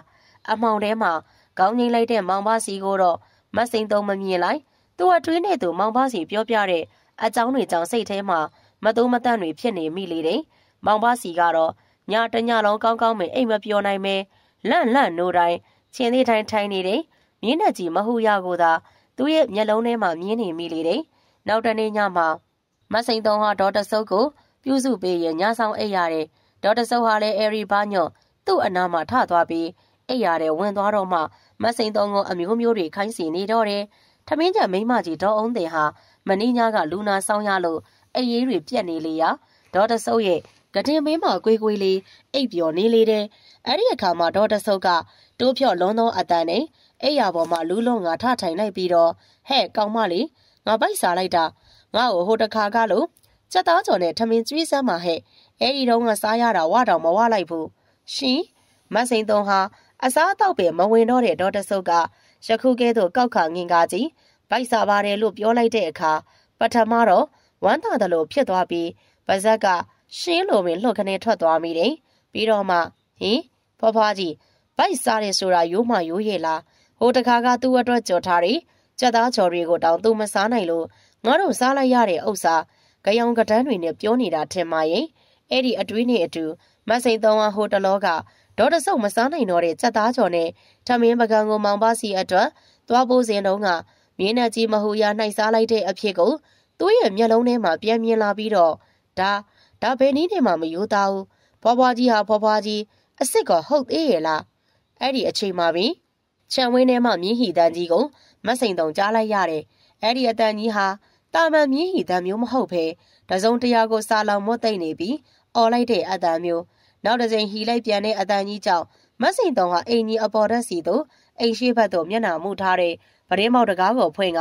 ငုံကြည့်လိုက်လေတော့မြင်းနဲ့ကြီးမဟုတ်ရမှခြံဝင်းထဲမှာရှောက်သွားနေတာကိုတွေ့လိုက်ရတယ်။ဘာစီကမြင်းဆောင်တကားကိုတေချာပိတ်မထားဘူးထင်ပါရဲ့။အခုလိုညဘက်ကြီးမြင်းလွတ်နေတာဘဘကြီးသိရင်တော့စူတော့မှာပဲ။အဲ့ဒီအချိန်မှပင်မြင်းနဲ့ကြီးမဟုတ်ရဟာခွေးတကောင်ဦးသလိုမျိုးသူ့ရဲ့ခေါင်းကြီးကိုမော့ကကြဲကြဲလောင်လောင်ကြီးဟီလိုက်တယ်။ အဲ့ဒီအတန်ကြီးဟာနောက်မခံသားအောင်မင်းစိုးစိုးဝါးဝါကျဲလောင်သွားတော့လေအိမ်ကြီးအတွင်အိပ်ပျော်နေကြတဲ့အဲရီဘာညိုနဲ့ဒေါ်အောင်တင်တို့ဟာတုတ်တုံမြပင်မှတ်လောက်ကြပိုဆိုးတာကခြံဝင်းကြီးအတွင်းမှာနေတဲ့မောင်ဘစီပင်ကြားပုံမပေါ်ပဲရှိလေတော့မစိန်သုံးအဖို့ပို့ပြီးကြောက်လန့်တုံလုံးမိလေတယ်ဟင်ဒီအတန်ကြီးကိုငါတယောက်ပဲကြားနေရတာများလားတကယ်ဆိုရင်ဒီလောက်ကျဲတဲ့အတန်ကြီးကိုအိမ်သားတွေကြားရမှာပေါ့အဲ့ဒီအချိန်မြင်းနဲ့ကြီးမဟုတ်ရဟာ မစိန်သုံးရက်ကြည့်နေရအပေါ်တက်မှပရင်းပေါက်စီသောမျက်လုံးစိမ်းကြီးတွေနဲ့မော်ပြီးကြည့်လိုက်တယ်မစိန်သုံးဟာလည်းချက်ချင်းပင်ကြက်သိမ်းမွှင်းချင်းတွေထသွားပြီးပရင်းပေါက်တကားနားမှာနောက်ဆုံးနောက်ဆုံးခြေလမ်းများနဲ့လှည့်ထွက်လာကဂရင်မော်မှာဒေါ်တဆုပ်ကိုလှမ်းကြည့်လိုက်လေတယ်ဒေါ်တဆုပ်ဟာဂရင်မော်မှာငုတ်တုတ်ထိုင်ပြီးမစိန်တုံရှိရာကိုမျက်လုံးစိမ်းကြီးတွေနဲ့ဆွေဆောင်ကစိုက်ကြည့်နေတာကိုတွေ့ရလေတယ်အရီနောက်မစိန်တုံဟာဒေါ်တဆုပ်ရဲ့ပခုံးနှစ်ဖက်ကိုအသာအယာပွေဖက်လှုပ်ရမ်းလိုက်ရင် ဖွားဖွားကြီးအိတ်လေအိတ်လို့မပြောဘူးလားအဲ့ဒီအချိန်မှပင်ဒေါ်တဆုပ်ရဲ့ခန္ဓာကိုယ်ကြီးမှာမစိန်တုံရဲ့လက်ထဲမှာပျော့ခွေကျသွားပြီးမျက်လုံးတွေကပြူးကြောင်တွေကအသက်မရှိတော့ဟင်အမြဲတမ်းတိတ်ဆိတ်နေတဲ့အဲရီဘာညွန်းတို့အိမ်ကြီးမှာဒေါ်တဆုပ်ရဲ့အာသူဘကိစ္စကြောင့်လူဝင်လူထွက်တွေနဲ့စီကားလေးရဲ့ရှိပြီးမစိန်တုံတို့ဒေါ်အောင်တင်တို့ဟာလည်းအိမ်ကြီးရှင်ဤကတော့စုံမသွားပြီဖြစ်လို့လွန်စွာမှပူဆွေးတော့ကားတွေရောက်နေကြကအိမ်ရဲ့ဝေယဝတ်စတွေကို မလိဟင်းရအောင်လုပ်ကြရလေတဲ့အဲရီဘာညွန့်ဟာလေသူနဲ့နှစ်ပေါင်းများစွာပေါင်းတင်လာခဲ့တဲ့ဇနီးတဲ့ဒေါ်တဆုပ်ကွယ်လွန်သွားတော့ဘာကိုအပြစ်တင်ရမှန်းမသိဖြစ်နေပြီးစောက်တရားမရဖြစ်နေတယ်။တကယ်တော့မစိန်သုံးနေမောင်ပါစီတို့သာမကအဲရီဘာညော်ကိုရိုင်းမင်းဒေါ်တဆုပ်သေးဆုံးသွားရတဲ့ကိစ္စကိုစိတ်ထဲမှာတအုံနှွေးနှွေးဖြစ်နေမိတယ်။မစိန်သုံးကခြံဝင်းကြီးထဲမှာကနပြင်းထိုးနေတဲ့အဲ့ဒီလူအုပ်စုကြီးအတွင်းမှာမောင်ပါစီရဲ့အနားကိုသွားပြီးတော့ ဟဲ့ပါစီနေညမဟူရရဲ့မြင်းဆောင်ကိုဘာဖြစ်လို့မပိတ်ပင်ထားတာလဲပြီးတော့မြင်းကလွတ်ပြီးခြံဝင်းထဲမှာဒီလောက်အကျဲဟီးနေတာတောင်းနေနေနေမှမကြောက်ဘူးလားဘယ်ရလာမစိန်တော့ရင်ညကျွန်တော်မြင်းဆောင်ကိုတေးသေးချာချာကြီးကိုပိတ်ပြီးမှအိတ်တာပါနောက်ပြီးတော့ညတကောင်လောက်ကချင်မီထဲဖို့တခါနိုးသေးတယ်အဲ့ဒီတုန်းကတော့မဟူရာကမြင်းဆောင်ထဲမှာရှိနေတာပဲအဲ့ဒီနောက်ဘာကြလို့လဲအိမ်ကြီးပေါ်ကဖွားဖွားကြီးဆုံးလို့ငိုတဲ့အတန်တွေကြားလိုက်ရတာပြီးတော့ မစိန်တုံပြောတဲ့မြင်းဟီတန်တွေကိုနေနေမှမကြားမိပါဘူးဗျအဲ့ဒီအချိန်မှပင် မောင်မစီဟာပြီးခဲ့တဲ့ညက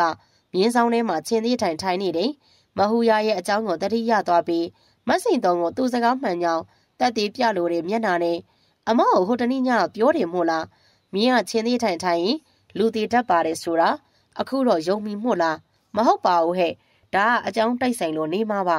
မစိန်တုံဟာလည်းအဲ့ဒီစကားပြောပြီးတာနဲ့ မောင်မစီရဲ့အနားမှာလှည့်ထွက်ခါဒေါ်အောင်တင်နဲ့အတူအာသူဘမေးလာကြတဲ့ဧည့်သည်တွေရဲ့ဝေယဝတ်စတွေကိုကူညီလောက်ကင်ပေးနေတယ်အိမ်ရှိချံဝင်းကြီးရဲ့တောင်းတနေရာမှာတော့အနီးပတ်ဝန်းကျင်မှာတက်တိနားလေတယ်လူတစုဟာဝါစိမ့်တွေကိုခွဲပြီးတော့အလောင်းတင်မဝကပ်ပြုလုပ်နေကြပြီးအချို့ကလေးတိုင်းစင်းစောက်ဖို့မြေချင်းတွေကိုတူးနေကြကအရီဘာညွန်းတို့အိမ်ကြီးဟာချက်ချင်းပင်အတုပအိမ်ကြီးနဲ့တူသွားလေတော့တယ်အိမ်ကြီးပေါ်မှာဟိုရခင်ကလေးကချိတ်ဆွဲထားရီ အရီဘာညွန်းနဲ့ဒေါ်တဆုပ်တို့နှစ်ဦးတွဲရိုက်ထားရီအလှဓာတ်ပုံတွေနဲ့အခြားဆွေနီးမျိုးဆက်တော်တော်သူတွေရဲ့ဓာတ်ပုံတွေကိုပါထုံးနှန်းစင်လာတစ်ခုအရာပြောင်းပြန်လှန်ကမှောက်လျက်ပြန်ချိတ်ထားလိုက်ကြလေတယ်အထူးသဖြင့်မြင်းနဲ့ကြီးမဟူရရဲ့ဓာတ်ပုံကြီးနဲ့အတူစိန်လျံမိုးကြောက်စိမ့်မောင်ဗရက်များနဲ့ငွေမိုးတို့ရဲ့ဓာတ်ပုံကြီးတွေကိုပါတစ်ဖက်ကိုလှန်ကချိတ်ဆွဲထားလိုက်ကြတယ်ဟဲ့စိန်သုံးညီကငါပြောရအောင်မေညီလည်းအပြိုလေးတယောက်ဖြစ်နေပြီဆိုတော့ ငါသားသမီးချင်းကိုချင်းစာလို့ပြောတာပါ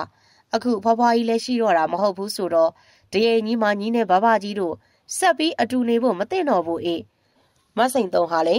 ဒေါုံးတင်ရဲ့စေတနာစကားနဲ့တွင်တင်ဆုံးမနေတဲ့စကားတွေကိုလိမ္မာရေးချရှိသူပြီးပြီး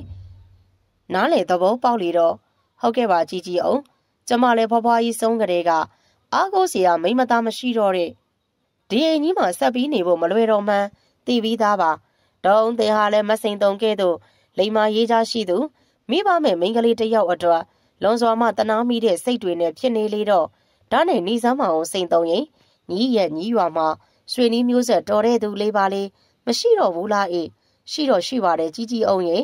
မစိန်တုံရဲ့အေးဆက်ဆက်စကားကြောင့်ဒေါအောင်တင်ဟာဒါဖြစ်လဲညီကိုပြန်လာခေါ်ဖို့ငါအကြောင်းကြားပေးမယ်လေငါ့ကိုလိပ်စာသာပေးစမ်းပါမစိန်တုံဟာဒေါအောင်တင်ရဲ့ စေတနာစကားတွေကြောင့်မြုံဝန်းတောင်းတွေမှာမျက်ရည်စားတွေဝင်ခိုးတွဲလာမိတယ်ကျေးဇူးတင်ပါတယ်ကြီးကြီးအောင်ရဲ့ရွာမှာကျမရဲ့ဦးလေးတော်တဲ့ဘာကြီးထုံးတောင်ဆိုတာရှိပါတယ်ဒါပေမဲ့ဘာကြီးထုံးတောင်ကကျမကြီးမကောင်းတော့ကျမကိုဘယ်လောက်ခေါ်နိုင်မှလဲဒါဖြင့်လဲညီးပါလားညီပြန်ဖို့အေးငါမှတော့ငွေလေးကြီးလေးတော့နည်းနည်းရှိတယ်ညီကိုလမ်းစီပေးလိုက်ပါမယ်အဲ့ဒီစကားကြောင့်မစိန်တုံဟာသူနဲ့အတူဒီအိမ်ကြီးမှာဒိုးဒူပေါင်ဘတ်လှုပ်လာခဲ့တယ်ထမင်းချက်မိမကြီးထောအောင်တင်ကို လုံးစွာမှကြီးစုတင်မိလေတော့နေပါစီကြီးကြီးအောင်ရဲ့ကျမမှလည်းဖွားဖွားကြီးမဆုံးခင်ကပေးထားတဲ့မုံဘိုး4560လောက်တော့ရှိပါတယ်ပြီးတော့မကြသေးခင်ကမှဖွားဖွားကြီးပေးထားတဲ့ပလဲနဂတ်လေးတရံလေးရှိပါသေးတယ်ဒါဖြင့်လဲပြီးတာပါပဲခလေးမရဲ့သွားလေသူကျေးဇူးရှင်ကြီးဒေါ်တဆုပ်လဲကောင်းရံမွန်ရရောက်ပါစေတောလို့ဆိုကဒေါုံးတင်ကအင်ကြီးရဲ့အပေါ်ဓာတ်မှာပြင်ဆင်ထားတဲ့ဒေါ်တဆုပ်ရဲ့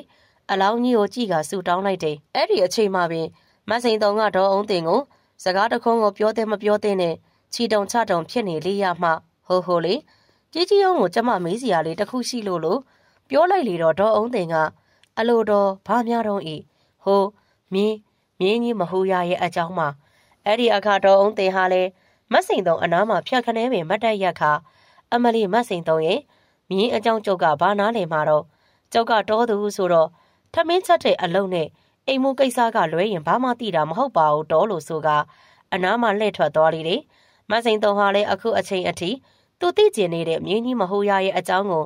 ဘာတစ်ခုမှဂါဂနာနာပဲမသိရပဲရှိနေလေတော့အတွေးများနဲ့သာကြံခဲ့လေတော့တယ်အဲ့ဒီဘာညိုတို့ခြံဝင်းထဲမှာထိုးထားတယ်ကနက်ပြင်းမှသာမကအိမ်ကြီးရဲ့အပေါ်ထက်ရောအောက်ထက်မှာပါအာသူဘမေးလာကြသူတွေစီကားလျက်ရှိနေတယ်ဒေါ်တစိုးရဲ့ရုပ်ကလပ်ကိုလည်းခေါင်းတလားရိုက်ပြီးခြံတောင်တနေရာမှာ လေးတိုင်စင်နဲ့တခန်းတနာပြင်ဆင်ထားလိတော့ရွှေနီးမျိုးဆက်တော်သူတွေနဲ့ရတနာကုံတဲ့ပွဲစားတွေကပန်းခွေပန်းချင်းတွေပြုတ်လို့အလှဆင်ထားတော့ခြံဝင်းကြီးထဲမှာပန်းပေါင်းစုံရဲ့အနံ့တို့ကထုံအီမွှေးကြိမ်လျက်ရှိနေတယ်တပြေးပြေးညီးနှက်လာတာနဲ့အာတုပမေးလာကြတဲ့ရတနာပွဲစားတွေကြောက်တထေးတွေဟာလည်းသူတို့စီလာကြတဲ့အော်စတင်ကားတွေဖီယက်ကားတွေနဲ့အရှို့အရှို့ပင်ပြန်သွားကြလေတော့အိမ်ကြီးအတွင်အနီးပတ်ဝန်းကျင်မှာရင်းနေသူမိတ်ဆွေတချို့သာလင်ကြံခဲ့တော့တယ် ဟဲ့စိန်သုံးညီမလေးတနေကုန်ပင်ပန်းထားတာဆိုတော့ခဏတစ်ဖြုတ်အိတ်ချင်အိတ်လိုက်အောင်လေဧည့်သည်တွေလည်းတော်တော်လေးနေသွားပြီဆိုတော့ကြံတဲ့အလုပ်တွေငါတယောက်တည်းလုပ်လို့ရပါတယ်အေးဒေါ်တဆုပ်မကြမ်းမာစင်ကလေးကအေးရေးတွေအလီလီပြက်လာခဲ့တဲ့မတ်စိန်သုံးဟာကြံနေသေးတဲ့ဧည့်သည်တွေကိုဧည့်ခံနေရမှဒေါ်အောင်သိန်းရဲ့စကားကြောင့်မျက်ခွန်တွေပင်ပို့ပြီးလေးလံလာကအိတ်ချန်စိတ်တွေကဟမ်မဆောင်နိုင်အောင်ပင်ဖြစ်မိတယ်။ဒါပေမဲ့သူမနေထိုင်ရာအဖေကလေးစီကိုသွားပြီးတော့ တယောက်တည်းအိပ်ရမယ်အဖြစ်ကိုလည်းတွေးမိပြီးစိတ်တွေခြောက်ချားနေမိတယ်အဲဒီနောက်မစိန်တုံဟာအာသူဘဆောင်ရင်ဖဲဝိုင်းလုံနေကြတယ်လူစုတွေနဲ့မှလမ်းမကန်းနေရမှာဖျားတစ်ချက်ကိုခင်းပြီးကျုံတလူပင်အိတ်လိုက်လေတော့တယ်မစိန်တုံအိပ်ပျော်သွားပြီးတော့မကြခင်မှာလွန်စွာမှထူးဆန်းပြီးကြောက်မက်ဖွယ်ကောင်းတဲ့အိမ်မက်တစ်ခုကိုမှတ်တယ်အိမ်မက်ထဲမှာမစိန်တုံဟာကြောက်လိုင်ကိုကြီးတစ်ခုအတွင်းကိုရောက်နေပြီးကွဲ့ကောက်သောလမ်းတွေကြားမှာမျက်စိလဲနေလေတယ်သူမရဲ့တကိုယ်လုံးမှာလည်း ဇောချွေးတွေပြန်နေပြီးပိတ်လောင်နေတဲ့လှိုင်ကူကြီးအတွင်မှထွက်ပေါက်ကိုတွေးဖို့စူးစမ်းပြီးရှာဖွေနေမိတယ်ဟေးဘယ်နေရာကြည့်ကြည့်ကြောက်သားကြောက်နန်းရံတွေကဂျိုင်းခွက်ကြီးတွေဖြစ်နေပါလားနန်းရံမှာကုတ်တွင်းနေတဲ့လင်းတို့တွေရဲ့မျက်လုံးတွေကငါ့ကိုဘာကြောင့်စိတ်ကြည့်နေကြတာလဲငါငါဒီကူကြီးတဲ့ကိုဘလို့ရောက်လာခဲ့မှန်းလဲစဉ်းစားလို့တောင်မရတော့ဘူးဖယားဖယားမဖြစ်ဘူးထွက်ပေါက်ကိုတော့မြန်မြန်ရှာမှဖြစ်မယ်အဲ့ဒီအတွင်းနေအတူ မစိန်သုံးဟာလှိုင်ကိုကြီးအတွင်မှကျင်းမြောင်းသောလမ်းတွေကြားမှာထွက်ပေါက်ကိုပြေးလွှားပြီးရှာဖွေနေမိတယ်အဲ့ဒီလှိုင်ကိုကြီးအတွင်းမှာလည်းဘယ်ကဘလို့ကြားရောက်နေမှမသိတဲ့အလင်းအောင်တချို့မှာခတ်မိန်မိန်လေးဖြာပြီးကြားရောက်နေတယ်တခါတခါသူမရဲ့နှာခေါင်းအတွင်းကိုစူးစူးဝါးဝါတိုးဝင်လာတဲ့ပုတ်အဲအဲအနံ့ဆိုးကြီးတွေကြောင့်နှာခေါင်းကိုလက်နဲ့ပိတ်ထားမိတယ်အဲ့ဒီအချိန်မှပင်ကြောက်သားကြောက်ဆိုင်မြင့်မြင့်ကြီးတွေနဲ့အုံမိုးကိုင်းရန်ထားတဲ့လှိုင်ကိုအကြီးကြီးတစ်ခုရဲ့အလဲကိုရောက်သွားတယ်။ အဲ့ဒီနေရာကိုရောက်ခါမှပတ်ဝန်းကျင်တစ်ခုလုံးကလည်းပို့ပြီးတော့လင်းလင်းချင်းချင်းပင်ဖြစ်လာတယ်။တကောလုံးချွေးသီးချွေးပေါက်တွေကျနေတယ်။မစိန်သုံးဟာ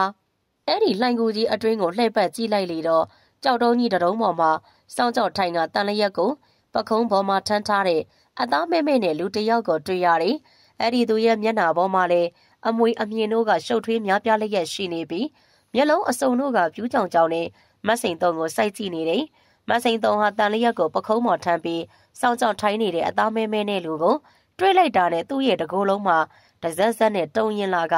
ဒူးကောင်းတွေကပျော့ခွေညှွတ်ချသွားမှတ်တဲ့ကြောက်လန့်သွားမိတယ်။တစ်ချိန်တည်းမှာပင်သူပါဇက်ကလည်းရောင်ရမ်းပြီးအော်ဟစ်မိလိုက်တယ်။ဟာအမလီကြောက်စရာကြီးအဲ့ဒီအချိန်မှာပင်တန်လျက်ထမ်းထားတဲ့အသားမဲမဲလူကြီးကမစိန်တုံရှိရာကိုတလန်ရင်တိုးကန်လာလေတယ်မစိန်တုံဟာလည်းနောက်ကိုစုံရံပြီး သူ့ချီတော့တွေကမလုံရှားနိုင်တော့ပဲသွားသွားမလာနဲ့မလာနဲ့လို့အော်ဟစ်မိပြန်လေတယ်သူမအော်ဟစ်နေတဲ့အတန်တွေကလှိုင်ကိုကြီးအတွင်ပဲ့တင်ထက်နေကအခြားသူတွေကပါဝိုင်းအော်နေတဲ့ကဲ့သို့နားထဲမှာကြားနေရတယ်သွားသွားအဲ့ဒီအချိန်မှာပဲမစိန်တုံရဲ့မျက်လုံးတွေကဖြတ်ခနဲပွင့်ဟကလန့်နိုးသွားတယ်သူ့ရဲ့နားထဲမှာလည်းဝယုံသုံးကားတွေဖြစ်နေတယ်လူတန်တွေနဲ့အတူအဲရီဘာညွန့်ရဲ့စေးတန်စိုးတန်တွေကိုပါကြားလိုက်ရတယ်။အဲ့ဒီအတန်တွေကြောင့် မစိန်တုံဟာအိတ်နေရမှာငုတ်တုတ်ထထိုင်ပြီးကြီးလိုက်လေတော့အိမ်ရှိချန်ဝင်းကြီးရဲ့တောက်မှာပြင်ဆင်ထားတဲ့ဒေါ်တဆုပ်ရဲ့ခေါင်းတလားကြီးပေါ်မှာစားမိစားတော့အားအလူအယက်နှိုက်စားနေတဲ့မြင်းနဲ့ကြီးမဟူယာကို တွေ့လိုက်ရတယ်။ဟင်အဲရီဘာညွန့်ဟာလေအဲ့ဒီမြင်းနဲ့ကြီးမဟူယာကို အလိုလိုမတင်ငါဖြစ်နေရတဲ့အထဲအခုလိုမထင်မှတ်ဖဲတွေ့လိုက်ရတဲ့မြင်ကွင်းကြောင့်ဒေါသတွေထိမ့်မရအောင်ဖြစ်သွားပြီးအိမ်ကြီးအတွင်မှာနိုင်ရမှာချိတ်ဆွဲထားတဲ့လှန်တို့တစ်ချောင်းကိုပြေးဆွဲက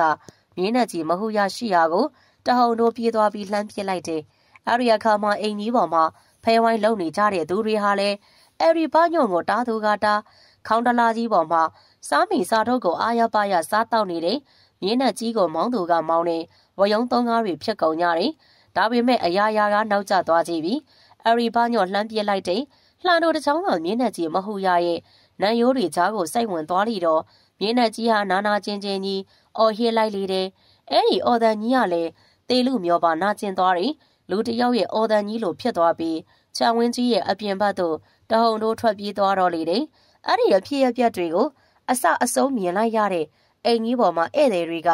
အံ့ဩမှင်တမ်းမိကုန်ကြယုံသာမကပဲထူးထူးဆန်းဆန်းစားမိစားတော့ကိုဖြေကအားရပါရကြီးစားတောက်နေတဲ့မြင်းနဲ့ကြီးကိုကြည့်ကလွန်စွာမှခြောက်ချားတုံလုံးမိကြလေတယ်။မစိန်သုံးကတော့မြင်းနဲ့ကြီးမဟုတ်ရရဲ့ လျှို့ဝှက်စမ်းကျယ်လုံးနဲ့အဖြစ်တွေကိုအခြားသူတွေကဲ့သို့အထူးတလဲမအံ့ဩမိတော့ပဲတကြိမ်တစ်ခါမှဒေါသထွက်ပြီးစိတ်လိုက်မမမလုတ်ဖို့တယ်။အဲ့ဒီဘာညွန့်ကိုကြည့်ကလွန်စွာမှအံ့အားတင်သွားမိလေတော့တယ်။ဒေါ်တစိုးရဲ့အာသုဘရက်လေပြီးနောက်တစ်နေ့မှကိုယ်စိတ်နှလုံးတွေမตาမယာနဲ့ဖြစ်နေခဲ့ရတဲ့အဲရီဘာညွန့်ဟာမြတ်တွင်းမျက်စံချောင်းကြီးများနဲ့စိတ်ကြောင်ခြောက်ချားတွေဖြစ်လာခဲ့တော့တယ်။တခါတလေတယောက်တည်းနေရင်သူ့ရဲ့ပါဇက်ကဘာတွေကိုတီတိုပြောဆိုနေမှမသိ တတော်တော်နဲ့ပြောဆိုနေတတ်ပြီးချက်ချင်းပင်နိုင်ရန်တွေကိုလက်သီးနဲ့ထပြီးထိုးကျင်ထိုးတတ်တယ်။ဒီလိုအမှုအရာကစိတ်တွေပါတစ်ချက်တစ်ချက်ဖောက်ပြန်နေတယ်။အဲဒီဘာညွန့်ကိုထမင်းချက်မိမကြီးဒေါ်အုံးတင်နဲ့မစိန်သုံးကမောင်မစီပါကြောက်လန့်လာမိတယ်။ဒီအဖြစ်အပျက်နဲ့အတူမစိန်သုံးဟာလည်းဒေါ်အုံးတင်ပြောဘူးခဲ့တဲ့စကားအတိုင်းဒီအိမ်ကြီးမှာသူနေထိုင်ရာရွှေဘိုနယ်ကိုပြန်ရန်ပြင်ဆင်ရတော့လေတယ်။ကဲမစိန်သုံးညီပါမနောက်ဆန်တင်းမနေနဲ့ဒီအိမ်ကြီးမှာငါအပြိုဘဝကလေးက ထမင်းချက်အလုပ်လုပ်လာခဲ့တာဆိုတော့နင်းဘဘကြီးရဲ့စားရေးတောက်ရေးကိစ္စအဝဝကိုငါအတက်နိုင်ဆုံးမလိဟင်းရအောင်လှုပ်ပေးမှာပါပြီးတော့ဘဘကြီးနဲ့ဖွားဖွားကြီးဒေါ်တဆုပ်တို့ကငါအပေါ်မှာကျေးဇူးတွေအများကြီးရှိခဲ့သူတွေဆိုတော့အဆဆအရာရာငါအသက်နဲ့လဲပြီးစောင့်ရှောက်သွားမှာပါအဝေအစားတွေကိုထကောက်ပါအတွင်းထဲကတင်းစီးနေတဲ့မစိန်သုံးအနာကိုဒေါ်အုံးတင်ရောက်လာကဝါးနဲ့ပတ်လက်လေးတန်တွေနဲ့ပြောနေရှားလေးတယ်ဟုတ်ကဲ့ပါကြီးကြီးအောင်ရေကျမလည်းအခုလို ဘဘကြီးစိတ်ကြောင်ချောက်ချားတွေဖြစ်နေချိန်မှာကြီးကြီးအောင်လို့စိတ်ကောင်းစေတနာရှိတဲ့သူကအနားမှာရှိနေခဲ့မှာဆိုတော့စိတ်ဖြောက်လက်ဖြောက်ပြန်ရတာပေါ့ပြောရင်းနဲ့မစိန်သုံးကဒေါင်းတင်ကိုကြုံကြုံကလေးထိုင်ကြော့လိုက်လေတယ်အေးအေးတာတို့ပါကွယ်သွားလျာခလုံးမထိစူးမညိပါစေနဲ့ဖြစ်လျာဘဝတိုင်းမှာလဲအခုလိုစိတ်ဆင်းရဲခြင်းကိုဆင်းရဲခြင်းတွေကင်းနိုင်ပါစေခွင်အော်မစိန်သုံးရင်ညီဘဘကြီးကိုလည်းကြော့သွားအောင်တော့ကိုယ့်ရဲ့ကျေးဇူးရှင်ဆိုတာ ဘယ်ဘဝရောက်နေရောက်နေမမေ့စကောင်းမှုကွယ်ဟုတ်ကဲ့ပါကြီးကြီးအောင်ကျမအခုပဲကြော့မလို့ပါမစိန်သုံးဟာခိုးတွဲနေတဲ့မျက်ရည်စတွေကိုလက်ဖမိုးနဲ့တုပ်လိုက်ရင်အဲရီဘာညွန့်ရှိရာအိမ်ကြီးပေါ်သို့တလန်းညက်တက်သွားလေတဲ့ဒေါ်အောင်တင်ဟာလည်းလှေကားရင်မှလက်ရန်တိုင်ကြီးကိုမှီနှွဲ့နေရင်မျက်ရည်တွေတောင်ပိုးပိုးပေါက်ပေါက်ကျနေမိလေတဲ့အိမ်ကြီးရဲ့အပေါ်ရက်စီသို့မစိန်တုံရောက်တဲ့အခါအဲရီဘာညွန့်ဟာလှုပ်ကလထိုင်ကြီးတစ်လုံးပေါ်မှာထိုင်လျက်စေးတံတောက်နေတာကိုတွေ့လိုက်ရတယ် မစိန်တုံဟာအဲရီဘာညွန့်အနာကိုတိုးကပ်သွားပြီးတော့ဘဘဤဟေးမစိန်တုံအဲရီဘာညွန့်ဟာတွေးလက်စအတွေးတို့ကိုဖြတ်ခါမစိန်တုံရှိရာကိုလှမ်းကြည့်လိုက်တယ်အဲဒီနောက်မစိန်တုံကကျမရွာပြန်တော့မှမို့ဘဘကြီးကိုလာကြတော့တာပါအဲရီဘာညွန့်ဟာမစိန်တုံရဲ့စကားကြောင့်ခဏတွေးဝေသလိုဖြစ်သွားပြီးအေးကွယ်ဒေရင်ကြီးမှမိမသားရဲ့လို့မှရှိတော်တာမှမဟုတ်ပဲခလေးမနေလို့ဘဲတင်တော်ပါမလဲလေအေးအေးတာရုကွယ်တာထုတာထု ပြန်มาဘဘကြီးခွင့်ပြုပါတယ်လို့ဆိုကအဲရီဘာညွန့်ကမစိန်တုံကိုမုံဘိုးအဖြစ်ငွေ300ပေးလိုက်တယ်အဲရီဘာညွန့်အနာမှပြန်လှည့်ထွက်လာတဲ့အခါလှေကားရင်မှာမောင်ဘစီကမဆင်တုံရဲ့အထုပ်အပိုးတွေကိုဆွဲကင်ပြီးတော့ရန်ကုန်ဘူတာကြီးကိုလိုက်ပို့ဖို့အစဉ်သင့်ပင်ဖြစ်နေတော့တယ်။မဆင်တုံနဲ့မောင်ဘစီတို့ဟာတွဲပင်မထိုးသေးတဲ့ရန်ကုန်မန္တလေးယထာကြီးကိုစောင့်ရင်ဘူတာကြီးအတွင်မှာပလက်ဖောင်းစင်းညံတစ်ခုပေါ်မှာထိုင်နေမိကြတယ်။မောင်ဘစီကလည်းသူ့အပေါ် မောင်နှမသားချင်းလိုခင်မင်းနေရှာတယ်။မဆင်တုံတယောက်ယခုကဲ့သို့ကိုယ့်ရဲ့ကိုရွာကိုပြန်တော့မယ်ဆိုသောအခါလွန်စွာမှစိတ်မကောင်းဖြစ်နေမိပြီးဘာစကားမှပဲမပြောနိုင်အောင်နှုတ်ဆက်နေမိတယ်ခဏအကြာသူတို့နှစ်ယောက်ထိုင်နေရစီကိုတန်းတန်းမတ်မတ်ကြီးရှောက်လာနေတဲ့လူတစ်ယောက်ကနှုတ်ဆက်လိုက်တယ်ဟာလူကလေးမောင်ဘစီနဲ့မစိန်တုံတို့ပါလားဟာဦးလေးပြူမစိန်တုံနဲ့မောင်ဘစီတို့ဟာလေတစ်ချိန်ကအေရီဘာညော့အိမ်မှာ မြင်းအနှိမ့်တဲ့အလုတ်ကိုလောက်ခဲ့ဖို့တဲ့စိုက်ကလားကိုပြူကိုမထင်မှတ်ဖဲတွေးလိုက်ရလို့ဗျိုင်းတူအန်အောရေရောမိလိုက်ကြတယ်မောင်ဘစီကလည်းသူ့အလွန်တရာခင်မင်းလေးစားရတဲ့ကိုပြူကိုတွေးလိုက်တာနဲ့ဝမ်းသာအားရဖြစ်သွားပြီးတော့ဦးလေးပြူရဘယ်ရဘလို့ဒီဟိုရောက်လာတာလဲ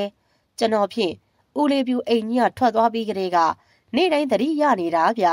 အေးကွာတို့မြင်းအနှိမ့်တဲ့အလုံးလုံးတဲ့သူတွေအတွက်တော့အလုံးမရှားပါဘူးကွာ အခုလဲမိထီလာဘက်ကမြင်းသမားတယောက်ကသူ့ရဲ့မြင်းတွေကိုလာကြည့်ပေးဖို့တန်ညိုးစာရတာနဲ့သွားမလို့လေဒါနဲ့မင်းတို့ကရောဘယ်သွားကြမှာလဲအဲ့ဒီအခါမှမောင်မစီဟာအဲ့ဒီဘာညွန့်ရဲ့ကတော့ဒေါ်တဆုပ်တေဆုံးသွားပြီဖြစ်ကြောင်းနဲ့မတ်စိန်သုံးဟာလည်းသူ့ရဲ့သူ့ရွာကိုပြန်မဖြစ်ကြောင်းတို့ကိုလုံးစီပတ်စီပင်ပြောပြလိုက်လေတယ်။မြင်းအနှိမ့်တဲ့ကိုပြူဟာအဲ့ဒီဘာညွန့်ရဲ့ကတော့ဒေါ်တဆုပ်ကွဲလွန်သွားတယ်လို့ကြားရတဲ့အခါလုံစွာမှစိတ်မကောင်းဖြစ်သွားပြီးမျက်နှာနဲ့ရှိနေတယ်။ အဲ့ဒီနောက်ကိုပြူကဒါနဲ့မတ်စိန်သုံးတို့ကရွှေဘူဘက်ကဆိုတော့အဲ့ဒီမှာမြင်းသမားတွေလည်းတော်တော်ပေါ်တယ်နော်။ဦးလေးပြူရဲ့မြင်းအနှိမ့်တဲ့ဘဝကအဲ့ဒီရွှေဘိုဘက်ကစတယ်လို့တောင်ပြောလို့ရတယ်ကွဟုတ်ပါတယ်ဦးလေးပြူရဲ့ကျမတို့ရွှေဘိုဘက်ကမြင်းနဲ့ပတ်သက်ရင်ပညာရှင်တွေတော်တော်ပေါ်ပါတယ်ကျမတို့မျိုးရိုးတဲမှာတောင်မြင်းတွေရဲ့အကြောင်းကိုတော်တော်လေးသိတဲ့ဘာကြီးဦးထုံးတော်ဆိုတာရှိတယ်လေမစိန်သုံးရဲ့စကားကြောင့်ကိုပြူကမျက်မှောင်တစ်ချက်ကုတ်ရင်စဉ်းစားနေဟန်နဲ့ဘာ ဦးထုံးအောင်ဟုတ်လားဟိုရွှေဘိုနဲ့စိတ်ခုံရွာကကိုကြီးထုံးတောင်ကိုပြောတာများလားရှင်ဟုတ်ဟုတ်ပါတယ်ဦးလေးပြူစိတ်ခုံရွာကဦးထုံးတောင်မှာ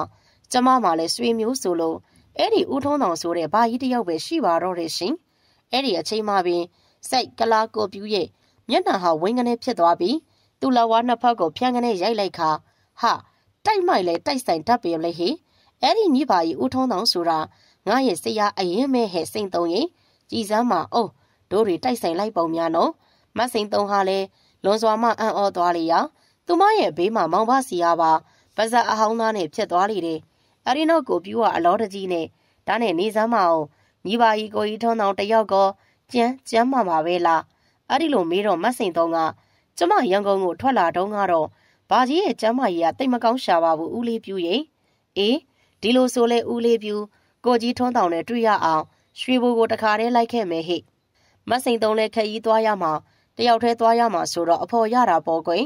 အဲ့ဒီအခါမှာမတ်စိန်သုံးရော မောင်ဘစီမပါဝမ်းသာအားရနဲ့ဖြစ်သွားကြပြီးတော့ကိုပြူးရဲ့လက်ထဲမှာခရီးဆောင်အိတ်ကိုဆွဲက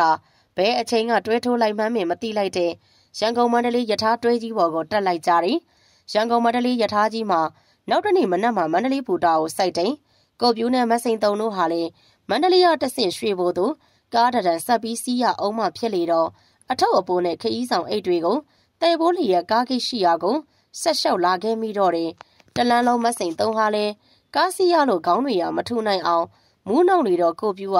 သားသမီးအရင်အခြားတယောက်လိုပြူစုနှိမ့်နေပေးရတယ်သူတို့နှစ်ဦးစိတ်ခွန်ရွာကိုရောက်တဲ့အခါထူထူထောင်ထောင်ဖြစ်နေတယ်ကိုထုံးတောင်ဟာအင်းရှိကွက်လက်ထဲမှာတပြက်စီလှဲနေတာကိုတွေ့လိုက်ရတယ်စိုက်ကလာကိုပြူဟာလေကိုထုံးတောင်ကိုမြင်လိုက်တာနဲ့ ပြို့ကိုကြီးထုံးတောင်အဲ့ဒီလိုလှမ်းអော်ပြီးနှုတ်ဆက်လိုက်လေတော့ကိုထုံးတောင်ဟာလေရုတ်တရက်ပါဇက်အဟောင်းသားနဲ့တန်တအော်ဖြစ်သွားပြီးအလိုငပြူးနဲ့စိန်တုံတို့ပါလားဘယ်ကဘလို့ဖြစ်ပြီးအဲ့ဒီစကားမဆုံးခင်မှာပင်မစိန်တုံကကိုပြူးနဲ့စပြီးတွေးခဲ့ပုံကစလို့ဘူတာမမထင်မှတ်ဖဲထပ်တွေးလိုက်ရပုံအထိအတူချုံပြီးပြောပြတယ်ကော်ထွန်းတောင်ကလည်းသူ့နဲ့နှစ်ပေါင်းများစွာကွဲကွာသွားတဲ့စိုက်ကလာကိုပြူးကိုခြေစုံကောင်းများကြည့်ရင် လုံးစွာမှအံ့ဩဝမ်းသာလျက်ရှိနေတယ်အဲ့ဒီနောက်ကိုထုံးတောင်ကသူ့နေထိုင်ရာတဲငယ်လေးအတွင်းကိုဖိတ်ခေါ်လိုက်ပြီးတော့ကဲလာကြကွာအိမ်ထဲရောင်မှစကားတွေတဝါယူပြောကြတာပေါ့လို့ဆိုကရှိကဥဆောင်ပြီးဝင်သွားတယ်မစိန်သုံးဟာလဲသူမရဲ့ဇာတိကိုပြန်ရောက်လာပြီဖြစ်လို့စိတ်လက်တွေပေါ်ပါကငယ်ပေါင်းကြီးပေါ်တငယ်ချင်းတွေကိုဘဲသူရေဘဲဝါရေလို့ဆိုပြီးလှမ်းအော်နှုတ်ဆက်နေပြန်တယ်အဲ့ဒီနောက်ကိုထုံးတောင်ကကော်ပြူးရဲ့ပခုံးကိုအားရပါရ ဆွဲဖက်လိုက်ရင်တူမောဖြစ်သူမစိန်သုံးကုန်တမိမစိန်သုံးရင်ဟောဒီကိုပြူးဆိုတာဘာကြီးထုံးနဲ့အလော်ခဲမင်းရင်းနှီးတဲ့မိတ်ဆွေပဲကွင်အဲမိတ်ဆွေဆိုလဲဟုတ်တပည့်ဆိုလဲဟုတ်ပေါ့ကွယ်လို့အစချီကသူတို့နှစ်ယောက်ဟိုအရင်ကမြင်းပွဲတွေမှာကြုံတွေ့ခဲ့ရတဲ့အဖြစ်အပျက်တွေကိုလည်းအချင်းချင်းပြန်ပြောင်းပြောပြပြီးအလုံးမင်းကျင်းတဲ့ပီတိတွေဖြစ်နေကြတယ်အဲ့ဒီနောက်ကိုထုံးတောင်ကငါဖြစ်ငပြူးရငါတို့မှရန်ကုန်တက်ပြီးအလုတ်သွားလုတ်တယ်ဆိုတာ တခြားနေရလားအောင်းမိတယ်ရတနာကုံတဲ့ကြီးအေရီဘာညွန့်ရဲ့အိမ်ဖြစ်နေပါလားကွမစိန်တုံဟာလဲအဲ့ဒီအခါမှာကိုထုံးတောင်အကြောင်းကိုအေရီဘာညွန့်ကအမြဲတမ်းတတော်တော်ပြောနေပုံတွေကိုလည်းပြန်ပြောပြတယ်အဲ့ဒီနောက်မစိန်တုံကအေရီဘာညွန့်ကြီးတယောက်မိမဖြစ်သူကွယ်လွန်သွားပြီးစိတ်ကြောက်ကြရက်ဖြစ်နေပုံတွေကိုပါတလုံးမကြမ်းပြောပြလေတော့ကိုထုံးတောင်ကလွန်စွာမှစိတ်မကောင်းဖြစ်သွားတဲ့မျက်နှာနဲ့အလိုအဲ့ဒါလောက်တောင်ဖြစ်သွားရသလားဘာပဲဖြစ်ဖြစ်တစ်ချိန်က အေရီဘာညွန်ဆိုတဲ့လူဟာငါ့အပေါ်ကျေးဇူးတွေရှိခဲ့ဘူးတဲ့ကွအခုလိုအားကိုးရမဲ့ပြီးစိတ်ကြောင်ချောက်ချားတွေဖြစ်နေတဲ့အချိန်မှာငါအနေနဲ့သူ့ကိုသွားကြည့်မှတင့်တော်အောင်မှာပါအဲ့ဒီစကားကြောင့်မစိန်သုံးကကိုပြူးကပါခေါင်းတငိမ့်ငိမ့်နဲ့နားထောင်နေကြပြီးကိုပြူးကဟုတ်ပါတယ်ကိုထုံးတောင်ရင်ကျွန်တော်လည်းအဲ့ဒါပြောမလို့သူမကဝယ်လိုက်တဲ့မြင်းကလည်းမြင်းစုလာကပေးပြီးခေါ်ထားတဲ့မြင်းထရိနာဘီဘရာဆိုတဲ့ကလားကလည်းလူရှုပ်လူပွေ ဒီကြားတဲ့မိမလို့သူကကောက်ခငင်္ကာကြီးတည်သွားရတာဆိုတော့အတော့ကိုဒုက္ခတွေရောက်နေပုံပဲဗျအဲ့ဒီအခါမှာမစိန်တုံဟာပြောတင်မပြောတင်စကားတခုံးကိုချီတုံချတုံဖြစ်နေရမှာသူပါကြီးဦးထုံးတောင်းနေကိုပြိုးတို့ရဲ့မျက်နာကိုမချင်မရဲနဲ့ကြည့်ပြီးတော့စိန်တုံတော့အဲ့ဒီဘာကြီးဝယ်လိုက်တဲ့မြင်းနဲ့ကြီးကြောင်အခုလိုအဖြစ်ဆိုရီဇက်တိုက်ကြုံရတယ်လို့ထင်မိတာပဲဘာကြီးထွန်းရဲ့ဟေးဘာကြီးထွန်းတောင်ဟာစိန်သုံးရဲ့စကားကြောင့် ဗဇက်ကဟေကနေပင်ရေရွမိလိုက်တယ်နောက်တနေ့မနက်စောစောမှာကော်ထွန်းတောင်နဲ့အတူမြင်းအနှိမ့်တဲ့ကိုပြူးနဲ့မစိန်သုံးတို့ပါဖန်ပူအောင်မင်းမနေလိုက်ကြရပဲရန်ကုန်မြို့မှာရတနာကုံသေးကြီးအေရီဘာညွန့်ရှိရာကိုအပူတပြင်းနဲ့လိုက်ပါလာခဲ့ကြတော့တယ်တလန်လုံးမြင်းအနှိမ့်တဲ့ကိုပြူးနဲ့မစိန်သုံးတို့ဟာလေအဲရီဘာညော့ဝဲလိုက်မိတယ်မြင်းနဲ့ကြီးမဟူရအကြောင်းတွေကိုကော်ထွန်းတောင်ကြီးကိုပြောပြလေတော့ကော်ထွန်းတောင်ကခေါင်းတငိမ့်ငိမ့်နဲ့ပင်နားထောင်လေးလေးတဲ့ သူ့ပုံစံဟာလေတစုံတရာကိုသိရှိထားသူတယောက်လိုဘာတခုံးမထုတ်ဖို့မပြောဘဲရှိနေလေတော့မစိန်တုံးကသူမသိကျင်နေတယ်မြင်းနဲ့ကြီးအကြောင်းကိုအားမလို့အားမရနဲ့ပဲဖြစ်နေလေတော့တယ်ကော်ထွန်းတောင်ကိုပြူးနဲ့မစိန်တုံးတို့သုံးယောက်ဟာအဲရီဘာညွန်းတို့အိမ်ကြီးစီကိုပြန်ရောက်လာကြတဲ့အခါ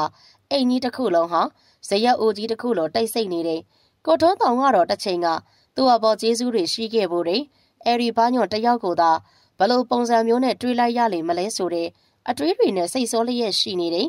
အိမ်ကြီးရဲ့စင်ဝင်အောက်ကိုလှမ်းဝင်လိုက်တာနဲ့ဟဲမစိန်တုံး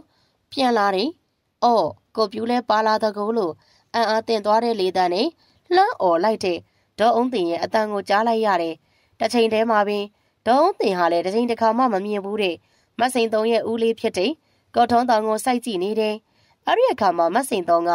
အော်ကြီးကြီးအောင် ဒါကကျွန်မပြောတဲ့စိတ်ခုံရွာဘာကြီးထွန်းတောင်လေဘဘကြီးနေမကောင်းမှုကြားလို့မေးရအောင်လိုက်လာတာ။အော်အေးအေးနင့်ဘဘကြီးတော့အပေါ်ဓာတ်မှာဆရာထုံးကြီးစေးကုပေးလို့အတော်ကလေးတတ်တာသွားပါပြီ။သွားသွားအပေါ်ဓာတ်မှာရှိတယ်။အဲ့ဒီနောက်မစိန်တုံးတို့၃ယောက်သားဟာအိမ်ကြီးရဲ့အပေါ်ဓာတ်စီသို့တက်လာခဲ့ကြတယ်။အိမ်ကြီးရဲ့အပေါ်ဓာတ်ကိုရောက်တဲ့အခါအဲရီဘာညွန့်ရဲ့ဘေးမှာတော့ဂမ်ဘီယာဆရာထုံးကြီးကိုပါတွေ့လိုက်ရတယ်။အဲရီဘာညွန့်ဟာလည်းနှစ်ပေါင်းများစွာမတွေ့ခဲ့ရတယ်။ ကော်ထွန်းတောင်ကိုတွေ့လိုက်မိတာနဲ့သူ့ရဲ့အားငယ်နေတဲ့စိတ်တွေပြက်ပြဲသွားတဲ့အပြင်လွန်စွာမှအားရဝမ်းသာနဲ့ဖြစ်သွားရတယ်။မြင်းအနှိမ့်တဲ့ကိုပြူဟာလည်းတစ်ချိန်ကသူ့အပေါ်မောက်မောက်မာမာနဲ့ဆက်ဆံခဲ့ဖို့တဲ့အဲရီဘာညွန့်ကိုမြင်လိုက်တာနဲ့ဘလို့လဲတထေးမင်းနေသာထိုင်သာကြမ်းကြမ်းမာမာရှိပါရဲ့လားလို့နှုတ်ဆက်မေးမြန်းလိုက်တယ်။အေးဗျဟောရီယာဆရာထုံးကြီးကိုယ်တိုင်ကျုပ်ဘေးမှာနေရောညပါပြုစုပေးနေတော့တော်တော်လေးတက်တာသွားပါပြီ။အဲ့ဒီနောက်ယရနာကုံတဲ့ကြီး အဲရီဘာညွန့်ဟာလည်းမြင်းတကောင်ဝယ်မွေးမိရမှယခုကဲ့သို့ဂျိုးစိုးတွေဝင်ခဲ့ပုံကိုအစချီကပြောပြတော့တယ်။ကော်ထွန်းတောင်းတဲ့ကိုပြူးတို့ဟာလည်းအဲရီဘာညွန့်ပြောပြနေတယ်။အဖြစ်အပျက်အစုံတို့ကိုမျက်တောင်မဲ့မခတ်ဖေးနားထောင်နေကြတယ်။အတန်ကြာမှကိုထွန်းတောင်ကမြင်းနဲ့ပတ်သက်ပြီးသူတွေ့ကြုံခဲ့မှုတဲ့အဖြစ်အပျက်တစ်ခုကိုဂါဂနာနာနဲ့ရှင်းပြပြောဆိုတယ်။ဒီလိုရှိတဲ့ဥပညွန့်ရဲ့ဥပညွန့်ပြောပြတဲ့မြင်းမျိုးဟာဘရလာတဲ့မြင်းလဲဆိုတော့ ရှေးမြန်မာဘရင်နန်းတော်ထဲမှာအလွန်အသားမဲတဲ့ကတဲ့လူမျိုးတွေထိန်းချောင်းလာတဲ့မြင်းပဲဥပညွန့်ပြောသလိုမြင်းရဲ့အမှုအကျင့်တွေကလူတယောက်လိုဖြစ်နေတဲ့ဆိုတာကအဲ့ဒီမြင်းဟာအရင်ကလူဘဝကိုရောက်ချင်ရက်နဲ့မကောင်းတဲ့အာကုသို့ကံကြောင့်ဒီဘဝမှာမြင်းတစ်ပိုင်းဖြစ်နေရတာပဲကောထွန်းတောင်ရဲ့စကားကြောင့်အဲ့ဒီဘာညိုနဲ့အတူဆရာထုံးကြီးရောကိုပြူးကပါအာယုံစိုက်ပြီးနားထောင်နေမိကြတယ်မဆိုင်တုံဟာလည်းလူကြီးတွေကိုရှင်းနွေးချမ်းအိုးချပေးပြီး သူသိကျင်းနေတဲ့မင်းကြီးမဟူရရဲ့အကြောင်းကိုစိတ်ဝင်စားနဲ့နားဆိုင်ထောင်းနေတယ်အလုံးတဲလဲထူးဆန်းတဲ့ဘဝတွေပါကလားဆက်ပြောပါအောင်မောင်ရင်ဆရာထုံးကြီးဟာလည်းသူ့ရဲ့တပတ်ဖြင်းခေါင်းမောင်းစာကြီးကိုတေသက်ကြားနာစွာပြန်ပေါင်းလိုက်ပြီးကိုထုံးတောင်ရဲ့စကားကိုဘေးကနေထောက်ပေးပြန်လေတယ်အဲ့ဒီအခါမှာကိုထုံးတောင်ကကျုပ်ငယ်ငယ်ကဒီလိုမြင်းမျိုးကိုမြင်ဘူးခဲ့တယ်မြင်းကလည်းဥပညွန့်ပြောသလိုမနှုတ်တီဟာဘွေနေပြူ အဲ့ဒီမနှုတ်တီဟာဘွေဆိုတာလူတွေရတာအလွယ်ခေါ်ကြတာပေါ့တကယ်တော့အဲ့ဒီဘွေဟာမြင်းရင်နေရွက်ကနသေးသီးမှရှိနေတဲ့ဘွေတစ်ခုပဲဗျပုံကတော့ဗျဘီအခရာရပ်ပလက်ရဲ့အဖျားနှစ်ဖက်ကိုအပေါ်မှာစုပြီးထားသလိုမျိုးပေါ့အဲ့ဒီစကားကြောင့်မြင်းအနှိမ့်တဲ့ကိုပြူကဟင်ဘဲနဲ့မြင်းရဲ့နေရွက်မှာနသေးသီးမှမရှိပဲထူးဆန်းလှကြည်လားဆရာထုံးတောင်ရဲ့အဲ့ဒါပြောတာပေါ့ကွာဒီမြင်းကြီးကလူဘဝနဲ့နီးနီးဆက်ဆက်ရှိလေတော့ သူ့ရဲ့ကိုအင်္ဂါတချို့တဝက်ကလူတွေလိုဖြစ်နေတာပေါ့မောင်ရဲ့အဲ့ဒီအချိန်မှပင်ဘေးကနားထောင်နေတဲ့မတ်စိန်တုံဟာသူ့ရဲ့ပေါင်ပေါ်မှာဦးထွန်းဆောင်ပြောတဲ့ဘွေကိုလက်ညှိုးနဲ့ရေးချကြည့်လိုက်ခါဟင်းဒါဆိုရင်အဲ့ဒီဘွေကအသေးပုံကိုပြောင်းပြန်လှန်ထားတဲ့ပုံစံမျိုးပေါ်ဟုတ်လားပါကြီးထွန်းအေးပေါ်ကွယ်လို့ဆိုလေတော့ကိုထွန်းတောင်ကသူ့ရဲ့အတွေ့အကြုံကိုဆက်ပြီးပြောပြလေတော့တယ်အဲ့ဒီမနုဿီဟာဆိုတဲ့ဘွေပါတဲ့မြင်းကြီးကိုရွာမှာရှိတဲ့အမျိုးသမီးတစ်ယောက်က ဝဲမွေးမိလျက်သာဆိုပါတော့ဗျာအမျိုးသမီးကအသက်က40ကျော်ရုံပဲရှိသေးတယ်အပြိုလဲအပြိုကြီးသားတော်သမီးကအားကိုးရမယ်တူတူမတွေလည်းမရှိရှာတော့ခိုင်းမရပြုတ်မရတယ်အဲ့ဒီမြင်းကြီးကိုဘာလို့လို့လောက်ရမှန်းမသိဖြစ်နေတာပေါ့ဒီလိုနဲ့နေစဉ်ရက်ဆက်ဆိုတလို့မြင်းကြီးနဲ့ပတ်သက်ပြီးအိမ်မဆိုးတွေကိုလည်းမှတ်လာတယ်လေအဲ့ဒီအခါမှာအဲရီဘာညွန့်ဟာဒေါ်တဆုံမသေးခင်ကမှတ်ခဲ့တယ်လို့ဆိုရင်အိမ်မဆိုးတွေအကြောင်းကိုတတိယသွားပြီးဟင် ဘလို့တွေမှတ်တာလဲပြောပါအောင်ကိုထွန်းတောင်ရင်ဒီလိုဗျဥပါညွန့်ရဲ့အဲ့ဒီမြင်းကြီးကမြင်းပိုင်ရှင်အပြိုကြီးကိုသူ့နဲ့လက်ထပ်ရမယ်လို့နေ့တိုင်းအိမ်မက်တွေပေးနေတာပဲပြုပထမတော့မြင်းပိုင်ရှင်အပြိုကြီးကလည်းရှက်ရှက်နဲ့ဒီအကြောင်းကိုဘသူ့ကိုမှမပြောဝင်ဘူးကြာတော့မြင်းကြီးရဲ့မျက်နှာအမူအရာတို့အစားအသောက်အနေရထိုင်တွေပါအကြောက်စီရကောက်အောင်ပြောင်းလဲလာတယ်ပြီးတော့မြင်းပိုင်ရှင်အပြိုကြီးလည်းတပြေးပြေးနဲ့ကျမ်းမာရေးတွေညံ့လာပြီးစီးပွားရေးပါကျဆင်းလာတာပေါ့ဗျဒီလိုနဲ့ အဲ့ဒီမြင်းပိုင်ရှင်အပြိုကြီးလည်းဟုတ်တော်ရှိမဟုတ်တော်ရှိသူ့ရဲ့အိမ်မက်ထဲကအတိုင်းကြော်ပွဲတွေဘာတွေပေးပြီးမြင်းကြီးနဲ့ဇတိသဘောမျိုးလက်ထပ်လိုက်ရတယ်ဗျကော်ထွန်းတောင်ရဲ့စကားကိုနားထောင်နေကြတဲ့အေဒီပညော့ဆရာထုံးကြီးနဲ့ကိုပြူးတို့ဟာတယောက်မျက်နှာကိုတယောက်ကြည့်လိုက်မိကြပြီးလွန်စွာမှအံ့ဩသွားကြတယ်သူတို့ဘေးမှာကြုံကြုံကလေးထိုင်ပြီးနားထောင်နေတဲ့မတ်စိန်သုံးဟာလည်းနောက်ထပ်ကြားရမယ့်ထူးဆန်းတဲ့အဖြစ်အပျက်တွေကိုသာနားဆွင့်နေမိတော့တယ်အဲ့ဒီမြင်းကြီးနဲ့လက်ထပ်ပြီးလိုက်တဲ့ အချိန်ကစပြီးမြင်းပိုင်ရှင်အပြိုကြီးလဲကျမ်းမာရေးတည်တည်သားသားကောင်းလာတယ်ပြီးတော့စီးပွားရေးတွေလည်းခါတိုင်းထက်တောင်ပို့ပြီးတော့တက်လာတယ်လေအဲ့ဒီအချိန်ကစပြီးအပြိုကြီးကမြင်းကြီးကိုလူလိုပဲစကားတပြောပြောနဲ့ဆက်ဆံခဲ့တယ်မြင်းကြီးကိုတောင်ခါတိုင်းထားတယ်မြင်းဆောင်နဲ့မထားတော့ပဲအိမ်နဲ့ကက်ရက်ကကွက်လက်ကြီးမှာအဆောင်တစ်ခုစောက်ပြီးထားတယ်လေဒါရင်ဘဲကမလဲဗျမြင်းကြီးအတွက်ဆိုပြီးအဆောင်ထဲမှာဂရင်တို့မှွေရတို့စောင်းတို့ခေါင်းအုံတို့ကိုပါပြင်ဆင်ပေးထားရတယ် အဲ့ဒီလိုမှမဟုတ်ရင်ညညဆိုမြင်းကချင်းသေးတိုင်ထိုင်ပြီးတညာလုံးမအိပ်ဖဲနေတာတဲ့ဗျအဲ့ဒီအခါမှာဆရာထုံးကြီးကလည်းအေးလေမောင်ရင်ပြောတဲ့ထူးဆန်းတဲ့မြင်းမျိုးတွေကဟိုးရခင်ဖျားရှင်လက်ထက်ကလေးကရှိခဲ့တာလို့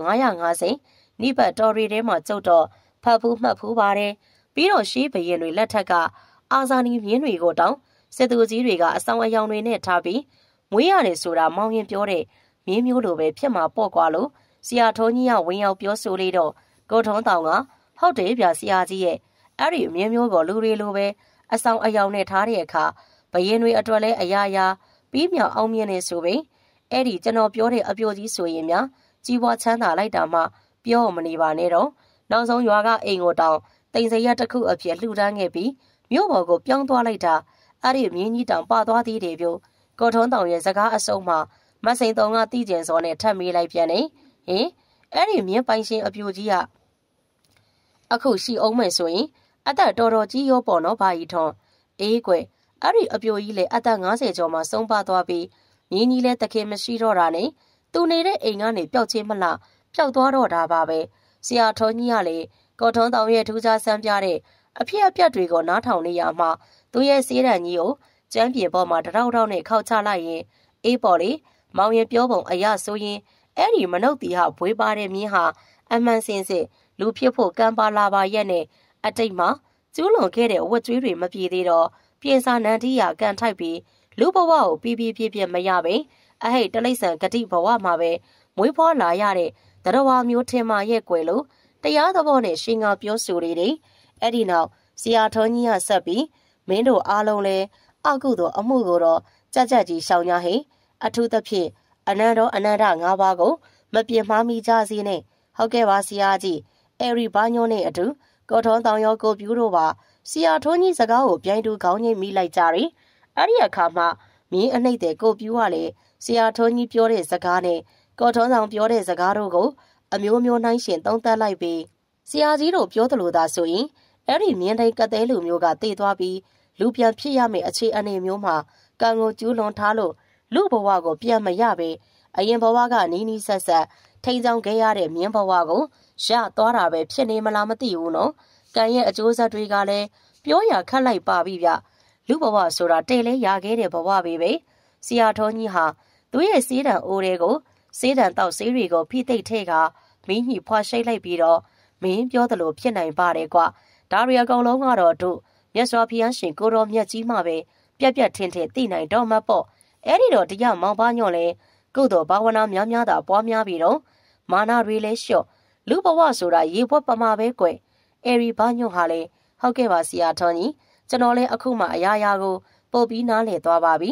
အရင်ကကုတ်ကိုကိုငါတတိဆိုပြီးဟုတ်လာပြီထင်းခဲ့သွေးနှထင်ရောက်ခဲ့တာတွေကိုတွေးမိပြီးရှက်လေးရှက်မိပါရဲ့ဆရာကြီးရဲ့ဆရာကြီးပြောသလိုလူဘဝဟာဘာမှမဟုတ်လိုက်တဲ့ရေဘွက်ကလေးတစ်ခုပါပဲလို့ပြောပြီးတော့ကိုထွန်းတောင်ရဲ့ ဘေးမှာထိုင်နေတဲ့မြင်းအနှိမ့်တဲ့ကိုပြူးရဲ့ဘက်ကိုလှည့်ပြီးတော့ဒါနဲ့တဆက်ထဲမှာပဲဟဖော်ရီယာကိုပြူးကိုလည်းတခါတည်းတောင်းပန်မရစီကျုပ်တစ်ချိန်ကဘီဘရာရဲ့ဂုံချောဂုံတိုက်လောက်ခဲ့တယ်ကားကိုရှုံပြီးကိုပြူအပေါ်စော်ကားမော်ကားနဲ့ပြောဆိုမိခဲ့တာကိုခွင့်လွတ်ပါလို့ပြောပြရစီအဲ့ဒီအခါမှာဆရာထုံးကြီးနဲ့အတူကိုထုံးတောင်တို့ဟာလည်းအဲ့ဒီဘာညောနဲ့ကိုပြူတို့ကိုတလှည့်စီကြည်လိုက်မိတယ်ကိုပြူကလည်းအဲ့ဒီစကားကြောင့်ပြပြတလဲနဲ့ဖြစ်သွားပြီး မဟုတ်တာတထေးမင်းရဲ့ကျောက်ကဘလို့မှသဘောမထားပါဘူးလူဆိုတာအမားနဲ့ကင်းနိုင်ကြတာမှမဟုတ်တာနေပါစီတောင်းပန်စရာမလိုပါဘူးဗျအဲ့ဒီဘာညောကလည်းအဲနောက်ပြီးတခါတည်းပြောလိုက်ပြရစီဗျနောက်ကျုပ်ကိုတထေးမင်းဆိုတဲ့ဘာမဟုတ်တဲ့အတုအယောင်ဂုံးပုတ်ကြီးကိုထည့်ပြီးခေါ်မနေပါနဲ့တော့ဥပညွန့်ဆိုရင်ရပါပြီဗျအဲ့ဒီနောက်သူတို့အားလုံးဟာမစိန်သုံးလာချပေးတယ်ရှင်နွေးချမ်းအိုးထဲမှာအီးဆက်ဆက်ဖြစ်နေတဲ့အကျန်းရည်တစ်ခွက်စီကိုမော့တောက်လိုက်ကြတယ် အဲ့ဒီအချိန်မှာပင်အဲရီဘာညွန့်တို့အိမ်ကြီးရဲ့အပေါ်ရက်စီကိုဦးရောက်ဖားရနဲ့ပြေးတက်လာတဲ့မောင်ပါစီကိုတွေးလိုက်ကြရတယ်မောင်ပါစီကအဲရီဘာညွန့်တို့ဝိုင်းဖွယ်ထိုင်းနေရနေရစီကိုရောက်တော့ဘဘကြီးကျွန်တော်မနက်ကပစုံတောင်ဘက်ကိုရောက်တော့ပစုံတောင်ချောင်းထဲမှာမြင်းတီတကောင်မျောလာတယ်ဆိုလို့သွားကြည့်လိုက်တာကျွန်တော်တို့မြင်းနဲ့ကြီးမဟူရဖြစ်နေတဲ့ဘာကြီးရဲ့ဟေးမောင်ပါစီရဲ့စကားအဆုံးမှာအဲရီဘာညိုနဲ့အတူအားလုံးကတုံလုံးမှင်သက်မိသွားကြတယ်တစ်ချိန်တည်းမှာပင် အဲရီဘာညိုကတုံရင်နေသောအတန်တွေနဲ့ဆရာထုံးကြီးဘက်ကိုလှည့်ပြီးတော့ဒုက္ခတွေတော့များကုန်ပြီထင်ပါတယ်ဆရာထုံးကြီးရဲ့မဟူယာကကျွန်တော်လက်ချက်နဲ့တည်သွားတာဆိုတော့အကုသို့အကျိုးဆက်ကတန်တရားရှင်းနေအောင်မလားဆရာကြီးရဲ့အေးလေဘယ်တက်နိုင်ပါမလဲကွဖြစ်ပြီးမှတော့ကန်စီမန်ရပဲပေါ်မောင်းရင်နောက်ဆုံးတို့ဘက်ကတက်နိုင်တာကမဟူယာကိုရည်စူးပြီးကုသိုလ်ကောင်းမှုတွေလုပ်ပေးပြီးအမြအတန်းဝေဖို့ပဲရှိတော့တာပေါ့ကွယ်ကိုအိမ်မှာမွေးတဲ့တလိဆန်ကြောင့် ကုသိုလ်ယူရမယ်ဆိုမြတ်ပါတယ်မစိန်သုံးဟာလဲမင်းကြီးမဟူယာရဲ့အဆုံးသက်သွားတယ်ဘဝတစ်ခုကြောင့်စိတ်မကောင်းကြီးစွာဖြစ်မိလေတော့အိမ်ကြီးရဲ့အပေါ်ဓာတ်စီမှာလေကရစ်တွေအတိုင်းဖြင်းညင်းစွာဆင်းလာခဲ့လေတယ်အဲ့ဒီနောက်သူမနေထိုင်ရာအဖေလေးဘက်စီတော့တတိတရနဲ့ဆက်ပြီးလျှောက်သွားလိုက်တော့အခန်းရဲ့အဝင်အထွက်ဒကမာကြီးဘေးမှာချိတ်ဆွဲထားတဲ့မြင်းနဲ့ကြီးမဟုတ်ရရဲ့ဓာတ်ပုံကားချက်ကြီးကိုတွေ့လိုက်ရတယ်။အဲ့ဒီအချိန်မှာပဲမစိန်တော်ဟာမြင်းနဲ့ကြီးမဟုတ်ရရဲ့ ဓာတ်ပုံကြီးကိုဖြုတ်ယူလိုက်ပြီးမြင်းနဲ့ကြီးမဟုတ်ရကောင်းရံမွန်ရံဘဝကိုရောက်ပါစီ။ဟုတ်ကဲ့ပါရှင်။ဒီကနေ့ကျမတို့ channel ရဲ့တင်ဆက်မှုကတော့ဒီမှာတင်ပြီးဆုံးခဲ့ပါပြီ။ဇလန်အစမှအဆုံးတိုင်းနားဆင်ပေးခဲ့တဲ့အတွက်လည်းကျေးဇူးအများကြီးတင်ပါတယ်။ဇလန်ကောင်းတွေနဲ့ပြန်ဆောင်ပါမယ်ရှင်။